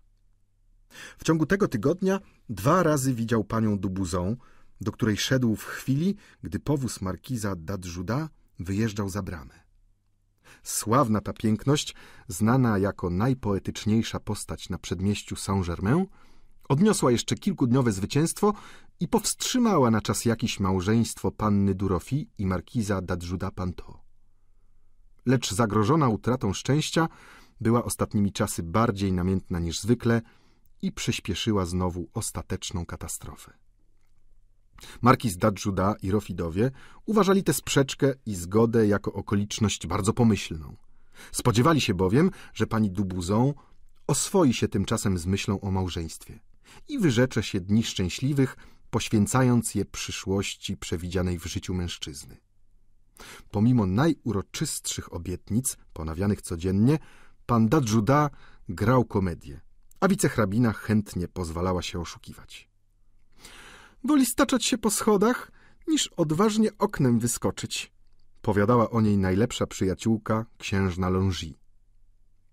Pomimo to wszystko, ostatnie połyski jaśniały dość długo i wicehrabina bawiła w Paryżu, otaczając opieką młodego krewniaka, ku któremu powzięła zabobonne jakieś przywiązanie. Eugeniusz okazał jej przyjaźń i uczucie w takiej chwili, kiedy kobieta w nikim nie widzi litości szczerej, współczucia prawdziwego. Jeżeli słyszy słówko miodowe, to przekonana jest, że zawdzięcza je tylko wyrachowaniu. Eugeniusz chciał dobrze poznać grunt, nim się zdecydował wylądować w domu Dunusijon. Zaczął więc badać przeszłość ojca Gorio i zebrał wskazówki, które mniej więcej w ten sposób streścić się dadzą. Jan Joachim Gorio był przed rewolucją prostym robotnikiem w fabryce makaronu. Zręczny, oszczędny i przedsiębiorczy, został następcą swego pana, który padł ofiarą pierwszego rozruchu w roku 1789. Goriot założył swą fabrykę przy ulicy Dula Jussienne, w bliskości rynku zbożowego. I miał tyle zdrowego rozumu, że przyjął urząd naczelnika sekcji, przez co zyskał dla swego handlu protekcję osób najbardziej wpływowych w groźnym owym czasie. Źródłem bogactwa stał się dla niego ów głód, prawdziwy czy zmyślony, wskutek którego cena zboża podniosła się okrutnie w Paryżu. Naród zabijał się u drzwi piekarzy, a wybrani szli sobie swobodnie kupować makaron włoski u kupców korzennych. W owym roku obywatel Goriot zebrał kapitały i mógł później poprowadzić handel z wyższością człowieka posiadającego niezmierną moc pieniędzy. Stało się z nim to, co się dziać zwykło z ludźmi nieposiadającymi żadnych szczególnych zdolności. Mierność go zbawiła. Przy tym nie wiedziano nic o jego funduszach, aż dopóki nie minął czas groźny dla bogaczy i nikt mu nie zazdrościł, sądząc, że handel zbożowy pochłonął wszystkie jego myśli. Bo też Goriot nie miał równego sobie znawcy, gdy trzeba było ocenić gatunek i pochodzenie ziarna, mąki lub otrąb, gdy trzeba było przechować zboże przez czas długi, przewidzieć cenę, Przepowiedzieć zbiór obfity lub nieurodzaj, albo wreszcie zakupić zboże za bezcen raz w Sycylii, to znów na Ukrainie. Można go było prawie wziąć za ministra stanu, widząc jak śmiało prowadził swe sprawy, jak jasno tłumaczył prawa przywozu i wywozu zboża, jak dalece zgłębiał ducha tych praw i pojął ich wady. Cierpliwy, czynny i energiczny, wytrwały, a skory w działaniu. Posiadał wzrok orli. Uprzedzał i przewidywał wszystko. Wszystko wiedział i wszystko ukryć potrafił. Jednym słowem, z pojęcia był dyplomatą, a z wykonania żołnierzem. Takim to był Goriot w głębi ciemnego swego sklepiku, w którym przepędzał nawet chwile swobodne, stojąc w progu z ramieniem wspartym o uszak. Lecz wyszedłszy za próg ulubiony, wychyliwszy się za obręb swojej specjalności, człowiek ten stawał się znowu niepojętnym i gburowatym wyrobnikiem, który nie może zrozumieć najprostszego dowodzenia. Nie pojmuje żadnych rozkoszy duchowych i zasypia w teatrze. Słowem, przetwarzał się w jednego z owych dolibanów paryskich, znanych ze swojej głupoty. Ludzie tacy jak Goriot, wszyscy są podobni do siebie. Wszyscy prawie kryją w piersi wzniosłe jakieś uczucie. W sercu naszego fabrykanta rozrosły się wyłącznie dwa uczucia, które go całkowicie pochłonęły tak, jak handel zbożowy wyczerpał całą pojętność jego mózgu. Pojąwszy za żonę jedyną córkę bogatego farmera z okolic Brie, otoczył ją poszanowaniem religijnym i miłością bez granic. Ukochał w niej istotę słabą, a jednak potężną, piękną, a wrażliwą, która była zupełnym przeciwieństwem jego samego. Jeżeli w sercu ludzkim jest jakie uczucie wrodzone, to niezawodnie musi w nim być owa duma, którą odczuwamy biorąc w opiekę słabszą istotę. Postawmy obok miłość. To jest ową wdzięczność, którą czyste dusze płacą za swoje szczęście, a zrozumiemy niejedną anomalię moralną. Po siedmiu latach szczęścia niezamąconego Goriot stracił żonę, która zaczynała panować nad nim wszechwładnie poza sferą uczucia. Kto wie, może pod jej wpływem obudziłaby się natura leniwa, może by w niej rozwinęło się jaśniejsze pojęcie o świecie i życiu. Po stracie żony miłość ojcowska rozrosła się nad miarę w sercu Goriota. Uczucie, któremu śmierć weszła w drogę, zwróciło się ku dwóm córkom. I na razie zdawało się, że obie w zupełności na nie zasługują. Goriot pozostał wdowcem i odrzucił najświetniejsze propozycje wszystkich kupców i farmerów, którzy pragnęli mieć go za zięcia. Teść Goriota, który sam jeden mógł się poszczycić jego zaufaniem, twierdził, że wdowiec postanowił dochować zmarłej żonie wierności małżeńskiej. Handlarze zboża, niezdolni pojąć tak wzniosłego szaleństwa, nadali Goriotowi jakiś ośmieszający przydomek. Zdarzyło się raz, że zapijano jakąś ugodę i jeden z handlarzy ośmielił się wymówić ów przydomek w obecności Goriota, za co tenże wyciął go pięścią po ramieniu z taką siłą, że nieborak wyleciał na złamanie karku na róg ulicy Oblę. Goriot otaczał swe córki przywiązaniem bez granic, miłością jakąś smętną i tkliwą. Wiedziano o tym powszechnie. Raz nawet jakiś konkurent Goriota, pragnący oddalić go z rynku, bo sam chciał zostać panem kursu, powiedział mu, że delfina wypadła przed chwilą z powozu. Ojciec blady i drżący opuścił wnet bazar i chorował kilka dni po tym fałszywym alarmie wskutek reakcji uczuć przeciwnych. Nie dotknął wprawdzie współzawodnika swą pięścią morderczą, lecz wygnał go z bazaru, zmuszając go, aby w krytycznych okolicznościach ogłosił się bankrutem. Rozumie się, że Goriot wychowywał swe córki nierozsądnie. Bogaty był, gdyż dochód jego wynosił przeszło 60 tysięcy liwrów. Pomimo to na własne potrzeby nigdy nie wydawał więcej nad 1200 franków, a resztę poświęcał z radością na dogodzenie rozmaitym zachciankom córek. Najpierwsi mistrze udzielali im talentów, które cechują świetne wychowanie. Dano im pannę do towarzystwa, która na szczęście miała wiele rozsądku i dobrego gustu. Panny jeździły konno, miały swój powóz. Jednym słowem żyły tak, jak gdyby były kochankami starego jakiego bogacza. Nie było tak wygórowanego żądania, którego by ojciec nie spełnił z całą gotowością. A jedna pieszczota wynagradzała go sowicie za wszystkie ofiary. Biedny człowiek. Uważał siebie za tak maluczką istotę wobec córek, które aniołami były w jego oczach. Wszystko przyjmował od nich z wdzięcznością, nawet ból, który mu zadawały. Gdy dorosły, mogły wybierać sobie mężów wedle upodobania, gdyż każda dostała w posagu połowę majątku ojcowskiego. Piękna Anastazja zwabiła ku sobie hrabiego Duresto i porzuciwszy dom ojcowski, dała się unieść skłonnościom arystokratycznym, które ją popchnęły w wysokie sfery społeczne. Delfina lubiła pieniądze. Poślubiła więc bankiera Nucijon, który pochodził z niemieckiej rodziny i nosił tytuł barona świętego państwa rzymskiego. Gorio pozostał nadal fabrykantem włoskiego makaronu i prowadził handel, do którego przyrósł już całą istotą, choć zajęcie jego nie podobało się bardzo córkom i zięciom. Przez pięć lat opierał się ich naleganiom, aż wreszcie zgodził się wycofać z handlu kapitał powiększony dochodem z lat ostatnich. Pani Woke, do której przeniósł się w tym czasie, rachowała mu mniej więcej dziesięć tysięcy liwrów dochodu. Rozpacz popchnęła biedaka do znanej nam gospody, gdyż przekonał się, że obaj zięciowie wzbraniają swym żonom wziąć ojca do siebie, a nawet, co gorsza, przyjmować otwarcie jego odwiedziny. Oto wszystko, co mógł powiedzieć o ojcu Gorio niejaki pan Muret, który nabył po nim handel. Rastignac przekonał się więc, że przypuszczenia księżny Dulonże były sprawiedliwe. W tym miejscu kończy się wstęp do tej głuchej, lecz przerażającej tragedii paryskiej. W pierwszych dniach grudnia Rastignac otrzymał dwa listy. Od matki i od starszej siostry.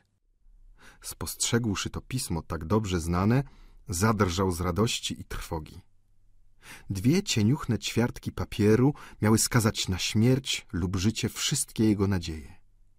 Trwoga przejmowała go na myśl, że rodzice żyli w niedostatku i obawiał się, czy nie zażądał od nich ostatniej kropli krwi, której nie odmówiono by ukochanemu dziecięciu. List matki był następującej treści. Drogie dziecię, posyłam ci to, czego żądasz. Zrób dobry użytek z tych pieniędzy, bo drugi raz nie byłabym w stanie zebrać tak wielkiej sumy bez wiedzy ojca. Nawet gdyby szło o zachowanie ci życia. Zresztą kto wie, czy by to nie zakłóciło harmonii naszych stosunków rodzinnych. Chcąc jeszcze raz dostać tyle pieniędzy, musielibyśmy obciążyć majątek długami. Trudno mi wyrokować o twych projektach, bo ich nie znam. Zastanawia mnie tylko to, że obawiasz się powierzyć je matce. Nie trzeba było pisać całych tomów. Dla matki dość jednego słowa, a słowo to wybawiłoby mnie z trwożliwej niepewności. Nie chcę taić, że list twój sprawił na mnie bolesne wrażenie.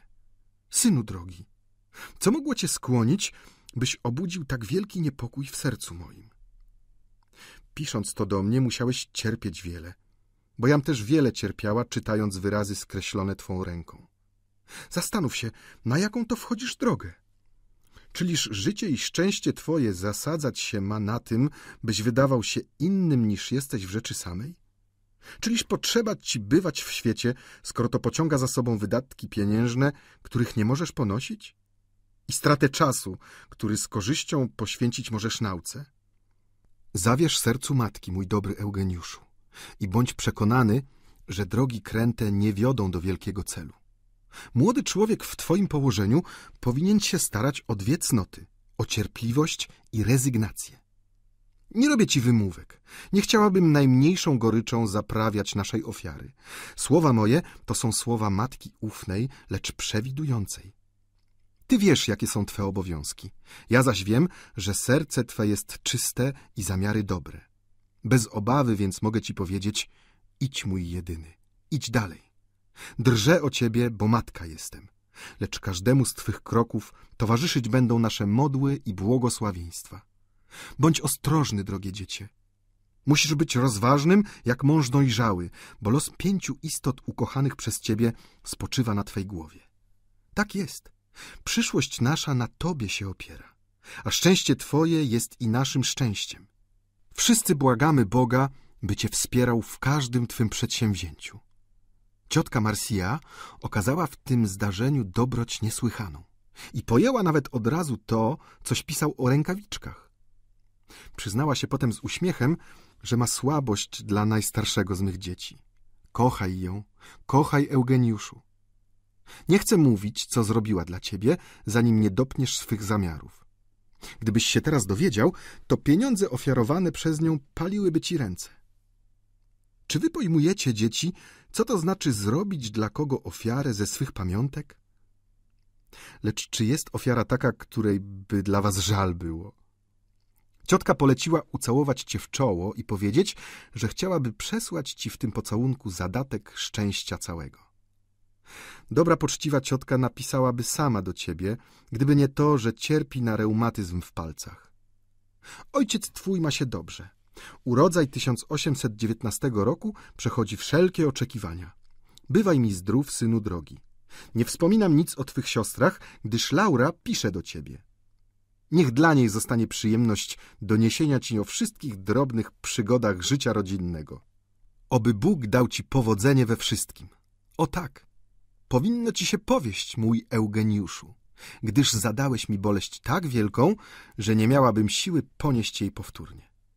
Poznałam dopiero teraz, co to znaczy być biedną i zapragnęłam bogactwa, żeby móc oddać się dziecku. Dosyć już, żegnaj mi, synu.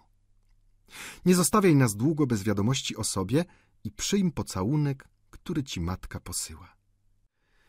Eugeniusz tonął we łzach, czytając list matki. Myślał o ojcu Goriot, który zgniótł srebrny półmisek i sprzedał go, by mieć za co wykupić weksel swej córki. A twoja matka, czyż nie poświęciła również swych klejnotów? Mówił sam do siebie. Ciotka twa płakała pewnie, sprzedając jedną ze swych relikwii. Jakimże prawem śmiałbyś przeklinać Anastazję? Zrobiłeś dla egoizmu przyszłości to, co ona dla ukochanego człowieka zrobiła. Któż wart więcej? Ty czy ona? Coś mu szarpało wnętrzności i paliło uczuciem nieznośnego gorąca. Chciał się wyrzec świata. Postanawiał nie tknąć tych pieniędzy. Uczuł wzniosłe i piękne wyrzuty sumienia, wyrzuty, które ludzie sądzący swych bliźnich tak rzadko biorą w rachubę, a mocą których aniołowie niebiescy rozgrzeszają przestępcę potępionego sądem ziemskim. Rastyniak otworzył list siostry, tchnący wdziękiem niewinnym i serce jego oświeżyło się trochę. List twój przybył w samą porę, drogi bracie. Agata i ja chciałyśmy tyle rozmaitych użytków zrobić z naszych pieniędzy, że w końcu sameśmy nie wiedziały, od czego rozpocząć. Tyś postąpił jak ów służący króla hiszpańskiego, który pobił zegarki swego pana. Przywiodłeś nas do zgody. Prawdziwie ciągleśmy się spierały o to, które z naszych życzeń powinno być najpierwej zaspokojone a nie wpadłyśmy na myśl, że można zrobić z pieniędzy taki użytek, który zaspokoi od razu wszystkie nasze życzenia. Wiesz co, drogi Eugeniuszu? Agata skakała z radości. Jednym słowem, byłyśmy jak dwie wariatki. Przez caluteńki dzień atel żąseń, to styl ciotki, że mateczka zapytała nas surowo, co wam dziś jest, moje panny? Zdaje mi się, że byłybyśmy jeszcze bardziej zadowolone, gdyby nas troszeczkę połajano. Kobieta musi być bardzo szczęśliwa, gdy cierpi za tego, kogo kocha. Ja tylko pomimo całej radości wpadałam chwilami w smutek i zadumę. Nigdy chyba nie potrafię być dobrą żoną, bo jestem zbyt rozrzutna. Kupiłam sobie przedtem dwa paski, piękną igiełkę do przekłuwania dziurek w gorsecie i masę fraszek podobnych. Dosyć, że miałam mniej pieniędzy niż ta wielka Agata, co umie być oszczędna. I zbiera dukaty jak sroka jaka. Wyobraź sobie, że miała dwieście franków, a ja, mój drogi, zebrałam tylko pięćdziesiąt talarów. Ale jestem aż nadto ukarana i chciałabym wyrzucić swój pasek do studni, bo odtąd nie będę mogła nosić go bez przykrości. Jam cię ukradła. Nieoceniona Agata powiedziała mi, poślijmy mu 350 franków od obydwóch razem. Lecz nie mogłam wytrzymać, żeby ci prawdy nie powiedzieć. Wiesz, w jaki sposób wypełniłyśmy twoje polecenia? Wzięłyśmy nasze sławne pieniądze i wybrałyśmy się sobie na przechadzkę. Dostawszy się na gościniec, pobiegłyśmy bez namysłu do Rufek, gdzieśmy po prostu oddały całą sumę panu Żimbertowi, który zawiaduje biurem pocztowym. Wracałyśmy lekkie i swobodne, niby dwie jaskółki. Czy to szczęście nas tak unosi? pytała Agata. Powiedziałyśmy sobie tysiąc rzeczy, których ci nie powtórzę, panie Paryżaninie, bo dotyczy ciebie zbyt ściśle. O, drogi bracie, jak my cię kochamy. Oto masz w paru słowach to samo, o czym myśmy tak długo mówiły. Tajemnicy nie zdradzimy, bo według słów ciotki, takie małe straszydełka jak my potrafią wszystko zrobić, nawet milczeć w potrzebie.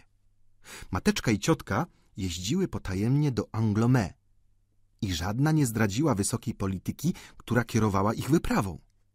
Nie obeszło się przedtem bez długich konferencji, od których i pan baron, i my obie zostaliśmy usunięci. W państwie Rastyniaków wszystkie głowy pełne są ważnych domysłów. Robota około sukni muślinowej w kwiaty ażur, którą infantki haftują dla jej królewskiej mości, postępuje dalej w największej tajemnicy.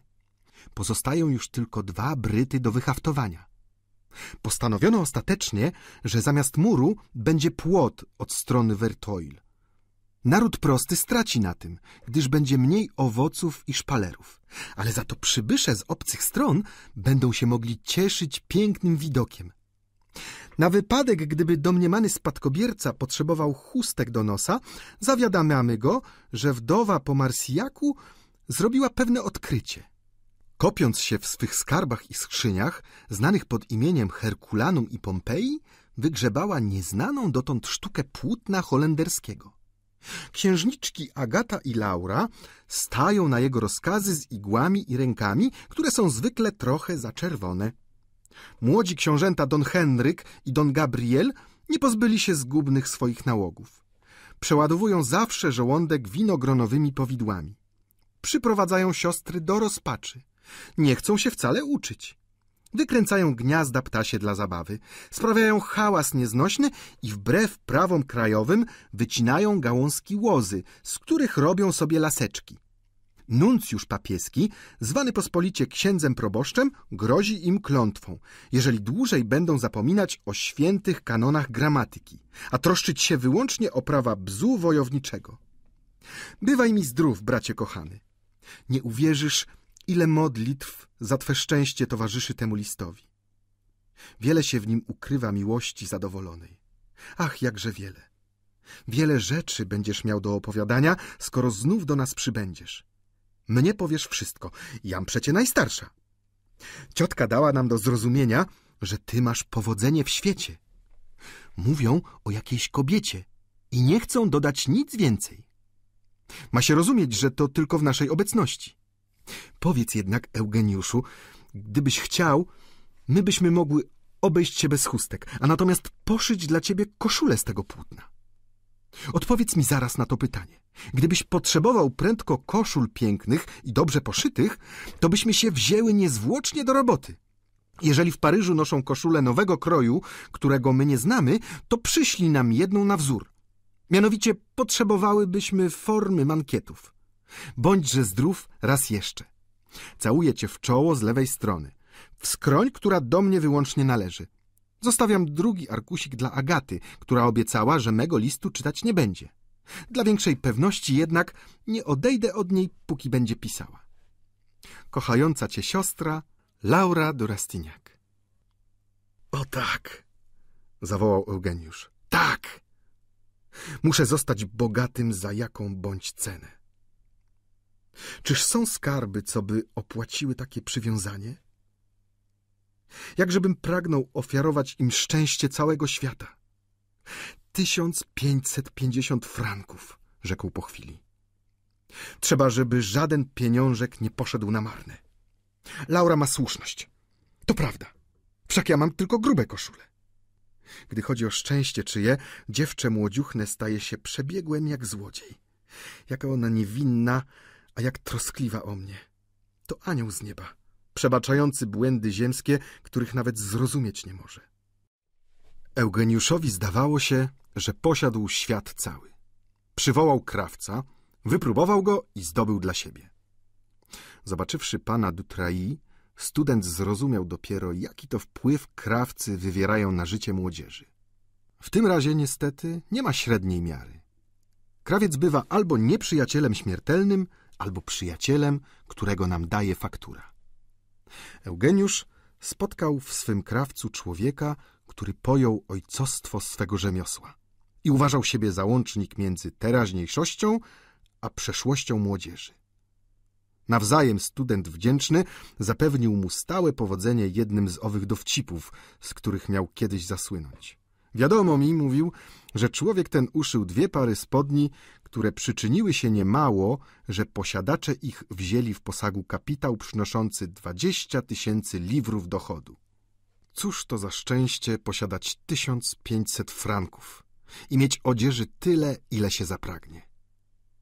Biedny południowiec nie wątpił w tej chwili o niczym i szedł na śniadanie z tym nieokreślonym wyrazem twarzy, który cechuje młodzieńca posiadającego choćby maluczki kapitalik.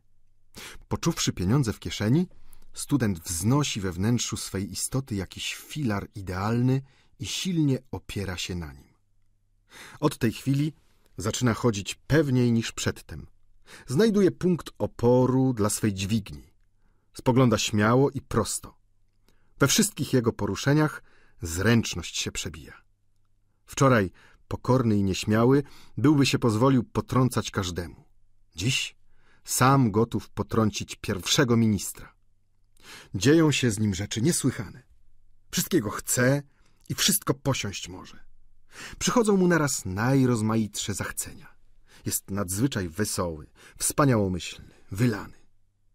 To ptak, co dawniej niezdolny do lotu, dziś może szeroko skrzydła roztoczyć.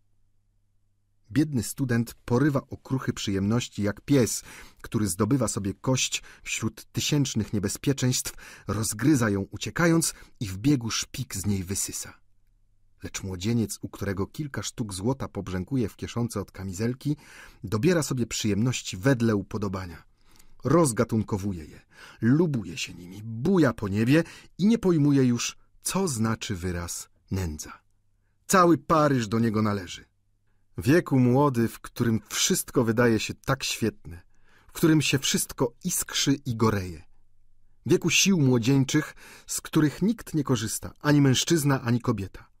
Wieku długów i ciągłej obawy, która potęguje wartość każdej przyjemności.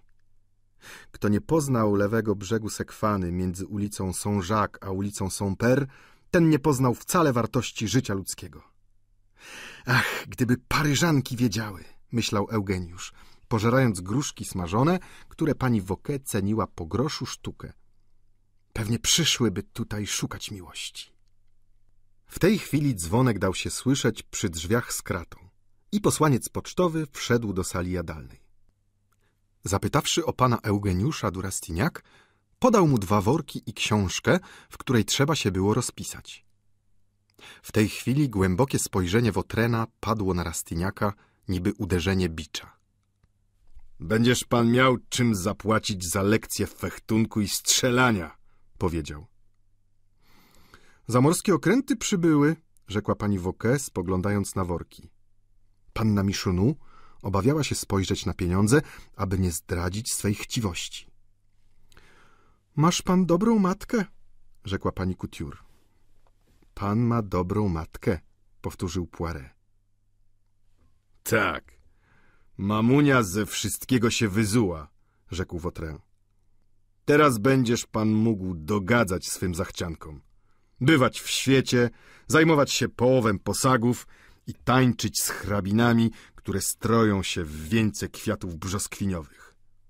Ale słuchaj, młodzieńcze, z tym wszystkim ucz się strzelać. Wotrę zrobił ruch, jak gdyby brał na cel przeciwnika. Rastignac chciał dać posłańcowi na piwo, lecz nie znalazł drobnych. Wotrę poszukał w kieszeni i rzucił dwadzieścia soldów posłańcowi. Masz pan, kredyt, rzekł spoglądając na studenta. Rastignac musiał podziękować sąsiadowi, chociaż nie cierpiał go od owych kilku słów cierpkich, zamienionych po powrocie od pani Dubuzon. W ciągu ostatniego tygodnia Eugeniusz i Wotre nie przemówili do siebie, tylko w milczeniu badali jeden drugiego. Na próżno student pytał siebie, dlaczego tak było. Zapewne myśli udzielają się w prostym kierunku z taką mocą, z jaką powstają i uderzają tam, gdzie je umysł posyła na zasadzie matematycznej, jaka kieruje pędem kuli wylatującej z moździerza. Skutki bywają rozmaite. Bywają natury czułe, których myśl cudza czepia się z łatwością, wywołując w nich przewrót zupełny. Bywają też natury dziwnie tęgie, bywają czaszki opatrzone wałem spiżowym, o który wola innych ludzi rozbija się i odskakuje jak kula od ściany. Bywają wreszcie natury miękkie i strzępiaste, w których myśl przyczepiona traci moc, tak jak kula traci siłę pędu w miękkiej ziemi reduty. Rastignac posiadał jedną z owych głów pełnych prochu, co to gotowe wybuchnąć przy lada wstrząśnieniu. Był jeszcze tak młody, że musiał koniecznie ulec takiemu udzielaniu się pojęć, takiej zaraźliwości uczuć, której dziwaczne zjawiska zastanawiają nas nieraz. Wzrok jego moralny był równie przenikliwy jak oczy odznaczające się prawdziwie rysią bystrością. Każdy zmysł był u niego, rzec można, podwójny i posiadał tę niepojętą gibkość i przenikliwość, którą podziwiać musimy u ludzi wyższych, u tych rębaczy, co to od razu trafiają w słabą stronę każdego pancerza. Zresztą w ciągu ostatniego miesiąca w Eugeniuszu rozwinęło się dużo przymiotów i wad dużo. Wady rozbudzał wpływ świata i zadowolenie rządz, które coraz bardziej się rozrastały. W rzędzie jego przymiotów znajdowała się owa zapalczywość południowa, która każe iść na spotkanie trudności i pokonać ją od razu. Zapalczywość, która nie dozwala człowiekowi spoza Loary znieść niepewności najmniejszej. W oczach mieszkańców północy przymiot ten staje się wadą. Uważają bowiem, że ta sama zapalczywość, co była źródłem powodzenia Murata, stała się później przyczyną jego śmierci. Stąd wniosek oczywisty, że południowiec, który łączy w sobie przebiegłość północną z nadloarską odwagą, jest człowiekiem doskonałym i może zostać królem Szwecji. Rastignac nie mógł być dłużej wystawionym na ogień baterii Wotrena, nie wiedząc, czy tenże jest jego przyjacielem, czy wrogiem. Chwilami zdawało mu się, że szczególny ten człowiek odgaduje wszystkie jego namiętności i przenika najgłębsze tajniki jego serca. Na próżno jednak starał się odgadnąć go nawzajem. Wotrę zamknięty był w sobie i osłaniał się głęboką tajemniczością Sfinksa, który wszystko wie, wszystko widzi, ale nic nie mówi. Dziś Eugeniusz poczuł pieniądze w kieszeni i postanowił stawić opór. Bądź pan łaskaw zaczekać, zawołał na Wotrena, który zabierał się do wyjścia, wychyliwszy ostatnią kroplę kawy. Po co? Zapytał czterdziestoletni mężczyzna, wkładając kapelusz o szerokich skrzydłach, przy czym sięgnął po laskę żelazną, którą umiał wywijać takiego młynka, że pewnie sam dałby sobie radę, gdyby go naraz opadło czterech rabusiów. Chcę panu oddać, com winien, odparł Rastiniak, rozwiązując pośpiesznie worek, z którego wyjął 140 franków. Przyjaźń przyjaźnią, a interes interesem rzekł podając pieniądze pani Woke. Teraz rachunki nasze załatwione aż do świętego Sylwestra. Proszę mi rozmienić sto sous. Przyjaźń interesem, a interes przyjaźnią, powtórzył Poiret, spoglądając na Wotrena. Proszę, dwadzieścia su, powiedział Rastignac, podając pieniądze Sfinksowi w peruce. To coś tak wygląda, jak gdybyś pan obawiał się być mi dłużnym, zawołał Wotre, zapuszczając badawcze wejrzenie w duszę młodzieńca, przy czym na ustach jego pojawił się ów uśmiech drwiący i cyniczny, za który Eugeniusz ze sto razy już omal się nie rozgniewał. A tak, powiedział student, który wstał już od stołu i zabrał obydwa worki z pieniędzmi, chcąc je odnieść do swego mieszkania. Wotrę stał na progu, a student skierował się ku drzwiom wiodącym na schody. Wiesz co, panie margrabio de Rastyniakorama? Odpowiedź twa niezupełnie jest grzeczna. Zawołał Wotrę, uderzając laską we drzwi salonu i podchodząc do studenta, który go zmierzył zimnym wejrzeniem. Rastignac zamknął drzwi i zszedł z Wotrenem aż na platformę oddzielającą kuchnię od sali jadalnej. Stamtąd prowadziły do ogrodu drzwi, nad którymi znajdowała się wielka szyba opatrzona kratą żelazną. Student zatrzymał się na platformie i powiedział wobec Sylwii, która wychyliła się z kuchni. Panie Wotrę, ja mnie margrabia i nie nazywam się Rastignacorama. Pewnie bić się będą, rzekła pani Michonu obojętnym głosem. Bić się, powtórzył Poiret. Ale gdzie tam? odparła pani Woke, głaszcząc swe talary. Ach, idą już pod lipy, zawołała panna Wiktoryna, która wstała, by zobaczyć, co się dzieje w ogrodzie. A jednak słuszność jest po stronie tego biednego młodzieńca. Chodźmy na górę, kochanie, rzekła pani Couture. Takie sprawy wcale do nas nie należą. Pani Couture i Wiktoryna zbliżyły się do drzwi, lecz gruba Sylwia zastąpiła im drogę. Co to się stało? zawołała. Pan Wotrę powiedział do pana Eugeniusza, musimy z sobą pogadać. I wziął go pod rękę i teraz idą obydwaj hen tam przez karczochy. W tej chwili Wotrę zjawił się we drzwiach. Pani Woke, rzekł z uśmiechem, niech się pani nie przerazi. Chciałbym spróbować pistoletów, tam, pod lipami. Ach, panie, zawołała Wiktoryna, składając ręce. Za co chcesz pan zabić pana Eugeniusza? Wotrę odstąpił parę kroków i spojrzał uważnie na Wiktorynę. A, to co innego, zawołał żartobliwie, spoglądając na biedną dziewczynę, której twarz oblała się rumieńcem. To bardzo miły młodzieniec, wszak prawda? Naprowadzasz mnie pani na dobrą myśl. Postaram się uszczęśliwić was oboje, moja piękna panienko. Pani Couture wzięła wychowankę pod ramię i pociągnęła ją za sobą. Ależ Wiktoryno, szepnęła jej do ucha, nie pojmuję, co się dziś z tobą dzieje. Ja nie chcę, żeby strzelano z pistoletów koło mego domu, rzekła pani Woke. Chcesz pan powystraszać sąsiadów i sprowadzić mi na kark całą policję? Zwolna tylko, mamo Woke, odparł Wotrę. No, no, dobrze. Pójdziemy strzelać na właściwsze miejsce. Powrócił do Rastiniaka i wziął go po ufale pod ramię. Czy nie straciłbyś pan odwagi, gdybym cię przekonał, że o trzydzieści pięć kroków trafiam w asa pikowego? Pan wydajesz mi się jakoś zbyt gorący i jestem pewien, że dałbyś się zastrzelić jak kiep jaki. Pan się cofasz? rzekł Eugeniusz. Nie burz mi pan żółci, odparł Wotrę. I bez tego aż nadto dziś ciepło. Chodźmy tam, usiąść, rzekł wskazując na ławki zielone.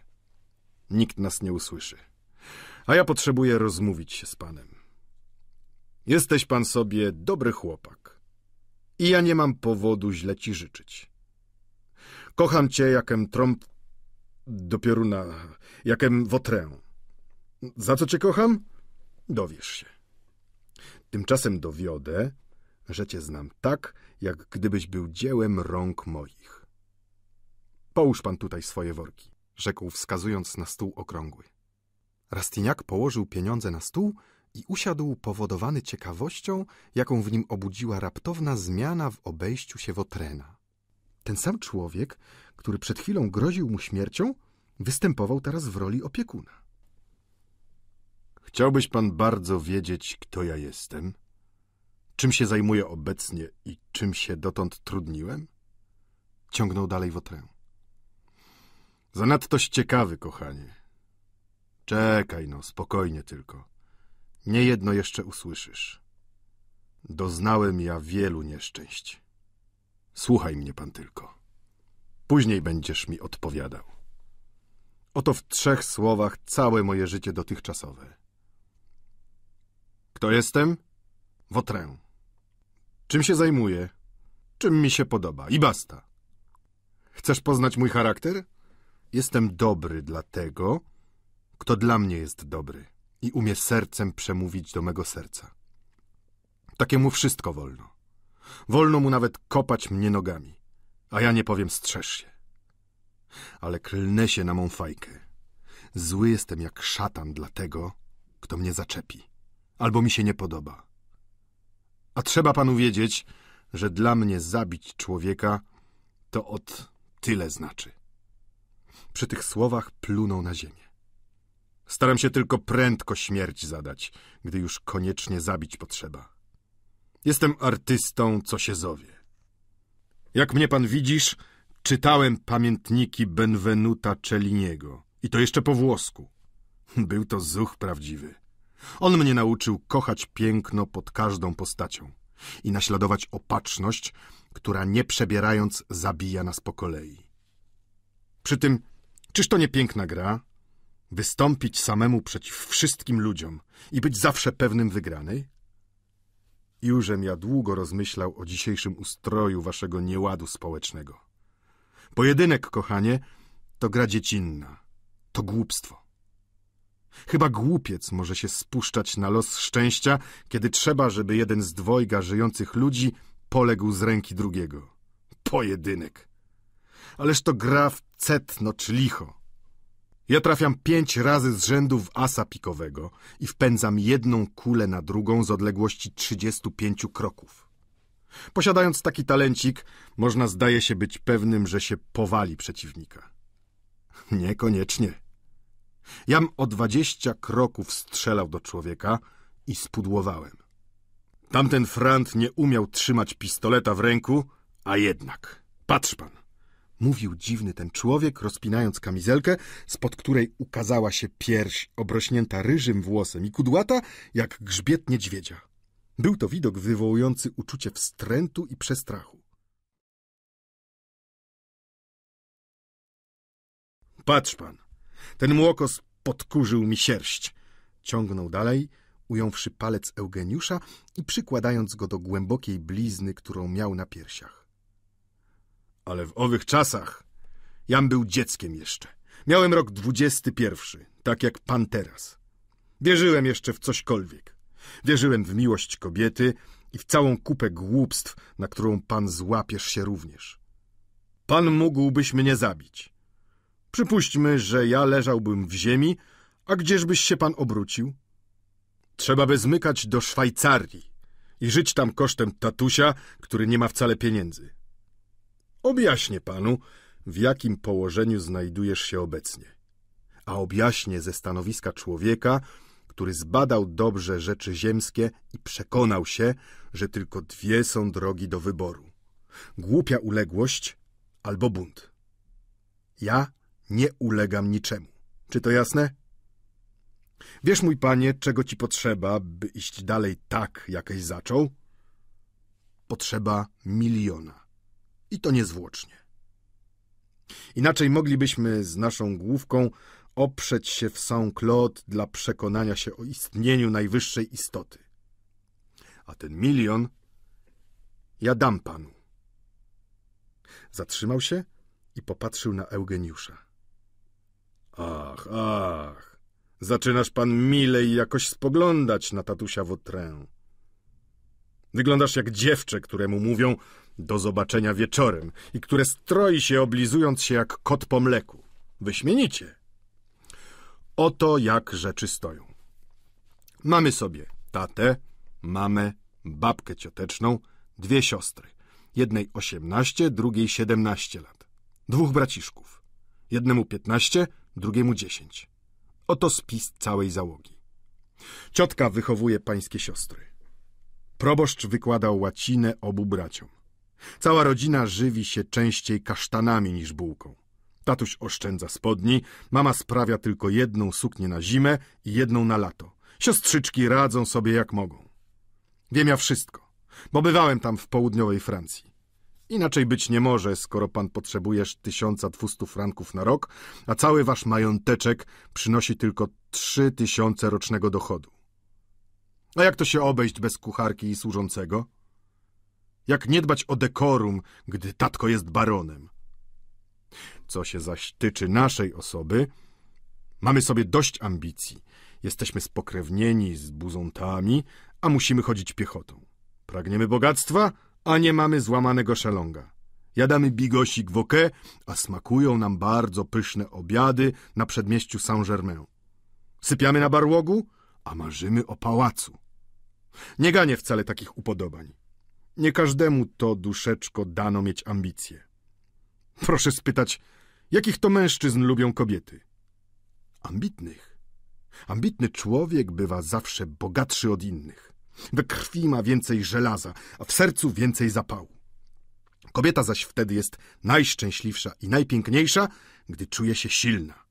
Dlatego też przekłada zawsze nad innych człowieka potężnej siły, choćby ta siła ją samą zgnieść miała. Wyliczyłem wszystkie pańskie żądze po to, by na końcu postawić pytanie. Pytanie to jest następującej treści. Mamy wilczy apetyt. Ząbki nasze są ostre. Ale co też włożymy do garnka? Najpierw musimy zjeść kodeksy.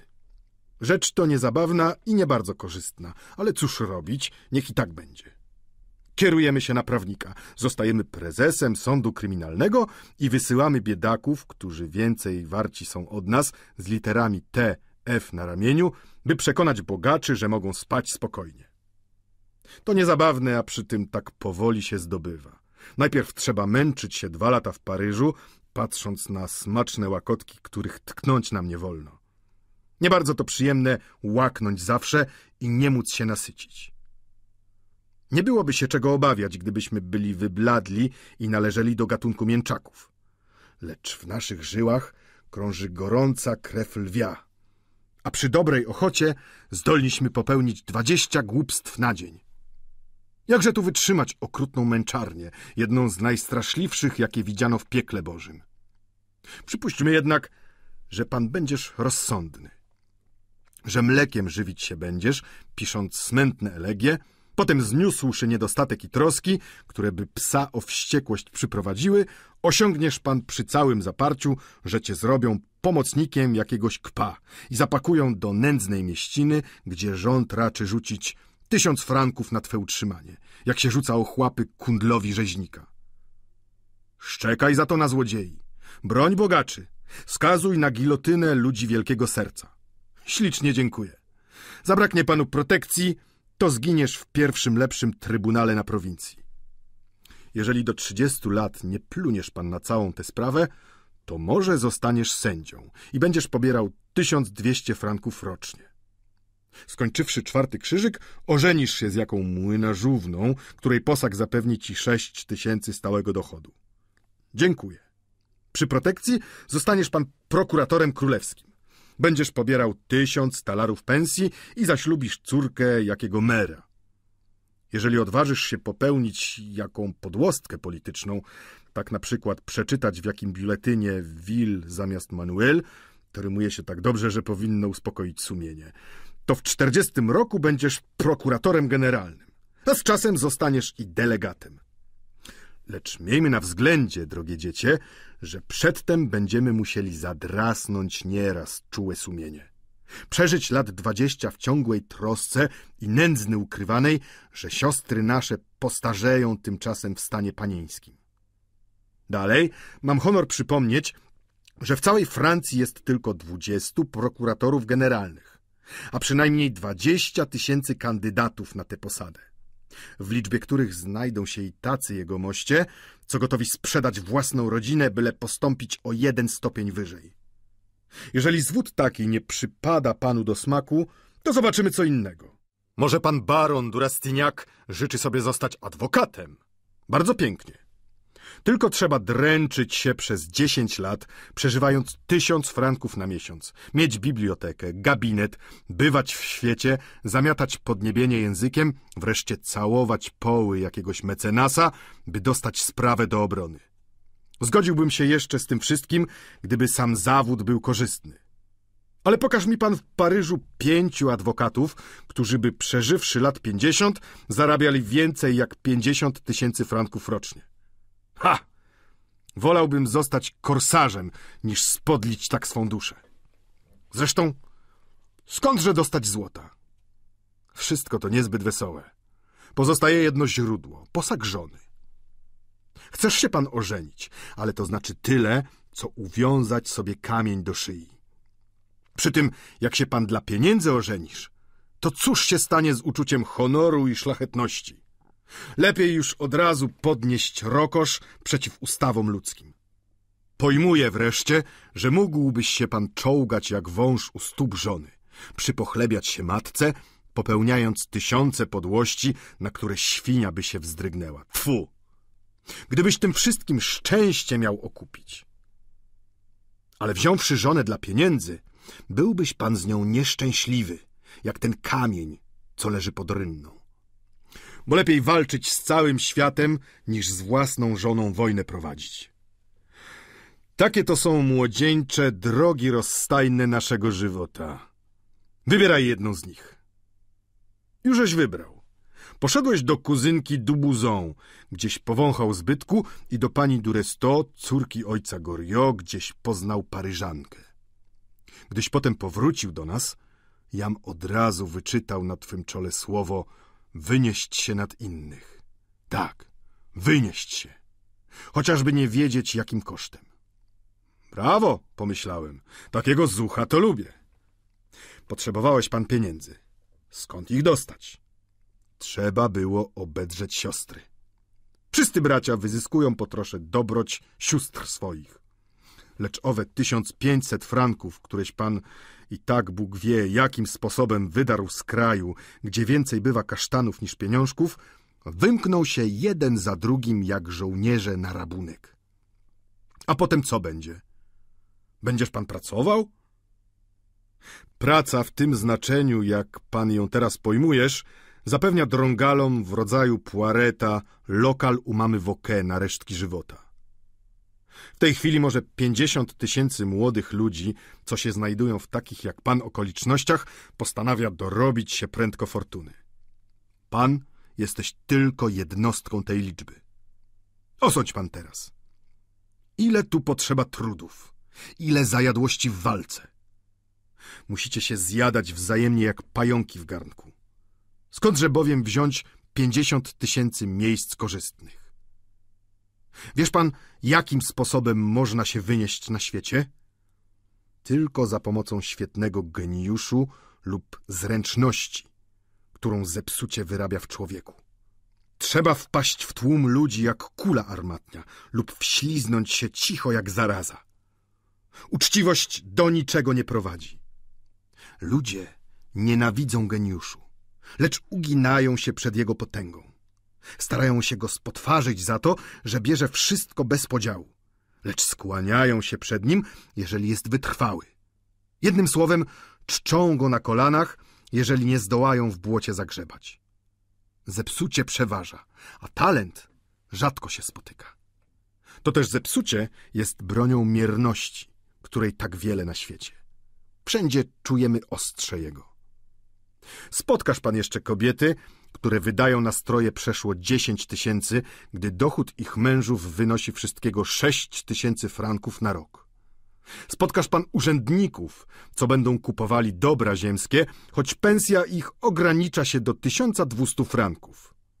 Spotkasz kobiety, co się powalały, byle tylko przejechać się z synem para Francji, którego powóz może się toczyć po środkowej aleni w Longchamp.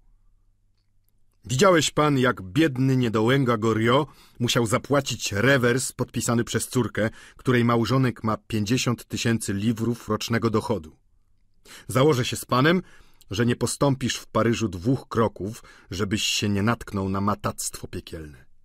Dałbym głowę za łodygę tej sałaty, że odkryłbyś pan gniazdo os w domu pierwszej, lepszej kobiety, która ci się podoba. Choćby kobieta owa była bogata, piękna i młoda. Wszystkie one wyłamują się spod prawa i żyją w ciągłej wojnie z swymi mężami.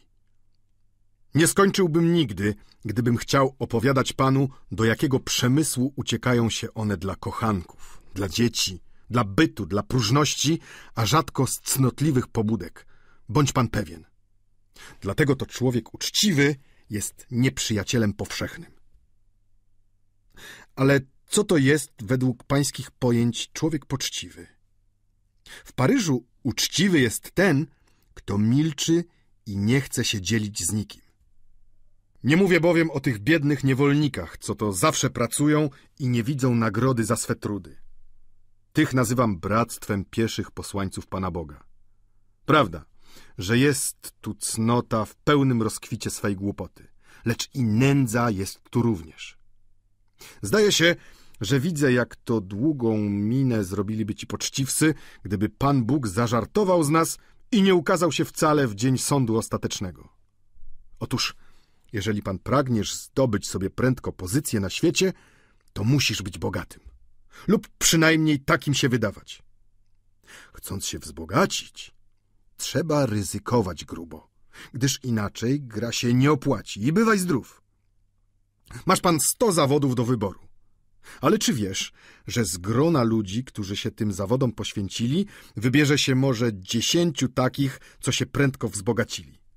Za to wszystkich dziesięciu okrzyczano za złodziei. Teraz wyprowadzaj pan wnioski z tego, coś słyszał. Pokazałem ci wierny obraz życia. Widok to niezbyt piękny.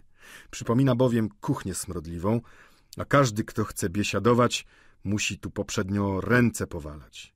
Chodzi tylko o to, by później wymyć je dobrze. Na tym zasadza się cała moralność naszego wieku. Mam prawo mówić tak o świecie, bo znam go dobrze. Sądzisz pan może, że ja świat potępiam? Bynajmniej. Był on zawsze jednaki. Moraliści nigdy zmienić go nie zdołają. Każdy człowiek jest ułomny, tylko jeden może być mniej fałszywy niż drugi, a głupcy zarzucają pierwszemu brak moralności. Nie myślę wynosić prostego ludu ponad klasę bogaczy. Człowiek jest wszędzie jednaki. Ten sam na wierzchu, w środku i na spodzie. Na każdy milion tego bydła wyborowego znajdzie się dziesięciu zuchów, co się wybijają na wierzch, nie dbając o nic, nawet o prawo. Ja do takich należę. Co się tyczy Pana, jeżeliś człowiek wyższy, to podnieś głowę i idź prostą drogą. Lecz pamiętaj, że trzeba będzie walczyć z zawiścią, potwarzą i miernością, że z całym światem przyjdzie stanąć do boju. Napoleon spotkał ministra wojny imieniem Aubry, który o mało nie wysłał go na wygnanie. Porachuj się pan z siłami. Przekonaj się, czy potrafisz wstawać co dzień z nowym i to coraz nowym zasobem silnej woli. Po tym wszystkim chcę zrobić panu propozycję, której by nikt nie odrzucił. Proszę dobrze słuchać. Mam ja, widzisz pan, myśl pewną. Marzę zawsze o tym, żeby nabyć z jakie tysiąc włók ziemi gdzieś na południu Stanów Zjednoczonych i wieść życie patriarchalne w swej ogromnej posiadłości. Chciałbym zostać plantatorem, mieć niewolników, handlować wołami, tytoniem, drzewem i zebrać kilka milioników, dogadzając przy tym wszystkim swym zachciankom i wiodąc życie iście królewskie, o jakim nie mamy nawet pojęcia tutaj, gdzie się trzeba gnieździć jak w jamie do wypalania gipsu. Jam wielki poeta. Nie piszę poematów, gdyż składają się one z czynów i uczuć. W chwili obecnej posiadam pięćdziesiąt tysięcy franków, za które mógłbym kupić zaledwie czterdziestu nergów. Potrzeba mi zaś dwieście tysięcy franków gdyż chcę mieć dwustu negrów, aby zadowolić moje zamiłowanie do życia patriarchalnego. Negry, widzisz pan, to dobre dzieci, z którymi można robić, co się podoba, nie zdając sprawy przed ciekawym prokuratorem królewskim. Mając ten czarny kapitał w ręku, zrobię w dziesięć lat od trzech do czterech milionów. Jeżeli mi się powiedzie, to z pewnością nikt mnie nie zapyta, coś ty za jeden. Będę sobie pan cztery miliony obywatel Stanów Zjednoczonych. Będę miał wówczas lat pięćdziesiąt, a w tym wieku nie będę jeszcze strupieszały i zabawię się wedle upodobań. Jednym słowem, czy dasz mi pan dwieście tysięcy franków za to, że ci nastręczę milion posagu? Dwadzieścia od sta za nastręczenie. Cóż, czy to za drogo? Trzeba będzie, żebyś pan zasłużył na miłość swojej żoneczki. Ożeniwszy się, zaczniesz zdradzać niepokój wewnętrzny, zgryzotę. Jednym słowem będziesz udawał smętnego przez dni piętnaście, aż wreszcie jednej nocy nazwiesz żonę pieszczotliwie moje kochanie. I wyznasz między dwoma pocałunkami, że masz dwieście tysięcy długu. Młodzi małżonkowie, najbardziej dystyngowani, grają co dzień w tę komedię. Młoda żona nie zamyka worka przed tym, który zdobył jej serce. Może pan myślisz, że stracisz na tym wiele. Bynajmniej.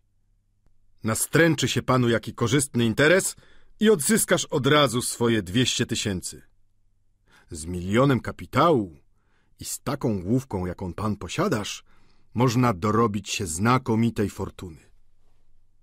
Ergo w sześć miesięcy możesz pan uszczęśliwić siebie, ukochaną kobietę i tatusia Wotrena. Że już nie wspomnę o całej rodzinie pańskiej, która dmucha zimową porą w palce, nie mając drzewa na opał. Nie dziw się pan temu, co ci proponuję, ani temu, o co cię proszę. Na sześćdziesiąt świetnych małżeństw, które się zawiera w Paryżu, przynajmniej czterdzieści siedem na podobnym targu się opiera. Izba notariuszów zmusiła niejakiego pana... Cóż mam czynić? zapytał chciwie Rastignac, przerywając Wotrenowi. Prawie nic, odparł tamten, nie mogąc powstrzymać poruszenia radości, jak rybak nie może zapanować nad zadowoleniem wewnętrznym, gdy czuje, że ryba bierze za wędkę. Uważaj pan dobrze. Serce dziewczyny biednej i nieszczęśliwej pragnie miłości jak gąbka sucha i rozszerza się od każdej kropli uczucia, która na nie spada. Zaleć się młodej osobie, co widzi przed sobą tylko osamotnienie, rozpacz i nędzę i nie przeczuwa nawet, że może być bogata. Zaiste. To znaczy tyle, co mieć w ręku same asy i króle. To znaczy brać bilet na loterię, widząc, jakie numery będą wygrywały. Lub grać na giełdzie, posiadając najświeższe wiadomości. Wznosisz pan na silnych podstawach małżeństwo nierozerwane. Wszakże dziewczyna owa posiądzie naraz miliony, a rzuci je panu pod nogi jak garść nędznego piasku. Bierz, mój luby, bierz Adolfie, Alfredzie, bierz Eugeniuszu, zawoła dziewczę, jeżeli Adolf, Alfred lub Eugeniusz byli tak mądrzy, że się przedtem poświęcali dla niej. A cóż to było za poświęcenie? Oto sprzedało się starą odzież, aby pojechać do Kedromble na pasztet z grzybami, a wieczór przepędzić w Ambigu Comique. Oto zostawiło się zegarek w Lombardzie, żeby za otrzymane pieniądze kupić szal dla ukochanej. Nie wspominam o tych głupstwach i dzieciństwach, o które kobiety dbają tak bardzo. Nie mówię o skrapianiu listów wodą, która uchodzi za łzy oddalonego kochanka. Zdaje mi się bowiem, że pan znasz bardzo dobrze mowę serca. Paryż, mój panie, to las dziewiczy, po którym krąży dwadzieścia dzikich plemion.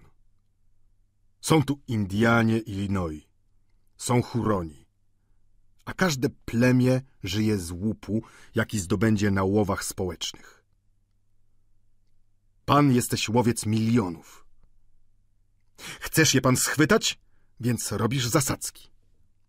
Zastawiasz sieci, nęcisz na wabika. Różne są sposoby polowania. Jedni polują na posag, inni na likwidację. Ci biorą na przynętę sumienia, owi sprzedają swych abonentów, skrępowawszy im poprzednio ręce i nogi. Gdy łowca wraca z torbą pełną zwierzyny, to mu się kłaniają, ujmują go i wprowadzają do najlepszego towarzystwa. Oddajmy sprawiedliwość tej ziemi gościnnej i przyznajmy, żeś pan trafił do miasta najwyrozumialszego na całym świecie. Dumni arystokraci innych stolic europejskich nie chcą przyjąć do swego koła milionera zniesławionego, lecz Paryż wyciąga ku niemu ramiona, śpieszy na jego biesiady, jada u jego stołu i trąca się kieliszkiem z jego nikczemnością. Ale gdzież szukać takiej dziewczyny, o jakiej pan mówisz? zapytał Eugeniusz. Jest przed panem, na pańskie usługi. Panna Wiktoryna? Ona sama. Jakim sposobem? Ona cię kocha, mój panie, twoja mała baronowa Durastiniak. Ależ ona nie ma złamanego szelonga, odparł Eugeniusz zdumiony. A, jesteśmy w domu. Jeszcze dwa słowa, rzekł Wotrę, a wszystko się wyjaśni. Ojciec Tailfe to stary łotr, o którym powiadają, że zamordował jednego z swych przyjaciół podczas rewolucji. To jeden z owych zuchów, o których ja powiadam, że mają niezawisłe przekonania. Jest on bankierem i głównym wspólnikiem domu Fryderyk Tailfe i spółka. Ma syna jedynaka, któremu chce zostawić całe mienie ze szkodą dla Wiktoryny. Ale ja nie ścierpię takiej niesprawiedliwości. Podobny jestem do Don Kiszota. Lubię występować w obronie słabego przeciw silnym. Gdyby Bóg zechciał powołać do siebie tego syna, to Tailfe przyjąłby córkę. Chciałby mieć jakiegokolwiek spadkobiercę, bo to jest słabość natury ludzkiej, a ja jestem przekonany, że się już więcej dzieci nie doczeka. Wiktoryna jest łagodna i miła, potrafi w krótkim czasie opanować ojca. Zrobi z uczucia bicz i będzie poganiać starego, wodząc go za nos wedle upodobania. Wtedy będziesz ją pan mógł zaślubić, bo ona nie zapomni z pewnością pańskiego przywiązania. Ja podejmę się roli opatrzności i zrobię to, że Pan Bóg zechce powołać do siebie młodego Tailfera. Mam jednego przyjaciela, dla którego się kiedyś poświęcił. Jest to pułkownik armii loarskiej, który przeszedł niedawno do Gwardii Królewskiej. Człowiek ten polega zawsze na moim zdaniu. I teraz stał się ultraroyalistą. Nie należy on do tych głupców, co to nie chcą za nic zmienić swych przekonań. Słuchaj, mój aniołku, udzielę ci tu dobrej rady. Nie dbaj o przekonania więcej, jak się dba o wyrazy. Sprzedawaj je, gdy ich od ciebie zażądają. Człowiek, który się przechwala, że nigdy nie zmienia raz powziętych przekonań, to ni mniej, ni więcej tylko głupiec, który zamierza iść zawsze w prostym kierunku i wierzy w swą nieomylność. Nie ma na świecie zasad. Są tylko wypadki. Nie ma praw, są tylko okoliczności. Człowiek wyższy umie korzystać z trafu i okoliczności. Gdyby były zasady i prawa stałe, to narody nie zmieniałyby ich tak, jak się zmienia koszule. Pojedynczy człowiek nie jest obowiązany być mędrszym od całego narodu. Człowiek, który najmniej zasług położył dla Francji, wart jest, by go w najlepszym razie umieścić na wystawie machin z podpisem Lafayette. Czczony jest jak fetysz jakiś za to, że wszystko widział w czerwonym świetle, gdy przeciwnie książę, na którego każdy rzuca kamieniem, a który tak nienawidzi ludzkości całej, że ciska jej w twarz gradem przekleństw zasłużonych. Książę ów, powiadam, oparł się podziałowi Francji na kongresie wiedeńskim, a ludzkość obrzuca błotem tego, który zasłużył na koronę. O, znam ja takie sprawy. Zbadałem tajemnicę niejednego człowieka. Dosyć tego. Wtedy powiem, że mam przekonanie niezachwiane, gdy znajdę trzy głowy zgadzające się na użycie jednego środka. Ale długo chyba na to czekać będę. W trybunale trudno znaleźć trzech sędziów, którzy by zgodnie pojmowali jeden artykuł prawa. Ale powracam do mego człowieka. Ten gotów by na nowo ukrzyżować Chrystusa, gdybym ja tego zażądał. Dosyć by tatuś Wotrę szepnął jedno słówko, a przyjaciel jego poszuka zwady z tym kpem, który nie dał nigdy sto sołs swojej biednej siostrze. I tu Wotrę podniósł się, stanął niby na stanowisku i zrobił ruch fechmistrza, który naciera na przeciwnika. I to w cieniu, dodał. Ależ to zgroza! zawołał Eugeniusz. Pan pewnie żartujesz, panie Wotrę. No, no, spokojnie dodał tamten. Nie udawaj pan dziecka. A wreszcie gniewaj się. Unoś się, ile podoba, jeśli ci to sprawia ulgę. Powiedz, żem nikczemnik, żem niegodziwiec. Tylko nie nazywaj mnie złodziejem i szpiegiem. Dalejże, mów pan. Wylej żółć całą. Przebaczam ci, młodzieńcze. To tak właściwe twemu wiekowi. I ja byłem nie lepszy. Radzę tylko dobrze rozważyć. Przyjdzie czas, że się nie cofniesz przed gorszym postępkiem. Zaczniesz się przymilać jakiej pięknej kobiecie i będziesz brał od niej pieniądze. Jużeś pan o tym myślał, ciągnął Wotrę. Bo jakżebyś sobie radę dał, gdybyś nie zamierzał ciągnąć zysków ze swej miłości. Cnota, mój panie studencie, nie daje się rozdzielać na części. Jest cała lub zupełnie jej nie ma. Każą nam pokutować za winy nasze. To znów piękny system, mocą którego przez skruchę oczyszczamy się ze zbrodni. Uwieść kobietę, żeby się wznieść na wyższy szczebel drabiny społecznej. Rzucić kość niezgody pomiędzy członków jednej rodziny. Wreszcie jawnie lub skrycie popełnić tysiąc podłości dla zadowolenia swych zachcianek lub w widokach osobistych. Czy pan sądzisz, że to są uczynki wiary, miłości i nadziei? Czemuż taki frant, który przez jedną noc wydziera dziecku połowę majątności, odsiaduje tylko dwa miesiące więzienia? A nie borak jakiś, co skradł bilet stufrankowy pośród potępiających go okoliczności, musi iść za to na galery. To próbka naszych praw. Wszystkie są niedorzeczne. Elegant w rękawiczkach popełnił zbrodnię bez przelewu krwi, a zbrodniarz otworzył drzwi wytrychem. Oto dwie sprawki nocne. Między tym, co ja dziś proponuję, a tym, co pan spełnisz kiedyś, jest tylko jedna różnica. Tam się obejdzie bez przelewu krwi, a tu się bez niego obejść nie może. I pan wierzysz, że jest coś stałego na tym świecie. Pogardzaj pan ludźmi i szukaj w sieci kodeksu oczek, przez które wymknąć się można. Pod wielką fortuną, która powstała z niewiadomego źródła, ukrywa się zawsze zbrodnia. Zapomniano o niej tylko dlatego, że była szybko spełniona. Przestań pan. Nie chcę już dłużej słuchać, bo mógłbym zwątpić o sobie. Dotychczas uczucie jest jedyną moją mądrością. Jak sobie chcesz, piękne dziecię. Sądziłem, że silniejszy, rzekł Wotrę. Teraz nie powiem już nic więcej. Ale jeszcze ostatnie słowo. Spojrzał w oczy studentowi. Posiadasz pan moją tajemnicę, powiedział. Człowiek, który odmawia panu, potrafi pewnie zapomnieć o pańskiej tajemnicy. Dobrześ pan powiedział. To mi się podoba. Inny, widzisz pan, może nie być tak skrupulatnym. Proszę pamiętać o tym, co ja chcę zrobić dla pana. Daję panu piętnaście dni. Możesz przyjąć lub odrzucić. Cóż to za żelazna głowa u tego człowieka? szepnął Rastiniak, patrząc na Wotrena, który oddalał się spokojnie, założywszy laskę pod ramię. Powtórzył mi bez ogródki to, co pani Dubuzon powiedziała w sposób przyzwoitszy. Szarpał mi serce żelaznymi szponami. Dlaczegoż ja chcę być u pani Dunusiżą? On przeniknął od razu pobudki, jakie mnie do tego skłaniają. Rozbójnik ten powiedział mi o cnocie więcej niż wszyscy ludzie i wszystkie książki, którym przeczytał.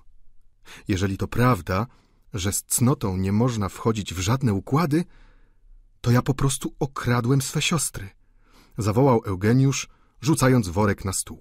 Usiadł na ławce i pogrążył się w bezwładnym jakimś rozmyślaniu. Być wiernym cnocie. O jakież to wzniosłe męczeństwo. Tak, wszyscy wierzą w cnotę. Lecz któż jest cnotliwy? Narody ubóstwiają swobodę, a gdzież jest naród swobodny na ziemi? Dziś moja młodość jasna jak niebo bez chmur. Ale zapragnę być wielkim lub bogatym i będę zmuszony kłamać, płaszczyć się, czołgać i podnieść się z ziemi i znowu schlebiać i udawać. I będę musiał zostać lokajem tych, co przede mną kłamali, płaszczyli się i czołgali. Trzeba bowiem służyć tym ludziom, zanim się ich wspólnikiem zostanie. O nie, ja pragnę pracy szlachetnej, świętej. Pragnę dzień i noc pracować. Byle tylko własnym trudem przyszłość sobie wywalczyć. Mozolnie zdobywać ją będę. Ale za to bez żadnej złej myśli złożę co dzień głowę do snu. Cóż piękniejszego, jak spojrzeć na swe życie i przekonać się, że ono jest czyste jak lilia. Ja staję wobec życia jak młodzieniec wobec swej narzeczonej. Wotrę pokazał mi, jak to bywa po dziesięcioletnim pożyciu. Do licha, ja głowę tracę. Nie chcę myśleć o niczym. Serce jest najlepszym przewodnikiem. Tu gruby głos Sylwii obudził go z marzenia. Kucharka oznajmiła o przybyciu krawca. Eugeniusz rad był z tej okoliczności i stanął przed nim, trzymając w ręku oba worki z pieniędzmi. Przymierzył strój balowy i przebrał się w kostium poranny, który przeistaczał go zupełnie. Śmiało mogę się mierzyć z panem de Trai, rzekł do siebie.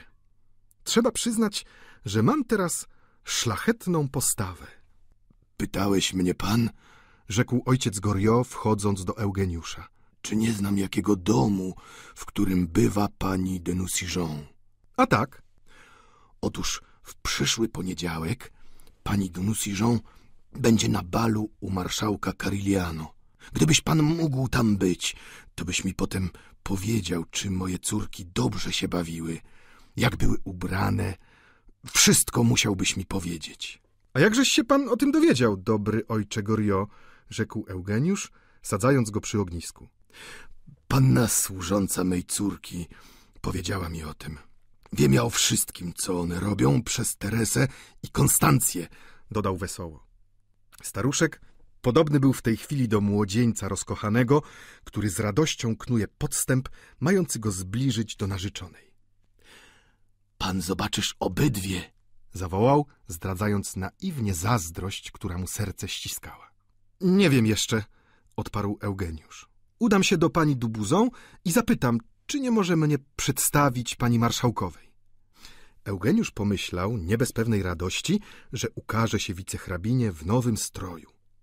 Moraliści nazywają otchłanią serca ludzkiego to, co się składa po prostu z takich myśli łudzących, z takich mimowolnych poruszeń miłości własnej. Owe nagłe zmiany, o których tak wiele rozprawiają, owe przewroty gwałtowne, wszystko to są ustępstwa, jakie robimy dla własnej przyjemności. Eugeniusz zobaczył na sobie wykwintne odzienie, eleganckie rękawiczki i obuwie i wnet zapomniał o wszystkich postanowieniach cnotliwych. Młodzieniec, co się przychyla ku złemu, nie śmie przejrzeć się w zwierciadle sumienia. A człowiek dojrzały nieraz już odważył się w nie spojrzeć. Na tym zasadza się cała różnica między tymi dwiema fazami życia naszego. Od kilku dni dwaj sąsiedzi, Eugeniusz i ojciec Goriot, stali się szczerymi przyjaciółmi. Przyjaźń mimowolna powstała z tych samych pobudek psychicznych, które wytworzyły uczucie wręcz przeciwne między Wotrenem i studentem. Śmiały filozof, który zechce wykazać wpływ uczuć naszych na świat fizyczny, znajdzie dowód ich materialności w stosunkach, jakie się wytwarzają między ludźmi i zwierzętami. Żaden fizjonomista nie odgadnie na pierwszy rzut oka charakteru człowieka. A pies przeczuje od razu, czy obcy przybysz lubi go, czy nie lubi. Atomy haczykowate, wyraz przysłowiowy, jest jednym z owych faktów, które pozostają w mowie naszej, by zadać kłam bredniom filozoficznym tych ludzi, którzy lubują się w oczyszczaniu słów pierwotnych od późniejszych naleciałości. Przeczuwamy, gdy nas ktoś kocha. Uczucie odbija się na wszystkim i przenika przestrzeń najdalszą. List może zawierać w sobie duszę całą. Jest on tak wiernym echem głosu znajomego, że dusze wrażliwe uważają list za jeden z najcenniejszych skarbów miłości. Ojciec Goriot, którego uczucie ślepe dorosło do zenitu psiej natury, przewąchał współczucie, dobroć i sympatię młodzieńczą, z jaką serce studenta zwracało się ku niemu. Jednak skłonność wzajemna, co się niedawno obudziła, nie doprowadziła ich jeszcze do żadnych zwierzeń. Eugeniusz zdradził się z chęcią poznania pani Dunusiżą nie dlatego, żeby miał rachować na pomoc Goriota, ale sądził, że stary z kolei powie o tym córce. Goriot raz tylko mówił z nim o swych córkach po tym, co Eugeniusz pozwolił sobie powiedzieć publicznie, gdy powrócił z pierwszej wizyty. Łaskawy panie, powiedział mu nazajutrz, jak pan mogłeś uwierzyć, że pani Duresto obraziła się na pana za to, żeś wymówił moje imię. Obydwie moje córki bardzo mnie kochają. Jestem najszczęśliwszym ojcem. Tylko zięciowie źle się ze mną obeszli. Nie chciałem, żeby drogie te istotki cierpiały wskutek moich nieporozumień z ich mężami. Dlatego postanowił widywać się z nimi potajemnie. Sama tajemniczość odwiedzin daje mi tysiące uciech, których nie pojmują inni ojcowie, co mogą widywać swe córki, kiedy im się podoba. A ja nie zawsze mogę je widywać. Czy pan to pojmujesz? Za to, gdy piękna pogoda, idę na pola elizejskie, dowiedziawszy się poprzednio od służących, że córki moje tam będą. Oczekuję ich na przesmyku. Serce mi bije, gdy powozy się zbliżają. Podziwam ich piękność podniesioną strojem wykwintnym, a one rzucają mi w przelocie miły uśmieszek, co niby blask słońca rozpromienia mi świat cały. I stoję znów, czekając, aż będą wracały. I spostrzegam je raz jeszcze. Powietrze je odświeżyło, zarumieniło im twarze. Słyszę, jak wszyscy mówią dokoła, jaka to piękna kobieta. Serce mi się raduje, boć to przecie krew moja. Kocham rumaki, co je unoszą i chciałbym być pieskiem, którego one trzymają na kolanach. Ich uciecha to życie moje. Każdy kocha po swojemu. Moje przywiązanie nie szkodzi nikomu. Po cóż więc ludzie mną się zajmują? Jam tak szczęśliwy w swoim przekonaniu. Czyliż to się prawu sprzeciwia, że ja idę popatrzeć na córki w chwili, gdy się one na bal wybierają? Jakżem zmartwiony, gdy się spóźnię i służący mówią mi, pani już nie ma. Raz czekałem aż do trzeciej po północy, żeby spojrzeć na naście, której przez dwa dni nie widziałem. Za to ledwiem nie skonał z radości. O mnie nie mów pan, proszę, chyba po to, by ocenić dobroć mych córek. One chciały obsypać mnie rozlicznymi darami, ale ja nie dopuszczam do tego. Bierzcież swoje pieniądze, powiadam. Cóż chcecie, żebym z nimi robił? Mnie nic nie trzeba. W samej rzeczy, łaskawy panie, cóż ja jestem? Nędzny trup, którego dusza przebywa zawsze z córkami. Gdy pan zobaczysz baronową Dunusiżą, to powiesz mi, która ci się lepiej podoba. Dodał poczciwiec po chwili, widząc, że Eugeniusz wybiera się do Tuileries, by tam oczekiwać chwili, w której można będzie udać się do pani Dubuzon. Przechadzka ta miała wielki wpływ na losy studenta.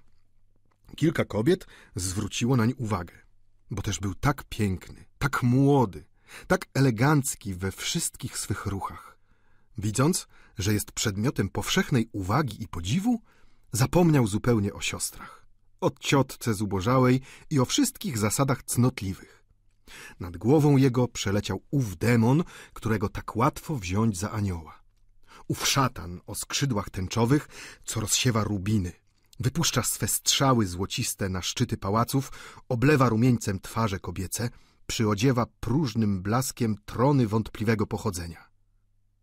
Usłuchał głosu ducha próżności, której blichtr bierzemy nieraz za godło potęgi. Słowa Wotrena, pomimo całego cynizmu, utkwiły mu w sercu tak głęboko, jak się wyrażają w pamięć dziewicy wstrętne rysy starej faktorki, która jej szepce do ucha złoto i miłość popłyną ci strumieniem. Po bezcelowej przechadzce Eugeniusz udał się koło godziny piątej do pani Dubuzon, gdzie został rażony jednym z tych pocisków okrutnych, przeciw którym serca młode bywają zawsze bezbronne. Dotychczas wicehrabina przyjmowała go zwykle z uprzejmością serdeczną i z owym wdziękiem pełnym słodyczy, który się nabywa przez wychowanie arystokratyczne, ale wtedy tylko jest prawdziwym, gdy z serca pochodzi. Dziś pani Dubuzon przywitała go oziębłym skinieniem głowy i rzekła krótko. Panie Drastiniak, nie mogę przyjąć pana w tej chwili. Jestem zajęta. Dla Rastiniaka, który nauczył się już patrzeć na wszystko okiem badawczym, słowa te, ruch, spojrzenie, dźwięk głosu były historią charakteru i obyczajów całej kasty. Ujrzał żelazną rękę pod rękawiczką jedwabną, prywatę i egoizm pod wdziękiem udanym, drzewo pod lakierem. Usłyszał na koniec to wszechwładne ja, które się odzywa i pod pióropuszem królewskim i pod hełmem ostatniego rycerza. Eugeniusz zawierzył nazbyt łatwo jej słowu i zaufał szlachetności kobiety. Jak wszyscy nieszczęśliwi, zawarł chętnie przymierze rozkoszne, które łączy dobroczyńcę z obdarowanym. Pierwszy paragraf tego przymierza uświęca zupełną równość serc szlachetnych. Dobroczynność łączy najściślej dwie istoty. Jest to uczucie niebiańskie, uczucie niepojęte i rzadkie, jak miłość prawdziwa. I dobroczynność i miłość jest udziałem dusz wzniosłych. Rastignac pragnął być na balu u księżnej Cariliano. Zniósł zatem ten objaw złego humoru wicehrabiny. Pani, wyrzekł głosem wzruszonym, nie śmiałby pani utrudzać, gdyby tu nie szło o rzecz ważną. Pozwól mi pani zaczekać trochę. Może później znajdziesz chwilę swobodną, którą mi zechcesz poświęcić. Dobrze więc? Zapraszam dziś pana na obiad. Odrzekła zawstydzona trochę szorstkością słów swoich. W gruncie bowiem była to kobieta dobra i szlachetna. Eugeniusza wzruszyła taka zmiana raptowna. Pomimo to jednak, odchodząc, rzekł do siebie — czołgaj się, znoś wszystko. Jakież to muszą być inne kobiety, skoro najlepsza z nich w chwili złego humoru zapomina o obietnicy i obchodzi się z tobą jak z trzewikiem zużytym. A więc każdy dba tylko o siebie. Wprawdzie dom jej nie jest sklepem i moja to wina, że potrzebuje jej pomocy. Dobrze, mówi Wotrę, trzeba stać się kulą armatnią. Gorzkie rozmyślania studenta rozwiały się bez śladu, gdy przypomniał sobie, że czeka go przyjemny obiad u wicehrabiny. Dziwna fatalność kierowała najdrobniejszymi wypadkami jego życia, usiłując popchnąć go na drogę, na której, według słów strasznego sfinksa z gospody Woke, trzeba było, jak na polu bitwy, zabijać się, żeby nie być zabitym, oszukiwać, żeby nie być oszukanym. Wchodząc na tę drogę, trzeba było odrzucić sumienie i serce, a wdziać maskę i okpiwać ludzi bez litości. Trzeba było, jak w lace demonii, uchwycić szczęście pokryjomu, żeby zasłużyć sobie na wieniec. Gdy Eugeniusz przyszedł na obiad, wicehrabina spotkała go ze zwykłą sobie dobrocią. Oboje udali się do sali jadalnej, gdzie już wicehrabia oczekiwał żony. Trzeba było podziwiać przepych stołu, który, jak wiadomo, podczas restauracji posunięty był do najwyższego stopnia. Pan Dubuzon, jak wszyscy ludzie przesyceni, znajdował jedyną przyjemność w dobrym jedzeniu. Można go było zaliczyć do smakoszów szkoły Ludwika XVIII i księcia Eskar.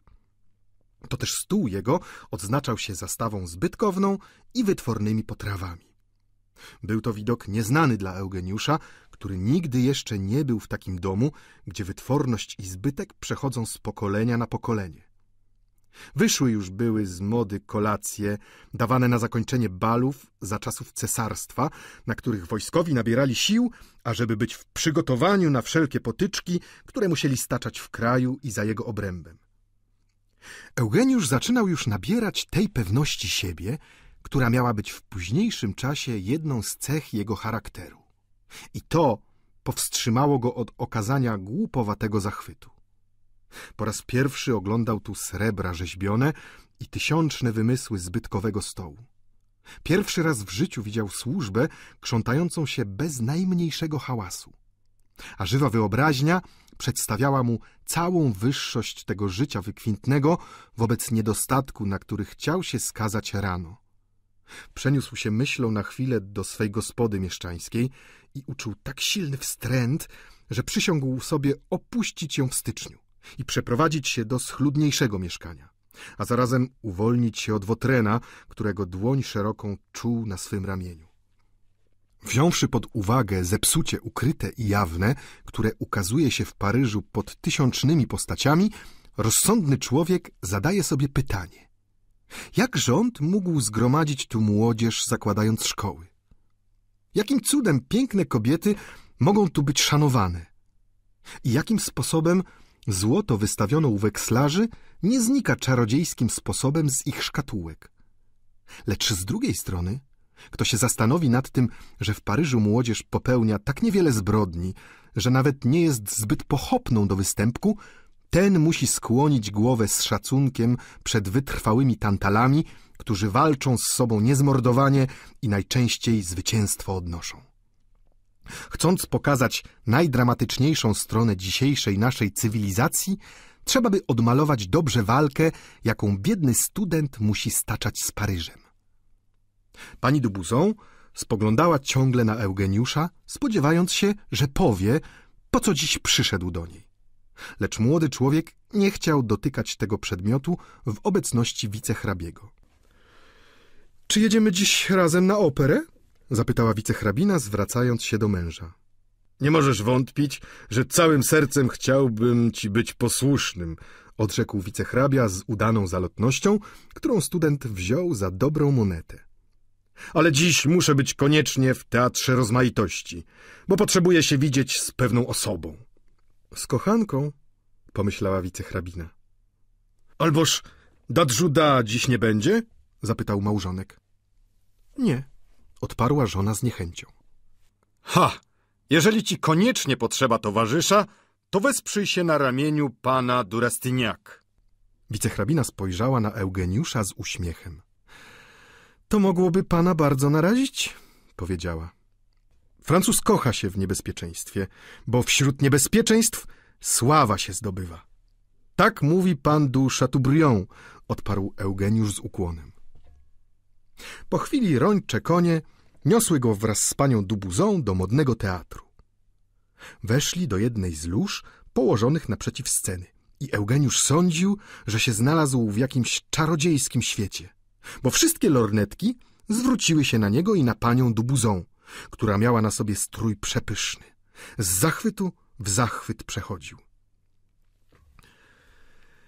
Chciałeś pan ze mną pomówić, rzekła pani Dubuzą. Ach, patrz pan, oto pani Nusijon. Znajduje się w trzeciej loży za nami. Siostra jej i pan de Trai są po drugiej stronie. Mówiąc to, wicehrabina spoglądała na lożę bofidów, Przekonała się, że markiza tam nie ma i twarz jej zajaśniała wyrazem zadowolenia. Jaka ona prześliczna, powiedział Eugeniusz, przyglądając się pani Nusijon. Ma takie jasne rzęsy. Tak, a, ale za to kibić wysmukła. Ręce jej są zbyt duże. Ale jakie piękne oczy. Twarz ma za długą. Pociągłe rysy nadają jej jakiś wyraz szlachetny. To całe jej szczęście. Patrz pan tylko, jak ona podnosi i opuszcza lornetkę.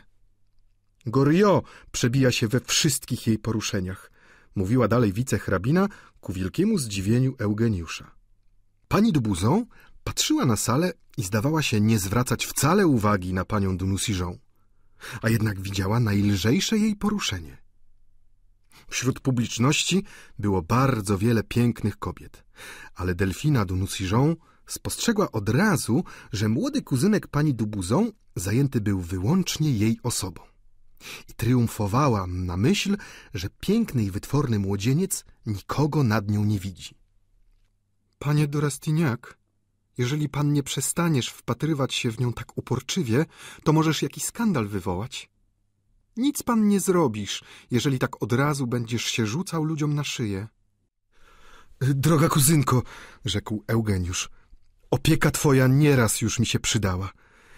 Jeżeli zechcesz dokończyć dzieła, to będę cię prosił tylko o jedną łaskę.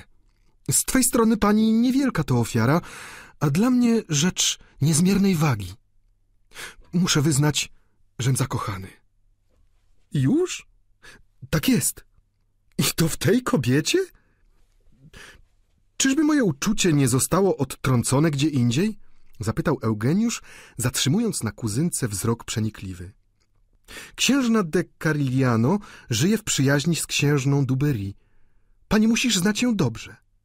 Otóż chcę prosić, byś raczyła przedstawić mnie księżnej i zabrała mnie ze sobą na bal, który ma być u niej w poniedziałek. Spotkałbym tam panią Dunusiżą i mógłbym przystąpić do pierwszego ataku. Z największą chęcią, odparła wicehrabina. Jeżeli to prawda, żeś pan ją od razu sobie upodobał, to jestem pewna, że twoje sprawy sercowe pójdą doskonale. Widzisz pan du Marseilla w loży księżnej Galation? Pani Dunusijon jest w rozpaczy. Dla niej to męka prawdziwa. W takiej chwili najlepiej jest właśnie zbliżyć się do kobiety, a mianowicie do takiej żony bankiera.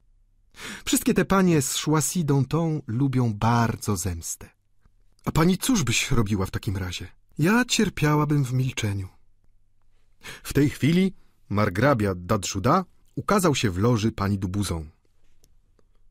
Śpieszno mi było przyjść tutaj i dlatego byle jak pokończyłem dziś wszystkie sprawy, rzekł Markis.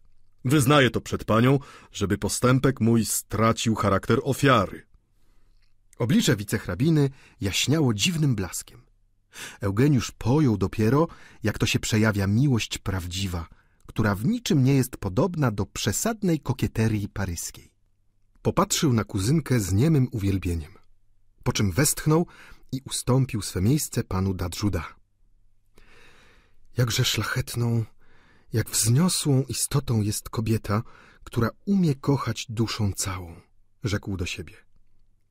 Czyliż ten człowiek miałby ją zdradzić dla jakiej lalki bezdusznej? Czy podobna ją zdradzić? Wściekłość bezsilna zawrzała mu w sercu. Chciałby rzucić się do nóg pani Dubuzą. Chciałby mocą piekielną przenieść ją do swego serca. Jak orzeł porywa białe jagniątko, co spoczywało u boku swej matki i unosi je z doliny w górę do gniazda swojego. Był smutny i upokorzony, bo nie miał jeszcze kochanki. Nie posiadał własnego obrazu w tym olbrzymim muzeum piękności. Mieć kochankę, myślał sobie, i zajmować w świecie stanowisko prawie królewskie. To jest prawdziwy dowód potęgi. I spojrzał na panią Dunusijon, jak człowiek znieważony spogląda na swego przeciwnika. Wicehrabina zwróciła się ku niemu i wynurzyła mu w jednym mgnieniu oka serdeczną wdzięczność za jego dyskrecję. Akt pierwszy skończył się właśnie. Czy znasz pan dostatecznie panią Dunusijon, żeby przedstawić jej pana Durastignac? Zapytała wicehrabina margrabiego Dadżuda. Pani Dunusijon będzie bardzo rada poznać pana, rzekł markiz.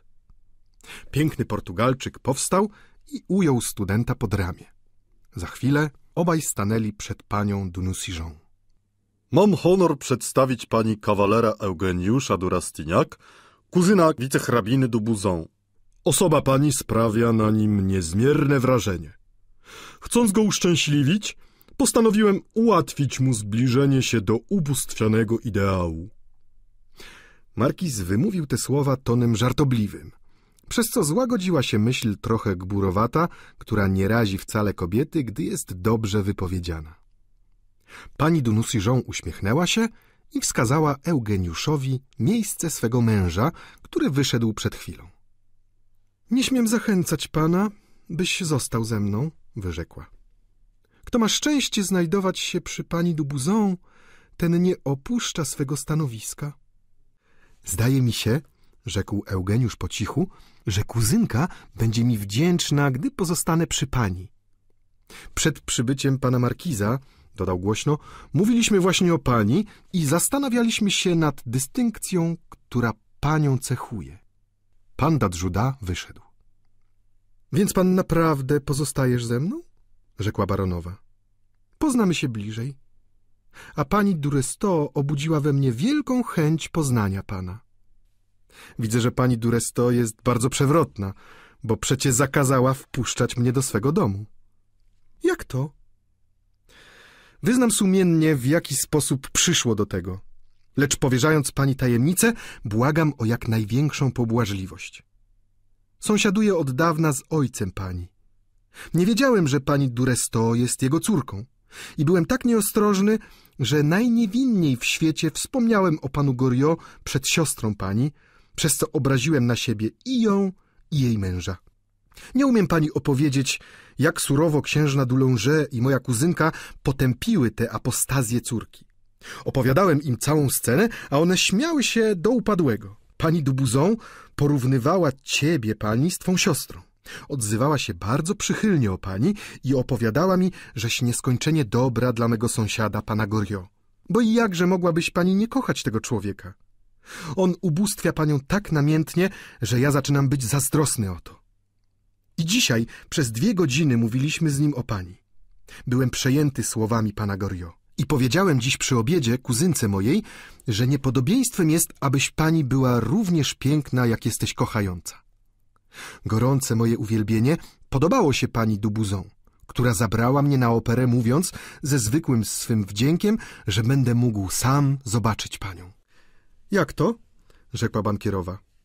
Jużeś pan zasłużył na mą wdzięczność? Jeżeli tak pójdzie, to będziemy wkrótce dobrymi przyjaciółmi. Wierzę, że przyjaźń dla ciebie, pani, nie byłaby uczuciem pospolitym.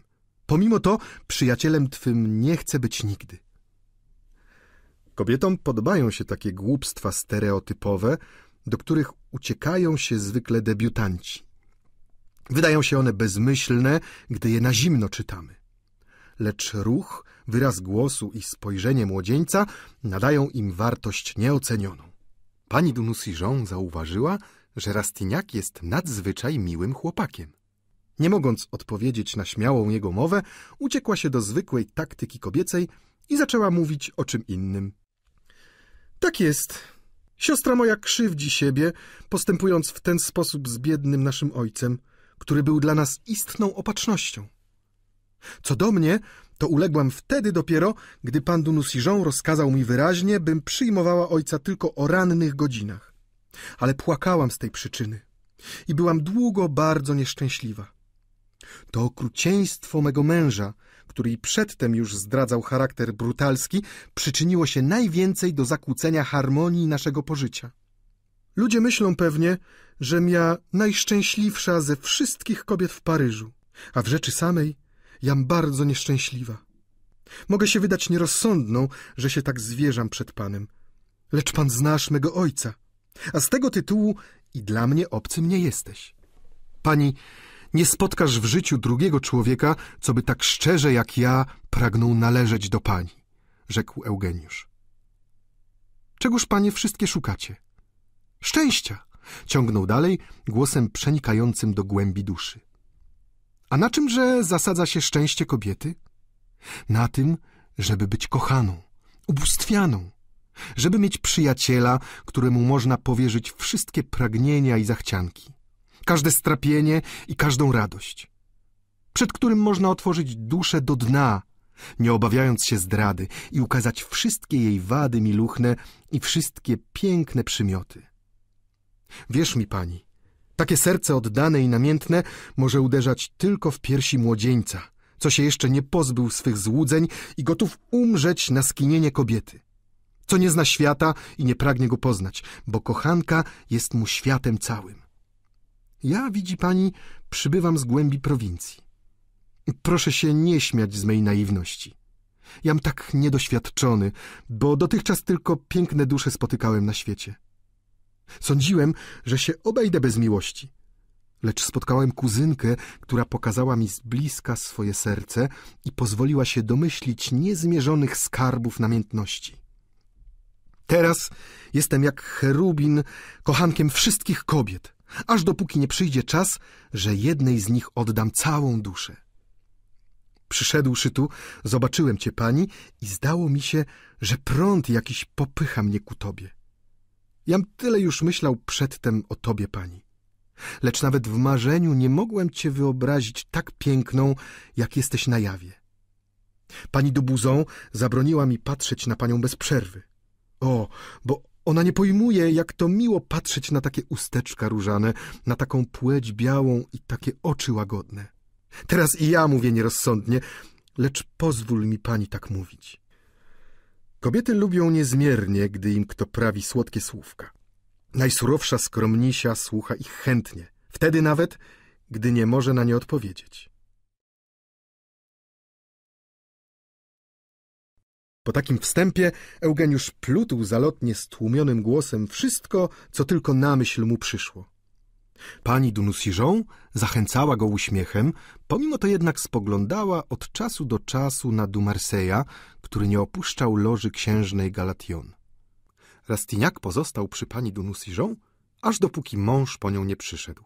Będę bardzo szczęśliwy, rzekł Eugeniusz, jeżeli pani pozwoli, żebym złożył jej swoje uszanowanie przed balem księżnej de Carigliano. Jeżeli baronowa zaprasza pana, rzekł sam baron, tłusty alzatczyk, o twarzy okrągłej, która zdradzała niebezpieczną przenikliwość, to upewniam, że będziesz pan u nas gościem poszątanym. Poszło mi wcale nieźle, bo ona nie bardzo się przestraszyła, gdym zapytał, czy będziesz mnie kochała. Bydle moje już okiełznane. Wskoczmy teraz na nie i kierujmy nim wedle upodobania. Tak myślał Eugeniusz, idąc pożegnać panią Dubuzą, która powstała i zabierała się do wyjścia wraz z panem Dadżuda. Biedny student nie wiedział, że baronowa była dziś roztargniona, gdyż oczekiwała od Dumarseja jednego z tych listów, od których się serce krwawi. Eugeniusz, szczęśliwy z mniemanego powodzenia, towarzyszył wicehrabinie aż do przedsionka, gdzie trzeba było zaczekać na powóz. Kuzynek pani niepodobny do siebie samego, zaśmiał się Markis po odejściu Eugeniusza. On gotów bank rozbić. Zwinny jest jak węgorz i zdaje mi się, że daleko zajdzie. To też pani tylko mogłaś mu dobrać taką kobietę, która potrzebowała, by ją ktoś pocieszył. To tylko pytanie, rzekła pani Dubuzą, czy ona nie kocha jeszcze tego, który ją porzucił? Student szedł piechotą z teatru włoskiego na ulicę Nous Saint-Geneviève, tworząc sobie w myśli najpiękniejsze plany na przyszłość. Widział on dobrze, że pani Duresto przyglądała mu się z wielką uwagą. Najpierw, gdy się znajdował w loży wicehrabiny, a później, gdy siedział obok pani Dunusijon. To mu dawało nadzieję, że dom hrabiny otworzy się przed nim na nowo. Mógł już rachować na cztery ważne stosunki w samym sercu arystokracji paryskiej, bo nie wątpił, że potrafi się również podobać pani marszałkowej. Nie zastanawiając się zbytecznie nad środkami, odgadł zawczasu, że w zawiłej grze spraw tego świata trzeba uczepić się za system kół, żeby się dostać na wierzch machiny, a czuł w sobie dość siły, żeby je zahamować. Jeżeli pani Dunusijon zajmie się mą osobą, to ja nauczę ją panować nad mężem. Mąż ten robi interesy pieniężne. Więc i ja z jego pomocą będę mógł prędko dorobić się fortuny.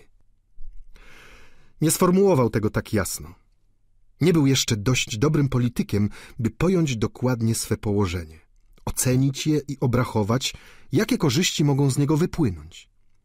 Myśli jego unosiły się na widnokręgu w kształcie lekkich obłoczków. Nie było w nich jeszcze cierpkości właściwej rozumowaniom Wotrena, a jednak ogniowa próba sumienia odkryłaby w nich wiele złego.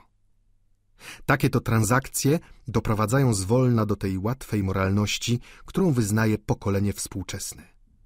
Dziś, trudniej niż kiedy, spotkać człowieka prawego, o woli silnej, co się nigdy nie nagnie ku złemu. Człowieka, dla którego najmniejsze zboczenie z prostej drogi jest zbrodnią niedarowaną. Trudniej dziś o wspaniałe wzory uczciwości, którym zawdzięczamy dwa arcydzieła. Najpierw Alcesta Moliera, później Jenny Deans i jej ojca w dziele Walter Scotta. Kto wie, może nie mniej piękny, nie mniej dramatyczny byłby obraz przedstawiający drogi wykrętne, na które człowiek ambitny popycha swe sumienie, idąc do celu obok z występkiem i starając się o zachowanie pozorów. Wracając do swej gospody, Rastignac rozkochał się na dobre w pani Dunusijon, która wydała mu się teraz lekka i wysmukła jak jaskółka. Wyobraźnia malowała mu żywo upajającą słodycz jej oczu oraz płeć białą i przejrzystą, przez którą widać było, jak krew przebiegała falą różową. Przypomniał sobie połysk włosów jasnych i czarowny dźwięk jej głosu. Być może, że chód prędki, co krew jego wprawiał w szybszy obieg, potęgował jeszcze tę grę wyobraźni. Student zapukał silnie do drzwi ojca Gorio. Sąsiedzie, zawołał, widziałem panią Delfinę. Gdzie? W teatrze włoskim. Jakże się ona bawiła. Ależ proszę wejść. Mówiąc to, stary wstał w jednej koszuli, otworzył drzwi, po czym prędko powrócił do łóżka. O, mówże mi pan o niej, powiedział. Eugeniusz znalazł się po raz pierwszy w mieszkaniu Goriota i osłupiał na widok nory, w której żył ojciec, bo w tej chwili przyszła mu na myśl świetna tualeta córki. W oknie nie było firanek. Obicia podskakiwały od ścian wskutek wilgoci, poskręcały się, ukazując w kilku miejscach tynk zakopcony. Nieborak Goriot leżał w ubogim łóżeczku pod kołdrą cienką i wyszarzaną, na nogach miał watowatą przykrywkę, na którą pani Woke ofiarowała rozmaite kawałki wybrane ze starych sukien. Podłoga była wilgotna i zapylona. Naprzeciw okna stała komoda staroświecka z drzewa różanego, dziwnie pękata i ozdobiona rączkami brązowymi, które naśladowały winną latorośl owiniętą liśćmi i kwiatami. Nieco dalej widać było stary zydel, na którym znajdował się dzban z wodą, miska i wszystkie przybory do golenia. W kącie stały trzewiki. W głowach przy łóżku mała szafka pozbawiona drzwiczek i płyty marmurowej. Dalej w rogu komina, na którym nie było najmniejszego śladu ognia, widać było stół czworogranny z drzewa orzechowego, na którym Goriot pogniótł niedawno srebrną wazę.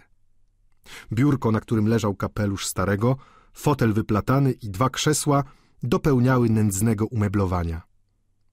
Nad łóżkiem żerć przywiązana szmatą do stołowania podtrzymywała kotarę z nędznej jakiejś tkaniny w kraty czerwone i białe.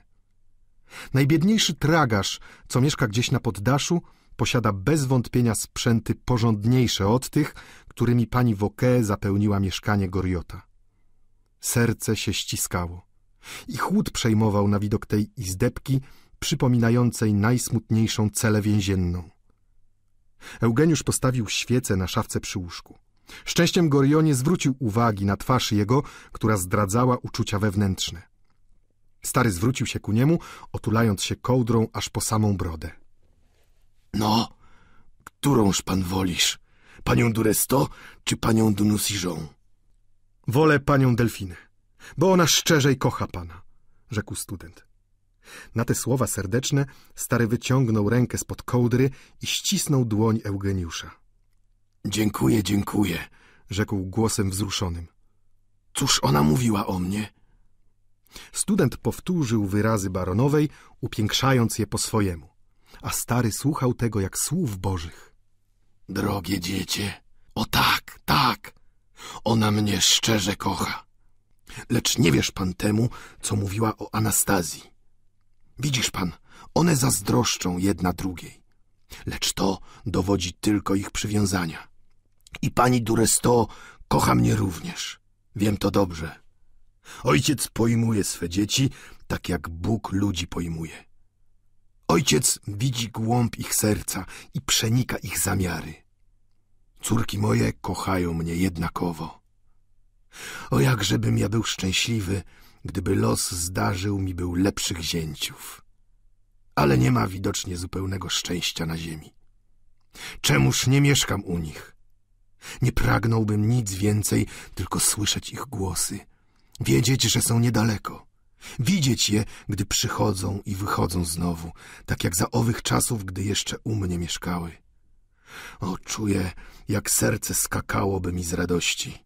Czy one były dziś pięknie ubrane? Tak, odparł Eugeniusz. Ale panie Gorio, powiedz mi pan, jak możesz mieszkać w takiej dziurze, kiedyś tak bogato powydawał córki za mąż? A co by mnie z tego przyszło, gdybym miał lepsze mieszkanie? Rzekł na pozór niedbale. Już to ja nie potrafię tego wytłumaczyć, bo nie umiem dwóch słów zwięźle powiedzieć. Cała moja istota tu się mieści dodał przyciskając rękę do serca. Żyję tylko życiem mych córek. Jeżeli one się bawią, jeżeli są szczęśliwe i postrojone, jeżeli stąpają po miękkich kobiercach, to cóż mnie obchodzi, z jakiego sukna zrobione moje odzienie i jak wygląda kąt, w którym mam noc przepędzić. Ja zimna nie czuję, gdy wiem, że im ciepło i nudów nie znam, gdy wiem, że one się śmieją. Nic mnie w świecie nie smuci, oprócz ich zmartwienia. Gdy Pan zostaniesz ojcem, gdy posłyszysz szczebiot swych dzieci i powiesz sobie, to cząstka mej istoty. Gdy poczujesz, że te maleństwa, które są kwiatem krwi twojej, każdą jej kropelką połączone z sobą, to będzie ci się zdawało, żeś zrośnięty z nimi, że odczuwasz krok ich każdy. Ja słyszę wszędzie głos moich córek. Jedno smutne spojrzenie ich oczu krew we mnie ścina. Kiedyś i pan się przekonasz, że szczęście dzieci naszych stokroć nam droższe od szczęścia własnego. Nie potrafię panu tego wytłumaczyć. Są to jakieś wzruszenia wewnętrzne, od których błogo się człowiekowi robi. Jednym słowem, ja żyję życiem potrójnym. Chcesz pan, to ci opowiem coś zabawnego. Wiesz, kiedym ja pojął Boga? Wtedy, gdy ojcem zostałem. Bóg jest całą swą istotą obecny na każdym miejscu, bo stworzenie całe wyszło z Niego. Otóż taki sam stosunek łączy mnie z mymi córkami. Tylko jam córki ukochał mocniej, niż Bóg świat kocha. Bo świat nie jest tak piękny jak Bóg, a córki moje piękniejsze są ode mnie. Dusza moja tak ściśle z nimi połączona, że dziś na przykład miałem przeczucie, że Pan je zobaczysz. Mój Boże, gdyby się znalazł człowiek, co by mojej delfince dał zakosztować takiego szczęścia, jakiego doznaje kobieta szczerze kochana, to ja bym mu buty czyścił. Wszystkie jego rozkazy spełniałbym najskwapliwiej. Dowiedziałem się od pokojówki delfiny, że ten mały de Marseille jest psem niegodziwym. O, świeżbiałyż mi ręce, żeby mu kości pogruchotać. Bo jak to można nie kochać takiego klejnotu? Tej kobiety, co ma głos słowiczy, a piękna jest jak posąg jaki. Gdzież ona miała oczy, kiedy szła za tego bałwana Alzatczyka? O, im obydwom należało wybrać sobie pięknych młodzieńców. Ale cóż, zrobiły jak chciały. Ojciec Goriot wzniosły był w tej chwili. Nigdy dotąd Eugeniusz nie widział go w całym blasku miłości ojcowskiej. Zaiste, jest to rzecz godna uwagi, jaką siłę porywającą posiadają uczucia prawdziwe. Najpospolitsze stworzenie przemienia się pod wpływem szczerego i potężnego uczucia. Z serca jego wypływa jakiś prąd niepojęty, który odmienia wyraz fizjonomii, ożywia ruchy. Głosowi nadaje dźwięk nowy. Często istota tempa i nierozwinięta może pod wpływem namiętności zadziwić wielką wymową myśli, jeżeli nie słowa. Rzekłbyś, że w takiej chwili przenosi się w jakieś sfery promienne. I z naszym poczciwcem stało się to samo. Głos i ruchy jego nabrały tej siły udzielającej się, jaka cechuje zwykle znakomitego aktora. Ale czyż najpiękniejsze uczucia człowieka nie są poezją jego pragnień? To pan dowiesz się z przyjemnością, że pani Delfina zerwie prawdopodobnie z tym Dumarsejem. Gagatek ten porzucił ją dla księżnej Galation. Co do mnie, muszę wyznać, żem się zakochał w pani Delfinie. Czy być może? Zawołał ojciec Gorio. Tak jest. I jam się jej dosyć podobał. Przez całą godzinę mówiliśmy o miłości, a pojutrze, to jest w sobotę, zamierzam być u niej. O, mój drogi panie, jakże ja cię kochać będę, jeżeli potrafisz jej się podobać. Pan jesteś dobry. Nie dręczyłbyś jej pewnie. A gdybyś ją zdradził, to trzeba wiedzieć, że ja bym cię zabił. Bo to widzisz, kobieta nie kocha dwa razy. Ale Boże mój, co ja plotę, panie Eugeniuszu. Tu za zimno dla pana. Mój Boże, więc pan z nią mówiłeś? Co mi kazała powiedzieć? Nic, rzekł Eugeniusz w duchu. Kazała powiedzieć, dodał głośno, że przysyła panu serdeczny pocałunek córki. Bądź zdrów, sąsiedzie, śpij dobrze. Obyś miał sny przyjemne. Ja będę marzyć błogo o tym jednym wyrazie, któryś mi przyniósł od niej. Niech Bóg spełni wszystkie Twe życzenia. Byłeś dziś dla mnie dobrym aniołem. przyniosłeś mi tchnienie mej córki. Biedaczysko, myślał Eugeniusz, kładąc się do łóżka. Los jego może wzruszyć najtwardsze serce. A córka tyle o nim myślała, co o wielkim Mogole. Od tej chwili Goriot widział w swym sąsiedzie przyjaciela i powiernika, którego los zdarzył mu niespodzianie. Zawiązały się między nimi stosunki takie, jakie jedynie mogły zbliżyć starego Goriota do zupełnie obcego człowieka. Namiętność nie myli się nigdy w rachubie. Goriot przeczuwał, że sam zbliży się więcej do delfiny. Że będzie nawet milej widziany, jeżeli Eugeniusz potrafi się jej podobać. Przy tym powierzył studentowi najcięższą z swych boleści. Delfina nie zaznała jeszcze rozkoszy miłości. Ta sama delfina, o której szczęściu ojciec marzył przynajmniej tysiąc razy na dzień. Eugeniusz zaś był, według jego zdania, najmilszym w świecie młodzieńcem i mógł obudzić w sercu delfiny uczucie, którego dotąd nie znała. Nadzieja ta stała się pobudką przyjaźni dla młodego sąsiada, która się co dzień zwiększała, a bez której nie znalibyśmy zapewne rozwiązania niniejszej powieści. Następnego poranku, przy śniadaniu, wszyscy stołownicy dziwili się bardzo niezwykłemu zachowaniu się Goriota. Stary spoglądał na Eugeniusza z wyraźną czułością. Przy stole zajął miejsce obok niego i kilkakrotnie wszczynał z nim rozmowę. Twarz Goriota, podobna zwykle do maski gipsowej, wyglądała dziś zupełnie inaczej. Wotrę nie widział studenta od czasu owej długiej konferencji. Dziś spotkał go po raz pierwszy i usiłował wyczytać, co się w jego duszy dzieje. Eugeniusz rozmyślał przeszłej nocy o szerokiej drodze życia, co się przed nim otwierała. Przy czym nie zapomniał oczywiście o posagu panny Tailfe. Teraz zaś spoglądał na nią mimowolnie takim wzrokiem, jakim najcnotliwszy młodzieniec patrzy na bogatą dziedziczkę. Oczy ich spotkały się przypadkiem. Biedne dziewczę pomyślało, że Eugeniusz prześlicznie wygląda w nowym stroju. Spojrzenie, które zamienili, było tak znaczące, iż Rastignac pojął od razu, że stał się dla niej przedmiotem tych rządz niejasnych, które dziewczę nosi zwykle w sercu, aż dopóki nie spotka istoty ponętnej, dla której to serce uderzy. Nad uchem Eugeniusza głos jakiś wołał natrętnie. Osiemset tysięcy franków.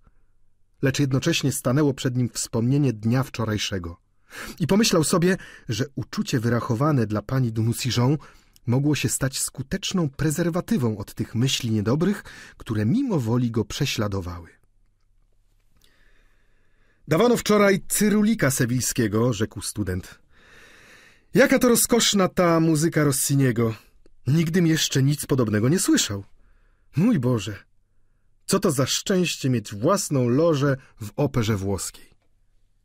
Ojciec Goriot pochwycił w lot wyrazy studenta, tak jak pies zda się chwytać skinienie swego pana. Dobrze to być mężczyzną, rzekła pani Woke. Opływacie panowie jak pączki w maśle i robicie wszystko, co się wam podoba.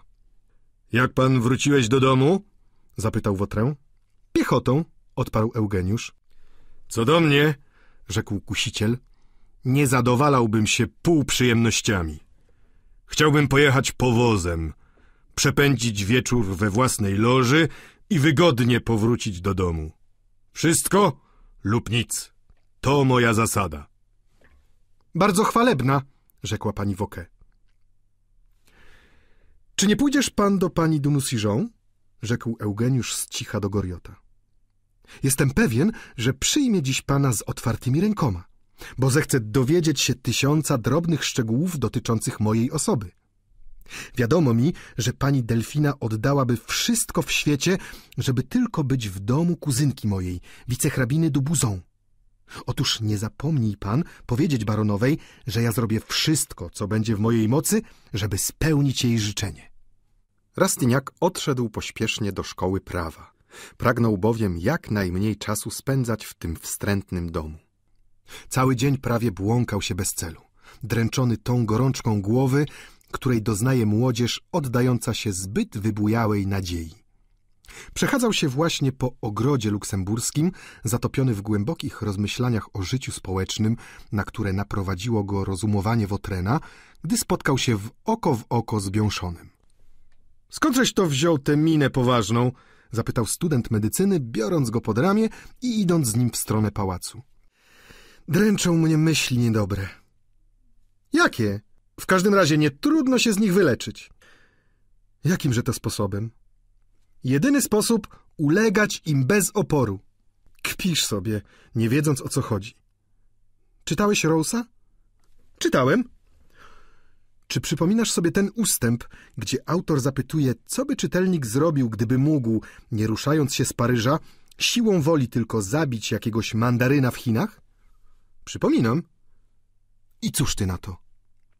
Zachciałeś. Ja myślę już o trzydziestym trzecim mandarynie. Nie żartuj. Słuchaj, gdybyś wiedział, że to rzecz prawdopodobna, że chodzi tylko o twe skinienie, powiedz, jak byś postąpił? A czy ten mandaryn bardzo stary?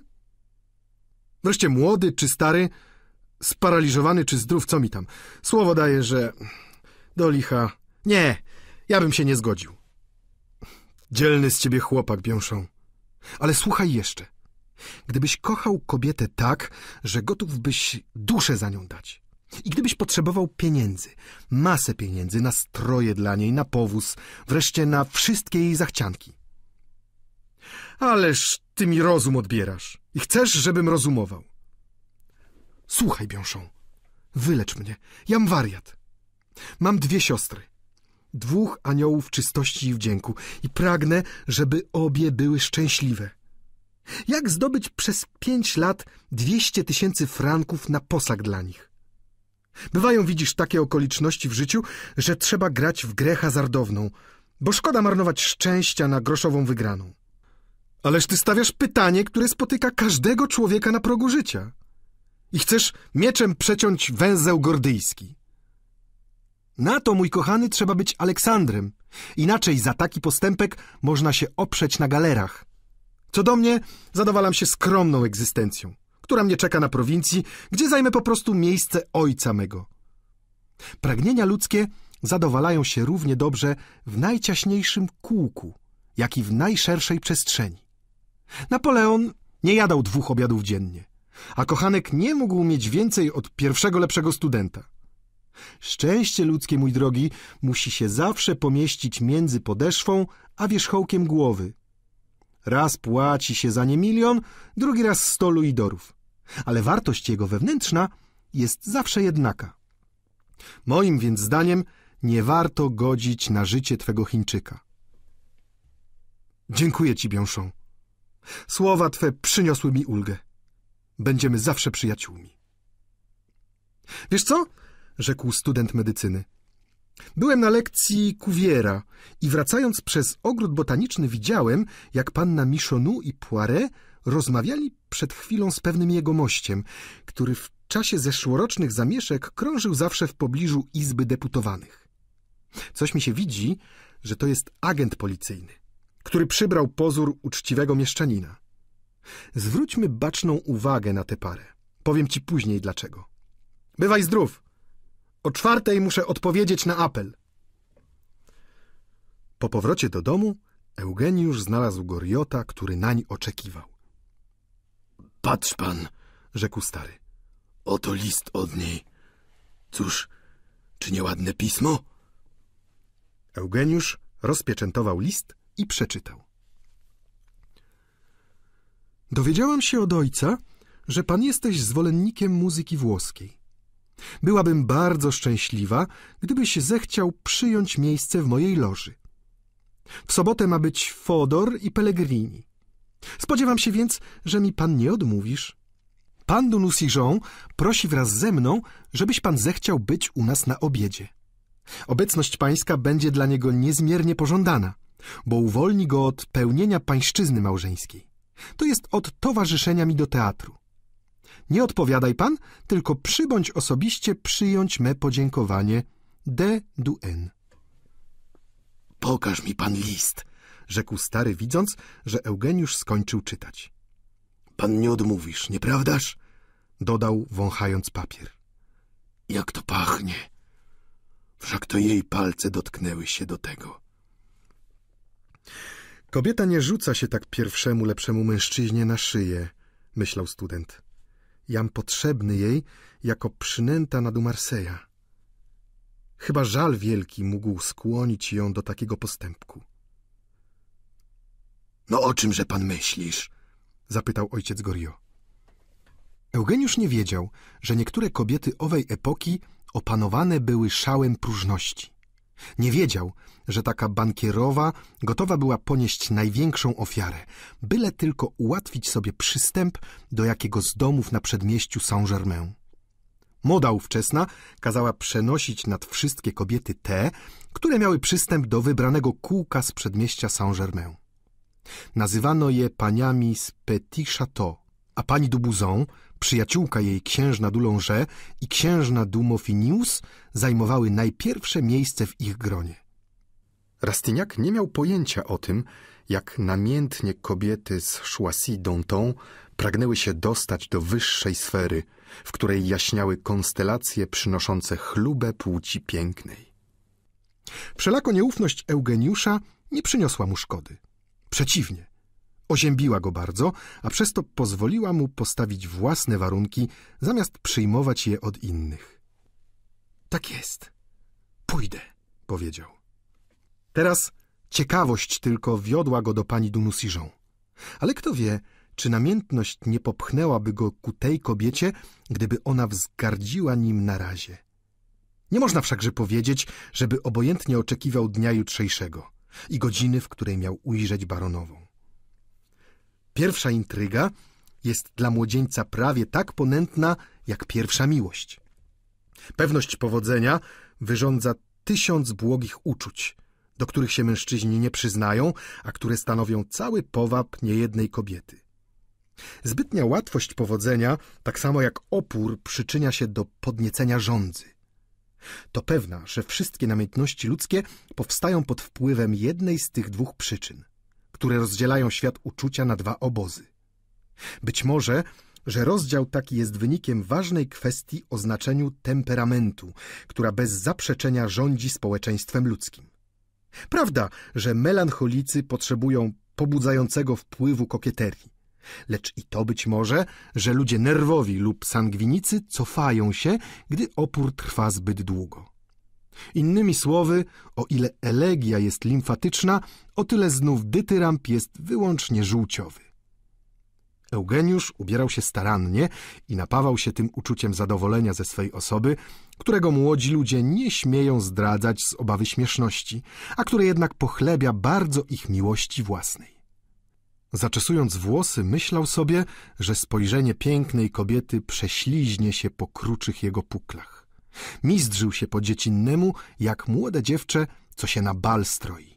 Przyglądał się z przyjemnością wysmukłej swej figurze i wygładzał starannie fałdki surduta. To pewne, myślał, że można znaleźć niezgrabniejszych ode mnie. Zszedł na dół w chwili, gdy wszyscy stołownicy byli już zebrani do stołu i wysłuchał z uśmiechem głośnej salwy wykrzykników, którymi przyjęto strój jego wykwintny. Jest to rys charakterystyczny, właściwy obyczajom gospody mieszczańskiej, że strój wytworny zwykł obudzać między mieszkańcami niezmierne zdumienie. Na widok nowej sukni każdy sąd swój wydać musi. Ozwał się Biąszą, klaskając językiem, jak gdyby zachęcał konia do biegu.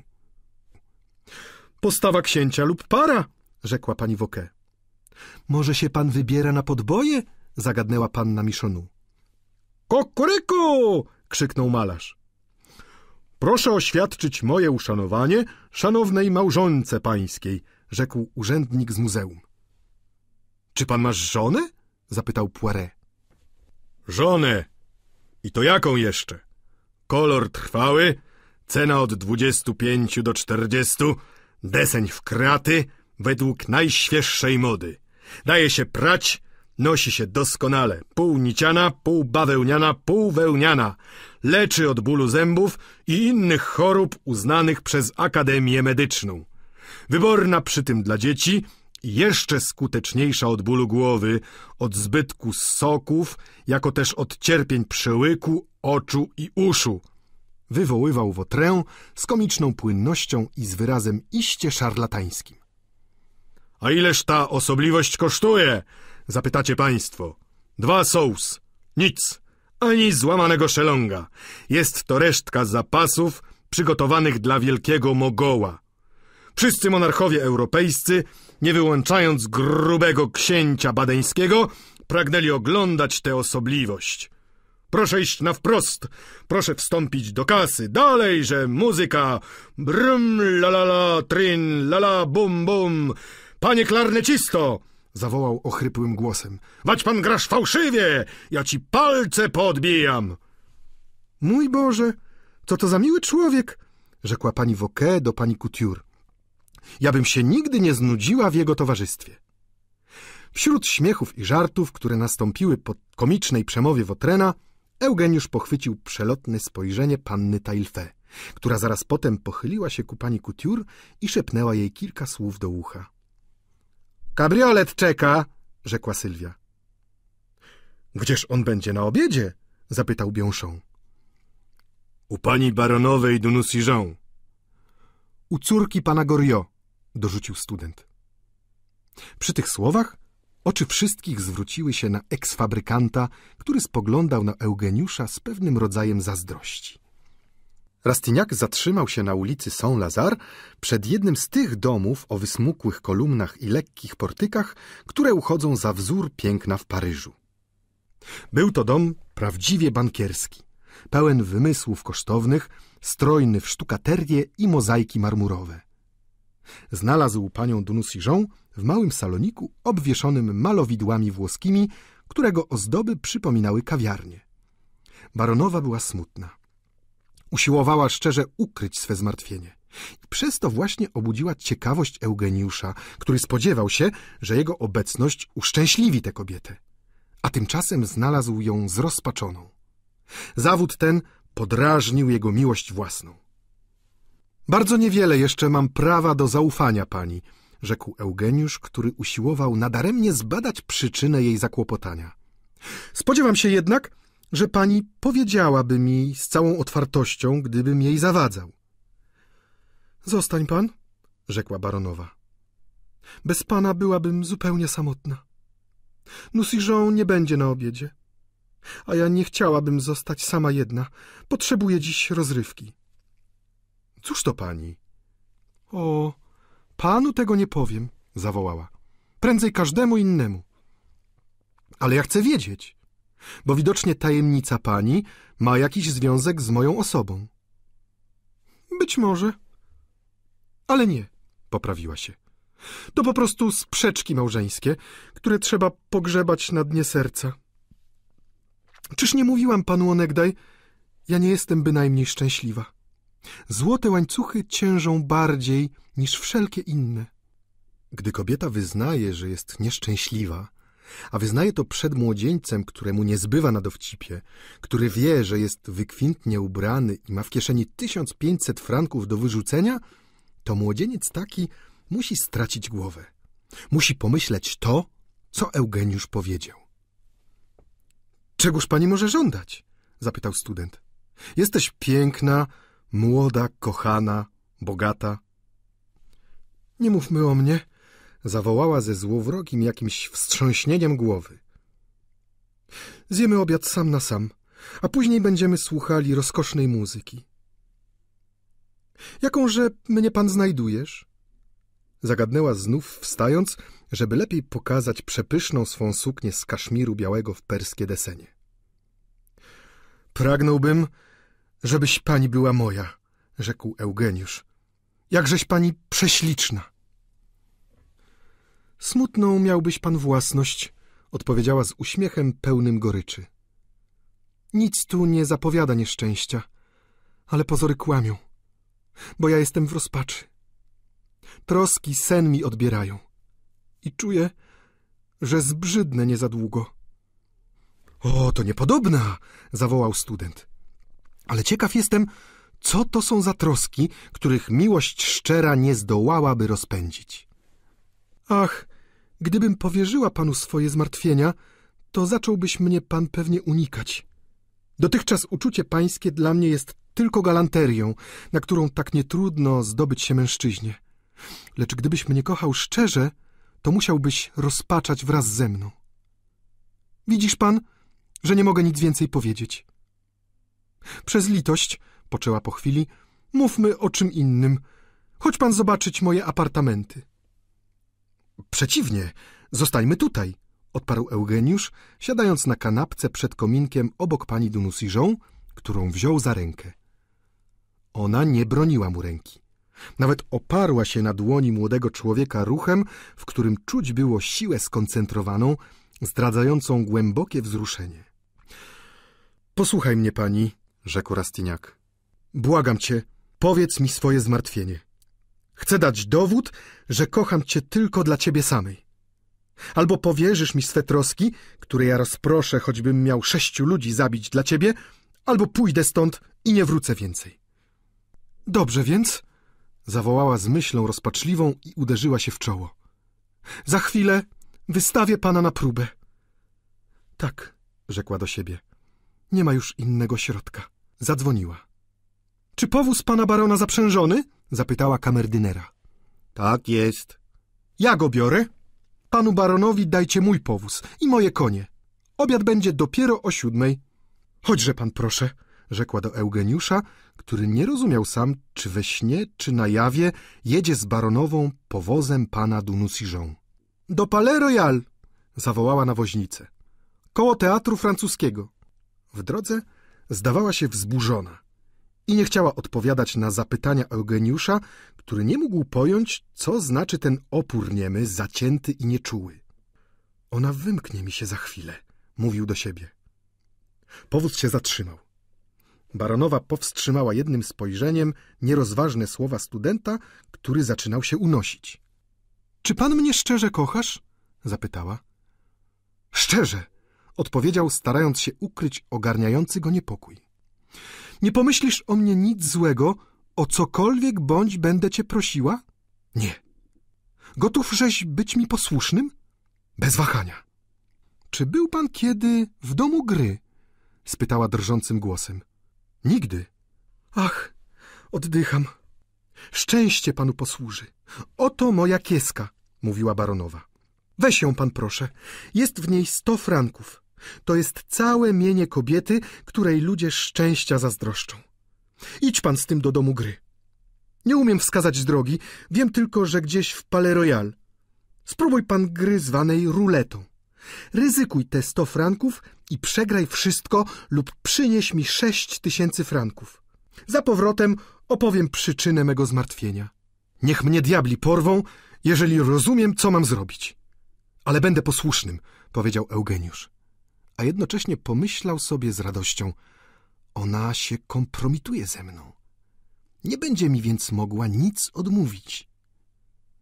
Eugeniusz zabiera ładną sakiewkę i podąża z nią do najbliższego domu gry, pod numerem dziewiątym, który mu wskazał jakiś handlarz odzienia. Stanąwszy u celu, wchodzi na schody. Pozwala sobie zabrać kapelusz i zapytuje, gdzie jest ruleta. Ku wielkiemu zdziwieniu obecnych, posługacz miejscowy podprowadza go do długiego stołu. Cała publiczność spogląda na Eugeniusza, który pyta bez zawstydzenia, gdzie ma położyć swą stawkę. Połóż pan Luidora na jednym z tych 36 numerów. Jeżeli numer wyjdzie, będziesz pan miał 36 Luidorów. Mówi mu szanowny jakiś starzec o białych włosach.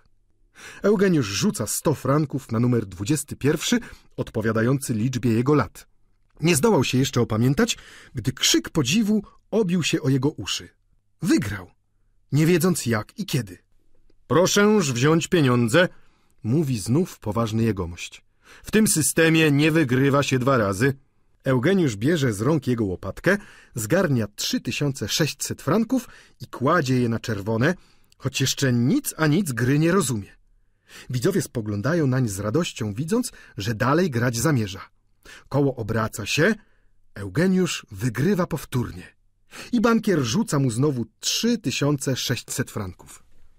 Teraz masz pan 7200 franków, mówi mu stary jegomość do ucha. Jeżeli pan zechcesz posłuchać mojej rady, to przestań grać, bo czerwone już przeszło osiem razy. Jeżeliś miłosierny, to wywdzięczysz się za dobrą radę, wspomagając dawnego prefekta napoleońskiego, który znajduje się w bardzo krytycznym położeniu. Rastignac odurzony patrzy obojętnie, jak siwowłosy jegomość zabiera mu z rąk dziesięć luidorów. Unosząc swoje siedem tysięcy franków, student nie pojmuje wcale, jakim sposobem je wygrał, tylko dziwi się szczęściu własnemu. No cóż, dokądże mnie pani teraz zawieziesz? Zapytał Delfiny, pokazując jej siedem tysięcy, skoro tylko drzwiczki od powozu zostały zamknięte. Delfina pochwyciła go w uścisk gwałtowny i ucałowała żywo, ale nie namiętnie. Wybawiłeś mnie! I łzy radości spływały obficie po jej twarzy. Wszystko ci powiem, mój przyjacielu. Będziesz mi pan przyjacielem, nieprawdaż? Jam bogata, opływam w dostatki, na niczym mi pozornie nie zbywa. A jednak, któż uwierzy, że pan Dunusiżą nie daje mi do rąk ani grosza? Sam utrzymuje dom, powozy, sam płaci za moje loże w teatrze, a na stroje przeznacza mi sumę niewystarczającą. Człowiek ten każe mi przez wyrachowanie znosić nędzę tajemną. Ja znów jestem zbyt dumna, abym go prosić miała. Byłabym najnędzniejszą istotą, gdybym kupowała jego pieniądze za taką cenę, za jaką chce mi je sprzedawać. Dlaczego ja, co mu wniosła siedemset tysięcy franków posagu, pozwoliłam się tak wyzuć ze wszystkiego? Przez dumę, przez pogardę. Wychodzimy za mąż tak młode jeszcze, tak naiwne. Prośba o pieniądze, z którą trzeba się było zwrócić do męża, nie chciała mi przejść przez usta. Nie śmiałam jej wymówić. I przeżywałam własne zaoszczędzone pieniądze lub to, co mi dawał biedny mój ojciec. Później musiałam się zadłużyć. Małżeństwo stało się dla mnie najokrutniejszym zawodem. Ja nawet mówić o nim nie mogę. Dość panu wiedzieć, że wyskoczyłabym oknem, gdybym zmuszona była żyć z Nusiżą i nie miała osobnych apartamentów. Trzeba było przyznać się przed nim, że miałam długi, że jak każda młoda kobieta wydawałam na klejnoty, na rozmaite zachcianki. Biedny ojczysko tak nas przyzwyczaił, żeśmy sobie niczego odmawiać nie umiały. Cierpiałam mękę prawdziwą, lecz w końcu znalazłam odwagę wyznać mu wszystko. Alboż nie miałam własnego funduszu? Nusiżą uniósł się, powiedział, że go rujnuje. Coś okropnego. Wolałabym wtedy być o sto stóp pod ziemią.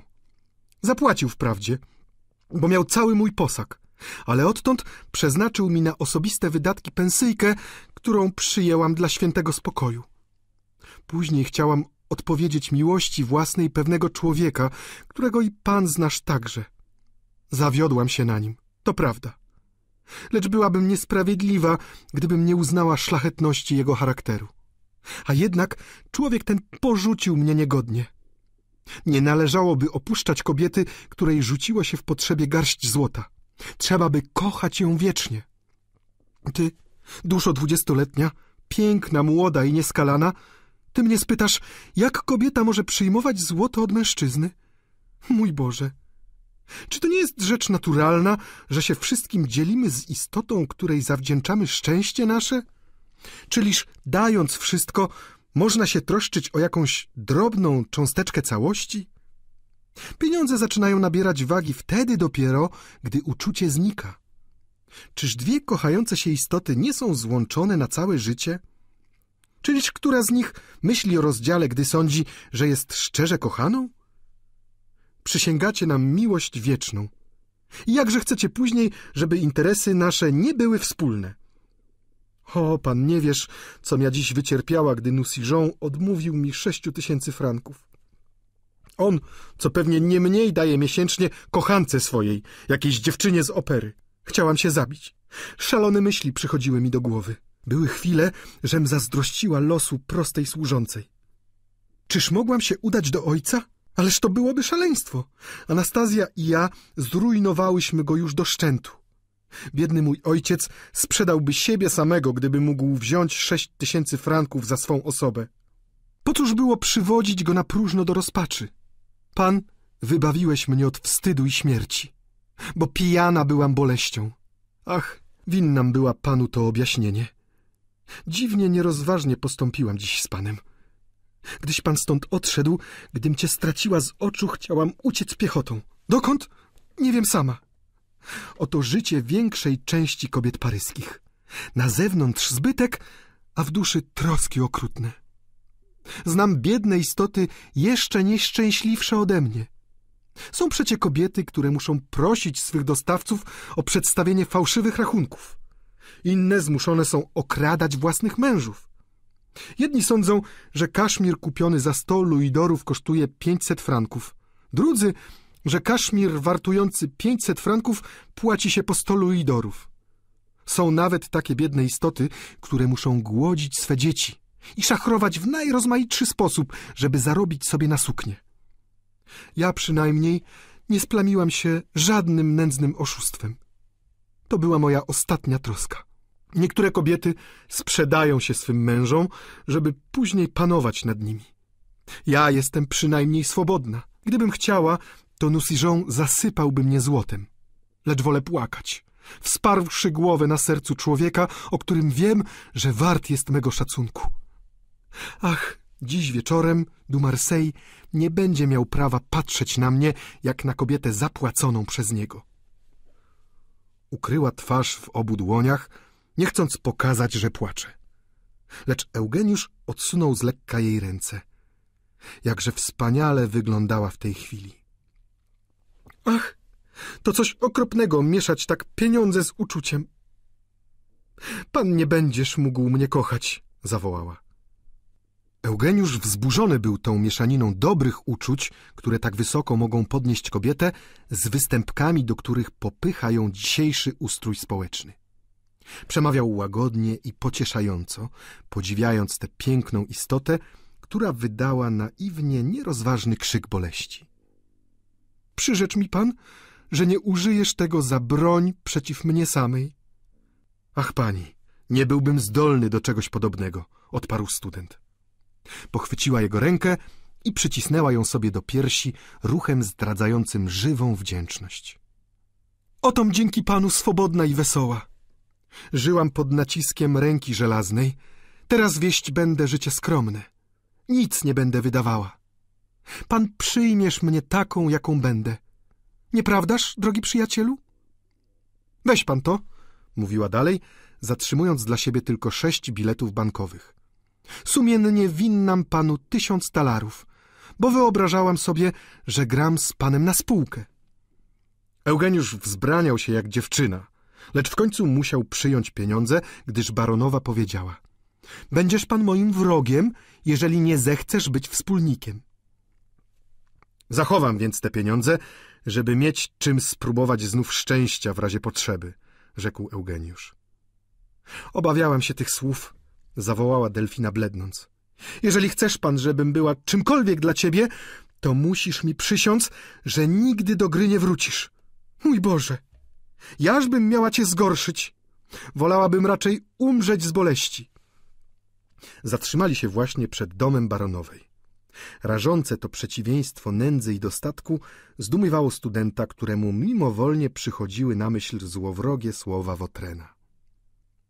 Spocznij pan tam, rzekła baronowa, wchodząc do swego pokoju i wskazując mu kanapkę stojącą przed kominkiem. Ja będę pisała list niezmiernie trudny. Porać mi pan. Nie pisz pani nic, rzekł Eugeniusz. Włóż bilety bankowe w kopertę, zaadresuj i odeślij je przez swoją pannę służącą. Nieoceniony z pana człowiek, zawołała. Oto co znaczy mieć dobre wychowanie. To tchnie prawdziwym busą, dodała z uśmiechem. Jaka ona śliczna, mówił sobie w duchu Eugeniusz, który czuł się coraz bardziej zakochanym. Zaczął oglądać pokój tchnący rozkoszną elegancją bogatej kurtyzany. Jakże się panu podoba? zapytała baronowa, dzwoniąc na pannę służącą. Tereso, zanieś to sama do pana du Marseille i oddaj mu do rąk. Jeżeli go nie zastaniesz, to odniesiesz mi list. Przed odejściem Teresa nie omieszkała zmierzyć Eugeniusza złośliwym spojrzeniem. Poproszono na obiad. Rastignac podał ramię pani Dunusijon, która powiodła go do rozkosznej sali jadalnej, gdzie czekał ich stół zbytkowny, podobny do tego, który student podziwiał niedawno u swej kuzynki. Przychodź pan do mnie na obiad za każdym razem, gdy mamy operę włoską. Po obiedzie będziesz mi towarzyszył do teatru. Przyzwyczaiłbym się chętnie do tego słodkiego życia, gdyby ono mogło potrwać długo. Lecz jam biedny student, który musi jeszcze zdobyć sobie przyszłość na świecie. Przyszłość się zdobędzie, zaśmiała się baronowa. Widzisz pan, wszystko jakoś daje się zrobić na świecie. I ja nie spodziewałam się już być tak szczęśliwa. Leży to w naturze kobiet, że chcą dowieść niepodobieństwa na podstawie rzeczy możliwych, a fakty zastępują przeczuciem.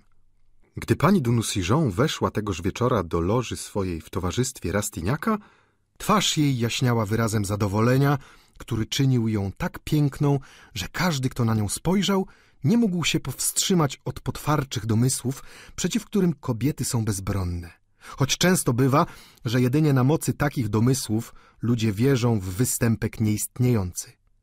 Znając Paryż, nie wierzy się temu, co tam mówią, a nie mówi się tego, co tam robią. Eugeniusz trzymał w swej dłoni rękę baronowej, a uścisk mniej lub więcej żywy starczał im za rozmowę, w której wypowiadali wrażenia wywołane muzyką. Weszli razem i pani Dunusijon postanowiła odwieźć Eugeniusza swoim powozem aż do Pont-Neuf. Przez całą drogę Rastignac błagał na próżno o jeden z tych pocałunków, których nie skąpiła mu wcale w Palais Royal i wyrzucał jej taką niekonsekwencję. Pierwej, odparła baronowa, był to objaw wdzięczności za poświęcenie się niespodziewane. A teraz byłaby to już obietnica. A pani nie chcesz mi żadnej obietnicy uczynić, niewdzięczna? Zawołał Rastignac nadąsany. Baronowa podała mu wreszcie rękę do pocałowania, ale uczyniła przedtem ruch niecierpliwy, który tak bardzo podoba się zakochanym. A pani nie chcesz mi żadnej obietnicy uczynić, niewdzięczna?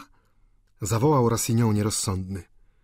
Baronowa podała mu wreszcie rękę do pocałowania, ale uczyniła przedtem ruch niecierpliwy, który tak bardzo podoba się zakochanym, a on przyjął dłoń podaną z dąsem, który znowu ją zachwycił.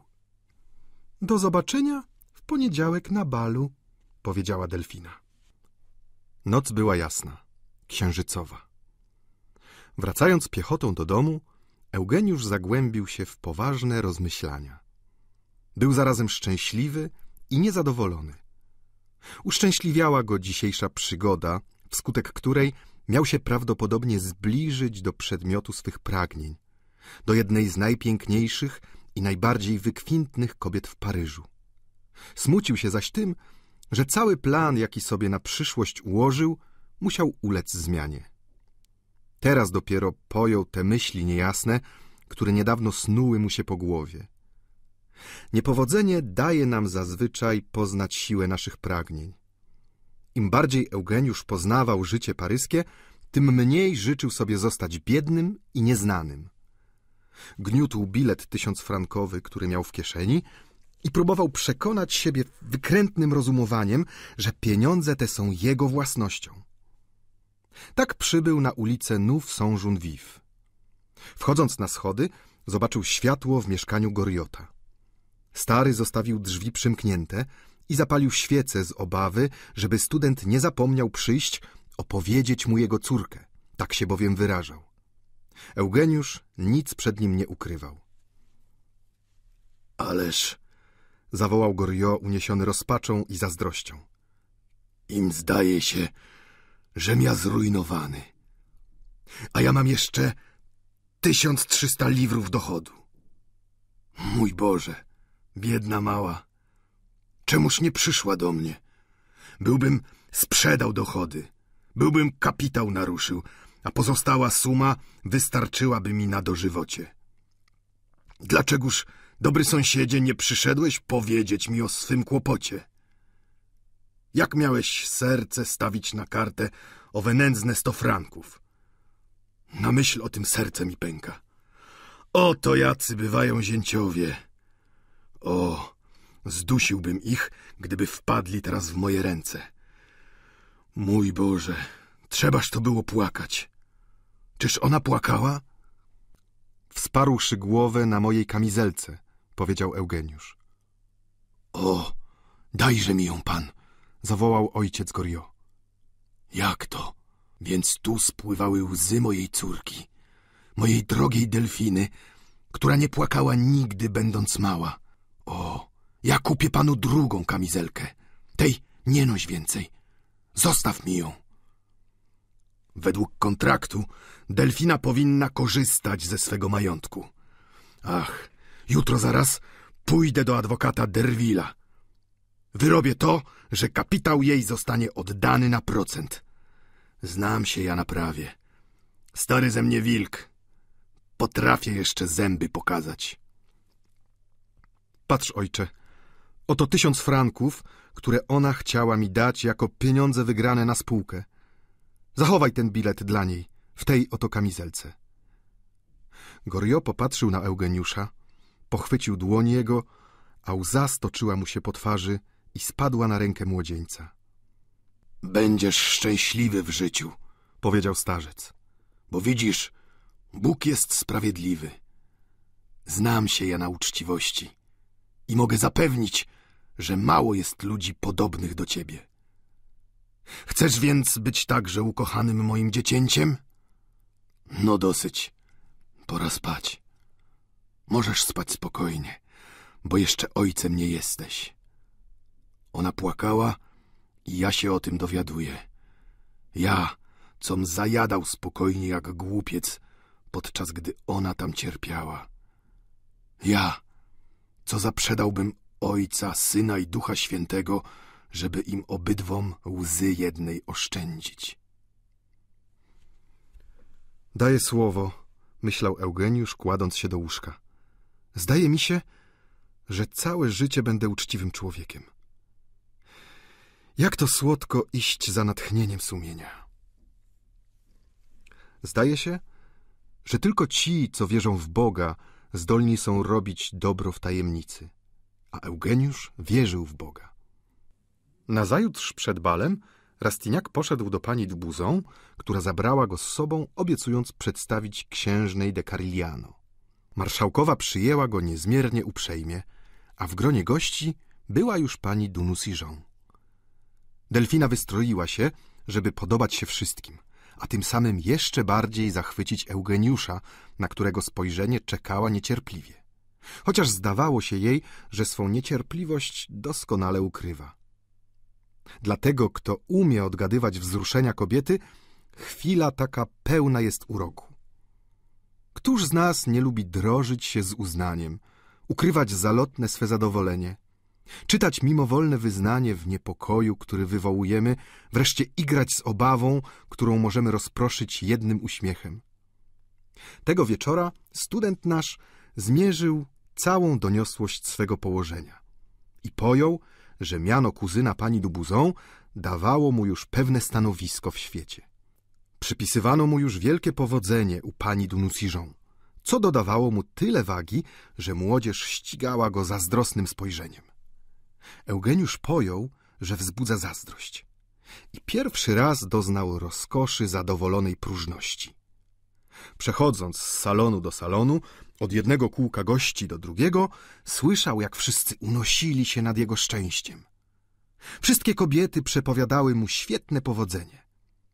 Delfina, przejęta obawą na myśl, że może go utracić, obiecała dać mu wieczorem pocałunek, od którego tak stanowczo wzbraniała się przed paru dniami. Podczas balu Rastignac otrzymał kilka zaproszeń. Kuzynka zaprezentowała go niektórym paniom, mającym pretensje do elegancji, których domy uchodziły za najbardziej przyjemne. Ujrzał się naraz rzucony w sfery najpiękniejszego i najbardziej arystokratycznego świata paryskiego. I wieczór ów miał dla niego urok świetnego debiutu, o którym pamięta się do późnej starości, jak dziewczę pamięta o balu, na którym miało wielkie powodzenie. Nazajutrz Wobec wszystkich stołowników Eugeniusz opowiadał Goriotowi przy śniadaniu o swych triumfach. Słuchając go, Wotrę uśmiechał się w sposób szatański. I pan sądzisz, zawołał ten logik okrutny, że modny młodzieniec może mieszkać przy ulicy Nous Saint-Geneviève w domu Woke? w tej gospodzie, która, choć wielce szanowna pod każdym względem, nie jest jednak wcale modnym hotelem? Jest to gospoda zamożna, piękna w swym dostatku, a nawet dumna z tego, że stała się chwilowym schronieniem jednego z rastiniaków. Lecz z tym wszystkim znajduje się przy ulicy Nous Saint-Junvive i nie wie nic o zbytku, bo jest na wskroś patriarchalno-rama. Mój młody przyjacielu, ciągnął dalej Wotrę, tonem na wpół ojcowskim, a na wpół żartobliwym. Chcąc znaczyć cośkolwiek w Paryżu, potrzeba mieć trójkę koni, tilbury na rano, a karetę na wieczór. To jest trzeba wydać przynajmniej dziewięć tysięcy franków na powozy. Przy tym byłbyś pan niegodny swego losu, gdyby krawiec kosztował cię tylko trzy tysiące, a perfumy tylko sześćset franków. Gdybyś na szewca i na kapelusznika wydawał tylko po sto talarów rocznie. Oprócz tego i praczka kosztuje przynajmniej tysiąc franków. Modni młodzieńcy muszą dbać bardzo o piękność bielizny, boć przecie na to najwięcej zwraca się uwagi. Miłość i świątynia wymagają pięknych obrusów na swe ołtarze. Narachowaliśmy już wtedy czternaście tysięcy. Nie wyliczam tego, co się przegra w karty, co się straci na zakłady i na podarunki. Wiem tylko, że na te drobne wydatki niepodobna rachować mniej jak dwa tysiące franków rocznie. Wiodłem ja życie tego rodzaju i wiem, co to kosztuje. Proszę teraz dodać do tych wydatków nieodbicie potrzebnych trzysta luidorów na delikatesy, a tysiąc franków na różne swawole. Cóż, synku, musimy mieć dwadzieścia pięć tysiączków rocznie lub wpadamy w błoto. Wystawiamy się na pośmiewisko i jesteśmy pozbawieni przyszłości, powodzenia, kochanek. Ale zapomniałem jeszcze o kamerdynerze i gromie. Czy to Krzysztof będzie roznosił pańskie liściki miłosne? Może będziesz je pan pisywał na takim papierze, na jakim obecnie pisujesz. Ależ to byłoby samobójstwo rozmyślne. Chciej pan wierzyć człowiekowi staremu i doświadczonemu. Ciągnął mówca dalej, a gruby głos jego brzmiał rinforzando. Pozostaje panu jedno z dwojga. Wygnać się na cnotliwe poddasze i poślubić pracę nieustanną lub obrać sobie inną drogę. I Wotrę mrugnął, spoglądając na pannę Tailfe, jak gdyby chciał przypomnieć i streścić w tym jednym spojrzeniu wszystkie zasady gorszące, które zasiał w sercu studenta po to, by je zepsuły.